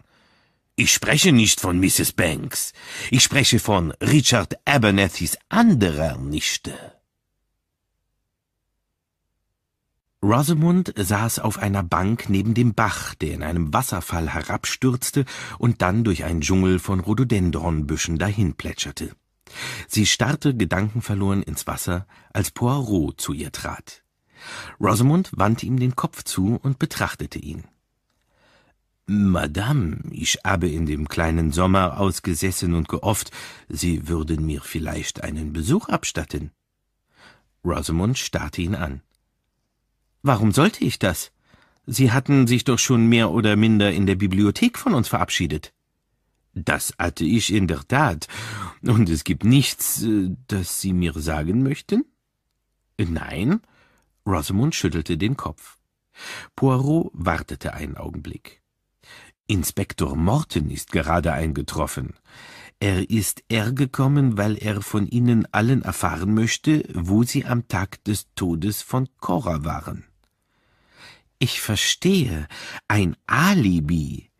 Ihr schönes Gesicht verzog sich zu einem amüsierten Lächeln. Das wird Michael einen schönen Schreck einjagen. Er denkt, ich wüsste nicht, dass er an dem Tag zu der Frau gefahren ist. Er ist, äh, fürchte ich, kein sehr treuer Ehemann? Poirot zögerte mit seiner Frage. Nein. Aber es stört Sie nicht? Ach, in gewisser Hinsicht ist es lustig, sagte Rosamund. Ich meine, einen Mann zu haben, den alle anderen Frauen einem wegschnappen wollen. Poirot musterte sie. Und äh, falls es jemandem gelingen sollte, Ihnen Ihren Mann wegzunehmen? Das wird nicht passieren, antwortete Rosamund. Jetzt nicht mehr, wo ich das Geld von Onkel Richard habe. Michael verguckt sich in diese Weiber, aber die Bühne ist für ihn wichtiger als alles andere. Und jetzt kann er groß rauskommen, kann seine eigene Show auf die Beine stellen. Er kann auch selbst Stücke produzieren und braucht nicht nur zu spielen. Er ist sehr ehrgeizig, müssen Sie wissen, und er ist wirklich gut. Nein, jetzt mache ich mir keine Sorgen mehr wegen Michael. Schließlich ist es mein Geld. Das Telegramm traf gegen sechs Uhr abends ein. Wie eigens verlangt, wurde es persönlich zugestellt und nicht per Telefon übermittelt. Hercule Poirot, der sich schon geraume Zeit in der Nähe der Haustür herumgetrieben hatte, riss es Lanscombe förmlich aus der Hand, als dieser es vom Boden entgegennahm. Mit ebenso untypischer Hast öffnete er das Schreiben. Innen standen drei Worte und eine Unterschrift. Poirot stieß einen Seufzer der Erleichterung aus. Dann versetzte er Lanscombe einen Klaps auf die Schulter. Courage! Wir stehen kurz vor dem Ziel! Dieses Mal bat Hercule Poirot seine Zuhörer, sich im großen Salon zu versammeln. Mit der Ankunft von Inspektor Morton und Superintendent Powell hatte ein Gefühl von Bedrohung um sich gegriffen. Poirot begann auf seine etwas hochtrabende Art. Ursprünglich kam ich hierher, um ein Rätsel zu lösen. Das Rätsel ist gelöst. Lassen Sie mich zuerst die verschiedenen Punkte ansprechen, auf die der vortreffliche Mr. Entwistle mich aufmerksam machte. Zum einen stirbt Mr. Richard Abernethy eines plötzlichen Todes. Zum zweiten sagt seine Schwester Cora Lansquenet nach seiner Beerdigung, er ist doch ermordet worden, oder nicht? Zum dritten wird Mrs. Lansquenet ermordet. Die Frage lautet, stehen diese drei Ereignisse im Zusammenhang? Lassen Sie uns betrachten, was als nächstes passiert. Miss Gilchrist, die Gefährtin der Toten, erkrankt, nachdem sie ein Stück mit Arsen vergifteten Hochzeitskuchen isst. Nun, wie ich Ihnen heute Vormittag bereits erklärte, ich bin im Verlauf meiner Ermittlungen auf nichts, überhaupt nichts gestoßen, das den Verdacht erartet, Mr. Abernethy sei vergiftet worden. Lassen Sie uns nun das vierte Element der Handlungsreihe eingehender betrachten. Der Paketpostbote ist sich relativ sicher, dass er das Päckchen mit dem Hochzeitskuchen nicht zustellte. Wenn dem so ist, dann wurde das Päckchen von Ant abgegeben. Und obwohl wir keine unbekannte Person ausschließen können, müssen wir doch unser besonderes Augenmerk auf die Personen richten, die tatsächlich anwesend und in der Lage waren, das Päckchen dorthin zu legen, wo es gefunden wurde. Dabei handelt es sich um Miss Gilchrist selbst, um Susan Banks, die an jenem Tag zur gerichtlichen Untersuchung gekommen war, Mr. Entwistle. Schließlich war auch er zugegen, als Cora ihre aufsehenerregende Bemerkung machte. Und noch zwei weitere Personen waren anwesend. Ein alter R, der sich als ein gewisser Mr. Guthrie ausgab, ein Kunstkritiker, und eine oder mehrere Nonnen, die am frühen Vormittag an die Tür klopften und um eine Spende baten. Miss Gilchrist profitierte in keinster Weise von Richard Abernethys Tod und nur in sehr kleinem Maße von Mrs. Lansquenets. Im Gegenteil, deren Ableben beraubte sie ihrer Arbeitsstelle und brachte sie in die missliche Lage, eine neue Stelle suchen zu müssen. Zudem wurde Miss Gilchrist erwiesenermaßen mit einer Arsenvergiftung ins Krankenhaus eingeliefert. Susan Banks profitierte durchaus von Richard Abernethys Tod und in kleinerem Umfang auch von Mrs. Lansquenets. Sie hätte guten Grund haben können zu glauben, dass Miss Gilchrist eine Unterhaltung zwischen Cora Lansquenet und ihrem Bruder mit angehört hatte, in der sie namentlich erwähnt wurde. Und so beschloss sie, dass Miss Gilchrist ausgeschaltet werden musste. Sie selbst weigerte sich, den Hochzeitskuchen zu essen und wollte den Arzt, als Miss Gilchrist nachts von Übelkeit befallen wurde, auch erst am folgenden Tag rufen.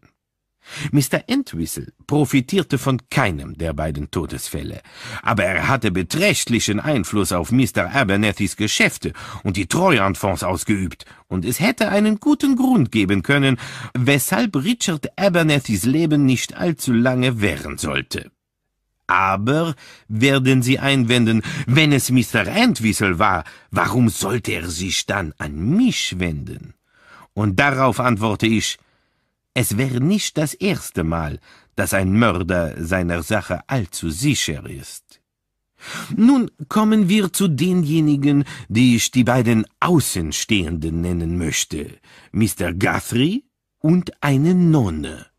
Wenn Mr. Guthrie tatsächlich Mr. Guthrie der Kunstkritiker ist, dann ist er freigesprochen. Dasselbe gilt für die Nonne, wenn sie tatsächlich eine Nonne ist. Die Frage lautet, sind diese Leute das, wofür sie sich ausgeben, oder sind sie jemand anders? Und ich muss hinzufügen, es zieht sich offenbar das sehr seltsame Motiv einer Nonne durch die ganzen Ereignisse. Eine Nonne kommt an die Tür von Mr. Timothy Abernethys Haus und Miss Gilchrist glaubt, es handelt sich um dieselbe Nonne, die sie in Leach St. Mary gesehen hat. Zudem stand eine Nonne oder zwei Nonnen am Tag vor Mr. Abernethys Tod hier an der Haustür. Ich möchte einige weitere Elemente des Falls hinzufügen, die meine Aufmerksamkeit erregten. Der Besuch eines Kunstkritikers, der Geruch nach Ölfarbe, eine Postkarte des Afens von Paul Flexen und schließlich ein Wachsblumenstrauß auf dem Malachittisch. Es war das Erwägen all dieser Elemente, das mich zur Wahrheit führte, und ich stehe nun kurz davor, Ihnen diese Wahrheit zu eröffnen. Richard Abernethy ist plötzlich gestorben, und es hätte keinen Anlass gegeben, Argwohn zu schöpfen, wenn seine Schwester Cora bei der Beerdigung nicht die sonderbare Bemerkung gemacht hätte, die sie nun einmal machte. Der einzige Hinweis, dass Richard Abernethy ermordet worden sein könnte, besteht in diesen Worten. Als Folge davon waren sie alle der Ansicht, dass tatsächlich ein Mord stattgefunden hatte, und sie glaubten das, weniger wegen der Worte an sich, als vielmehr wegen des Charakters von Cora Lansquenet. Denn Cora Lansquenet war dafür bekannt, in peinlichen Momenten die Wahrheit zu sagen. Das heißt, der Verdacht, dass Richard ermordet worden war, kam nicht nur wegen Coras Worten auf, sondern vor allem wegen Cora selbst. Und nun komme ich zu der Frage, die ich mir plötzlich selbst stellte. Wie gut kannten Sie alle Cora Lansquenet? Was meinen Sie damit? fragte Susan scharf. Gar nicht gut, das ist die Antwort, fuhr Poirot fort. Die jüngere Generation hatte sie überhaupt nie kennengelernt, oder wenn, dann nur als kleine Kinder. Im Grunde waren an jenem Tag nur drei Leute im Haus, die Cora Lansquenet überhaupt kannten. Der Butler, der alt und praktisch blind ist, Mrs. Timothy Abernethy, die sie nur wenige Male gesehen hatte, und das in der Zeit vor ihrer eigenen Hochzeit, und Mrs. Leo Abernethy, die sie recht gut kannte, aber seit über zwanzig Jahren nicht mehr gesehen hatte. Also sagte ich mir, angenommen, es war gar nicht Cora Lansquenet, die an jenem Tag an der Beerdigung teilnahm. Wollen Sie damit sagen, dass Tante Cora nicht Tante Cora war? Susan klang ungläubig. Wollen Sie sagen, dass gar nicht Tante Cora ermordet wurde, sondern jemand anders? Oh nein, es war Cora Lansquenet, die ermordet wurde. Aber es war nicht Cora Lansquenet, die am Tag zuvor der Beerdigung ihres Bruders beiwohnte. Die Frau, die an dem Tag kam, kam nur aus einem Grunde, um die Tatsache von Richards plötzlichem Tod zu ihrem Vorteil auszunutzen und um in den Köpfen seiner Anverwandten den Verdacht zu erwecken, er sei ermordet worden, was ihr glänzend gelang. Warum? Wozu sollte das gut sein? fragte Maud aufgebracht. Um die Aufmerksamkeit vom eigentlichen Mord abzulenken, vom Mord an Cora Lansquenet selbst. Denn wenn Cora sagt, dass Richard ermordet worden ist und sie am folgenden Tag selbst ermordet wird, werden die beiden Todesfälle in Zusammenhang gebracht, als Ursache und Wirkung. Aber wenn nur Cora ermordet und ihr Haus ausgeraubt wird, und wenn die Theorie vom Raubüberfall die Polizei nicht überzeugt, wo beginnt sie ihre Suche dann? In unmittelbarer Umgebung, nicht wahr? Der Verdacht fällt als erstes auf die Frau, die mit ihr im Aus lebte. Miss Gilchrist protestierte. Sie wollen doch nicht behaupten, ich würde wegen einer Amethystbrosche und einigen wertlosen Bildern einen Mord begehen. Nein, räumte Poirot ein. Etwas mehr war es schon. Unter den Bildern war eines, das den Hafen von Polflexen darstellte und das, wie Mrs. Banks scharfsichtig bemerkte, nach einer Postkarte gemalt wurde, auf der die alte Pier noch abgebildet war. Aber Mrs. Lansquenet malte immer nach der Natur. Da fiel mir wieder ein, dass Mr. Entwistle erwähnt hatte, es habe im Haus nach Ölfarbe gerochen, als er das erste Mal dort war. Sie können doch malen, nicht wahr, Miss Gilchrist? Ihr Vater war Maler und Sie verstanden einiges von Malerei. Angenommen, eines der Bilder, die Cora billig auf einem Trödelmarkt gekauft hatte, war sehr wertvoll. Angenommen, sie selbst erkannte das nicht, aber sie bemerkten es. Sie wussten, dass Cora bald den Besuch eines alten Freundes erwartete, der ein bekannter Kunstkritiker war. Dann stirbt plötzlich ihr Bruder, und ihnen kommt ein Plan in den Sinn. Es ist ganz leicht, ihr morgens ein Beruhigungsmittel in den Tee zu geben, so dass sie den ganzen Tag der Beerdigung bewusstlos im Bett liegt, während sie in Enderby ihre Rolle übernehmen. Sie kannten Enderby sehr gut aus ihren Erzählungen. Cora hatte häufig über ihre Kindheit gesprochen. Sie haben Ihr Wissen von Enderby an dem Tag sehr gut eingesetzt. Mit Anspielungen auf dieses, mit Erinnerungen an jenes. Niemand vermutete, dass Sie nicht Cora waren. Sie trugen Coras Kleidung, ein wenig ausgepolstert, und da Cora immer falsche Ponyfransen anlegte, konnte sie ihr das leicht nachmachen. In den letzten zwanzig Jahren hatte niemand Cora gesehen. Und in 20 Jahren verändern Leute sich stark. Aber Manierismen vergisst man nicht.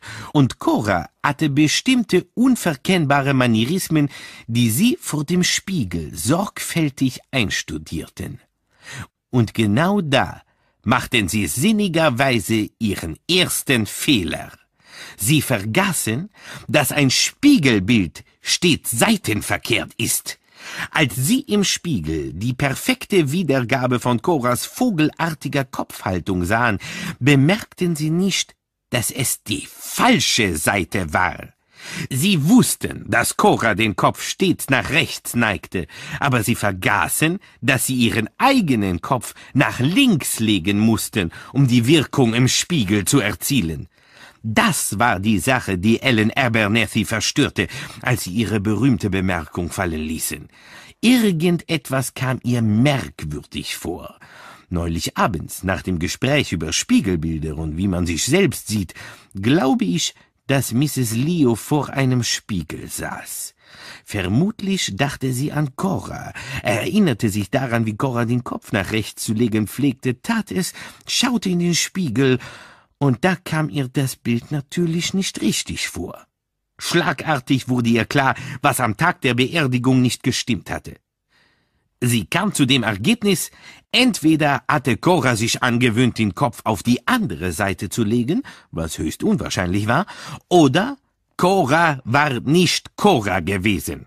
Weder das eine noch das andere schien für sie Sinn zu ergeben aber sie war entschlossen, Mr. Entwistle auf der Stelle von ihrer Entdeckung zu berichten. Eine zweite Person, die stets früh aufsteht, folgte ihr nach unten und aus Angst, was Helen Abernethy aufdecken könnte, schlug sie ihr mit einem schweren Türhämmer auf den Kopf. Poirot hielt kurz inne. Ich kann Ihnen bereits jetzt sagen, Miss Gilchrist, dass die Gehirnerschütterung, die Mrs. Abernethy erlitten hat, nicht schwerwiegend ist. Sie wird uns bald ihre eigene Geschichte schildern können. Ich habe nichts dergleichen getan, sagte Miss Gilchrist. Das Ganze ist eine infame Lüge. Die Andeutung, es könnte ein Mord gewesen sein, war natürlich nur der erste Schritt, griff Poirot seinen Faden wieder auf. Sie hatten noch mehr in der Hinterhand. Sie waren jederzeit bereit zu gestehen, dass sie ein Gespräch zwischen Richard und seiner Schwester belauscht hatten. Was er ihr erzählte, war zweifellos, dass er nicht mehr lange zu leben hatte. Die Nonne war eine weitere ihrer Erfindungen. Die Nonne, oder vielmehr die Nonnen, die am Tag der gerichtlichen Untersuchung vor der Haustür standen, brachten sie auf die Idee, eine Nonne zu erfinden, die sie verfolgte, und diese Ausrede setzten sie ein, als sie hören wollten, was Mrs. Timothy ihrer Schwägerin in Enderby am Telefon sagte und auch, weil sie sie ihr begleiten wollten, um zu sehen, wie sich alles weiter entwickelte.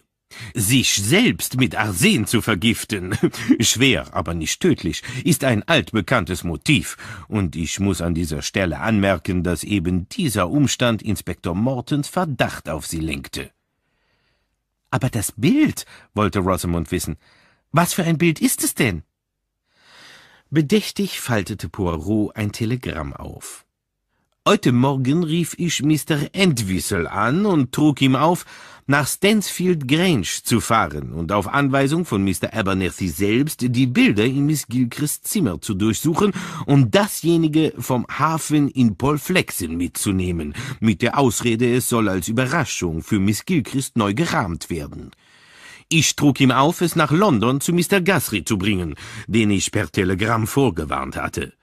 Das rasch ingetuschte Bild von Paul Flexen wurde entfernt, das ursprüngliche Bild kam zum Vorschein. Er hielt das Telegramm hoch. Eindeutig ein Vermeer. Guthrie.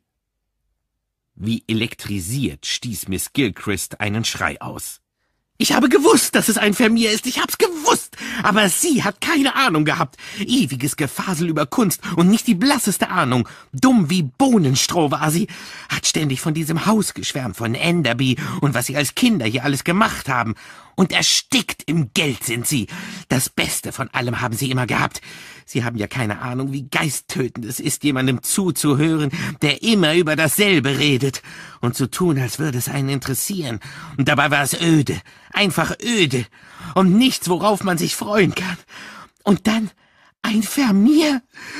Neulich habe ich in der Zeitung gelesen, dass ein Vermeer für mehr als 5000 Pfund verkauft wurde.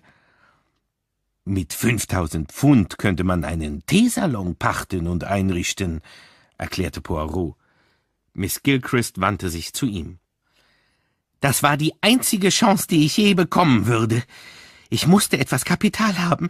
Ich wollte ihn Palmtree nennen und kleine Kamele als Speisekartenhalter. Manchmal kann man wirklich hübsches Porzellan finden. Ich wollte den Teesalon in einer feinen Gegend aufmachen, wo feine Gäste kommen würden. Es wäre bestimmt schön geworden. Eichentische und kleine Korbstühle mit rot-weiß gestreiften Kissen. Inspektor Morton brach den Bann. Miss Gilchrist verhielt sich äußerst zuvorkommend. Aber natürlich, ich möchte Ihnen keinerlei Schwierigkeiten bereiten. Wenn ich den Palm Tree nicht haben kann, ist alles andere relativ gleichgültig. Aber ich verstehe nicht, wo da die Wachsblumen hineinkommen. Rosamond hatte ihre blauen Augen vorwurfsvoll auf Poirot gerichtet. Sie saßen in Helens Wohnung in London. Helen selbst, der Rosamond und Poirot einen Teebesuch abstatteten, lag auf der Couch. Ich verstehe nicht, was die Wachsblumen damit zu tun hatten, wiederholte Rosamond. Die Wachsblumen waren Miss Gilchrists zweiter Fehler, erklärte Poirot. Sie sagte, wie schön sie sich auf dem Malachittisch machte. Aber sehen Sie, Madame, sie hätte sie nicht dort sehen können, weil die Blumen zu Bruch gegangen und weggeräumt worden waren, bevor sie mit Timothy und Maud Abernethy nach Enderby kam. Also konnte sie sie nur gesehen haben, als sie in der Rolle von Cora Lansquenet dort war. Das war wirklich dumm von ihr, nicht? sagte Rosamond. Poirot drohte ihr scherzhaft mit dem Zeigefinger. Das beweist nur, Madame, wie gefährlich es ist, Konversation zu betreiben. Ich werde vorsichtig sein müssen, meinte Rosamund nachdenklich. Dann hellte sich ihre Miene auf. Wussten Sie schon? Ich erwarte ein Kind. Aha, das steht also hinter der Arley Street und dem Regents Park. Ja, ich war so durcheinander, wissen Sie, und so überrascht, dass ich einfach irgendwo hingehen und nachdenken musste. Und ich habe beschlossen, die Bühne zu verlassen und nur noch Mutter zu sein. Eine Rolle, die Ihnen sehr gut zu Gesicht stehen wird. Rosamund lächelte glückselig. Und stellen Sie sich vor, Michael ist außer sich vor Freude. Susans Schönheitssalon sieht vielversprechend aus, sagte Helen. Ich glaube, er wird ein voller Erfolg werden. Ja, sie ist ein Mensch, dem Erfolg in die Wiege gelegt wurde, pflichtete Poirot bei. Wie ihrem Onkel. Ich vermute, Sie meinen damit Richard, warf Rosamund ein, und nicht Timothy. Alle lachten. Greg ist irgendwo auf dem Land, sagte Rosamund. Laut Susan macht er eine Erholungskur. Poirot griff den vorherigen Gesprächsfaden wieder auf. Ich habe einen sehr freundlichen Brief von Mr. Timothy Abernethy erhalten, berichtete er. Er erklärte sich überaus zufrieden mit den Diensten, die ich der Familie erwiesen habe. Onkel Timothy ist schrecklich, sagte Rosamond. Poirot wandte sich an Helen. Und Sie, Madame, fahren nach Zypern? Ja, in vierzehn Tagen. Dann lassen Sie mich Ihnen eine gute Reise wünschen. Ich möchte Ihnen sagen, Monsieur Poirot, dass Richards Vermächtnis mir mehr bedeutet hat als allen anderen, erklärte Helen unvermittelt. Sehen Sie, in Zypern ist ein Kind. Mein Mann und ich waren sehr glücklich miteinander. Es war unser großer Kummer, dass wir keine Kinder hatten. Nach seinem Tod war ich sehr, sehr einsam. Als ich bei Kriegsende in London als Krankenschwester arbeitete, lernte ich jemanden kennen. Er war jünger als ich und verheiratet, allerdings nicht sehr glücklich. Wir waren eine Weile zusammen, mehr nicht. Er ging nach Kanada zurück zu seiner Frau und seinen Kindern. Er wusste nie von unserem Kind. Er hätte es nicht gewollt. Aber ich wollte es. Es kam mir wie ein Wunder vor. Eine Frau in mittleren Jahren, die ihr Leben schon hinter sich hatte. Mit Richards Geld kann ich meinem sogenannten Neffen eine richtige Ausbildung bezahlen und ihm ein gutes Leben ermöglichen. Sie machte eine Pause. Ich habe Richard nie davon erzählt. Er mochte mich gerne und ich ihn auch. Aber er hätte es nicht verstanden. Poirot beugte sich über ihre Hand. Als er nach Hause kam, saß im Sessel linker Hand vom Kamin ein Besucher. Guten Tag, Poirot, sagte Mr. Entwistle. Ich komme gerade vom Gericht. Das Urteil lautete natürlich auf schuldig. Aber es würde mich nicht überraschen, wenn sie nach Broadmoor kommt. Seit sie im Gefängnis sitzt, ist sie zweifellos übergeschnappt. Den Großteil der Zeit verbringt sie damit, detaillierte Pläne für eine ganze Kette von Teesalons zu schmieden. Man fragt sich, ob sie vielleicht schon immer ein wenig verrückt war. Guter Gott, nein! So klarsichtig wie Sie und ich, als sie den Mord geplant hat. Absolut kaltblütig hat sie ihn begangen, meinte Mr. Entwistle. Mörder haben viele Gesichter, sagte Hercule Poirot und dachte an die Mörder, die er gekannt hatte. Sie hörten der Wachsblumenstrauß von Agatha Christie. Aus dem Englischen von Ursula Wulfekamp. Gelesen von Oliver Kalkofe. Produktion der Hörverlag 2010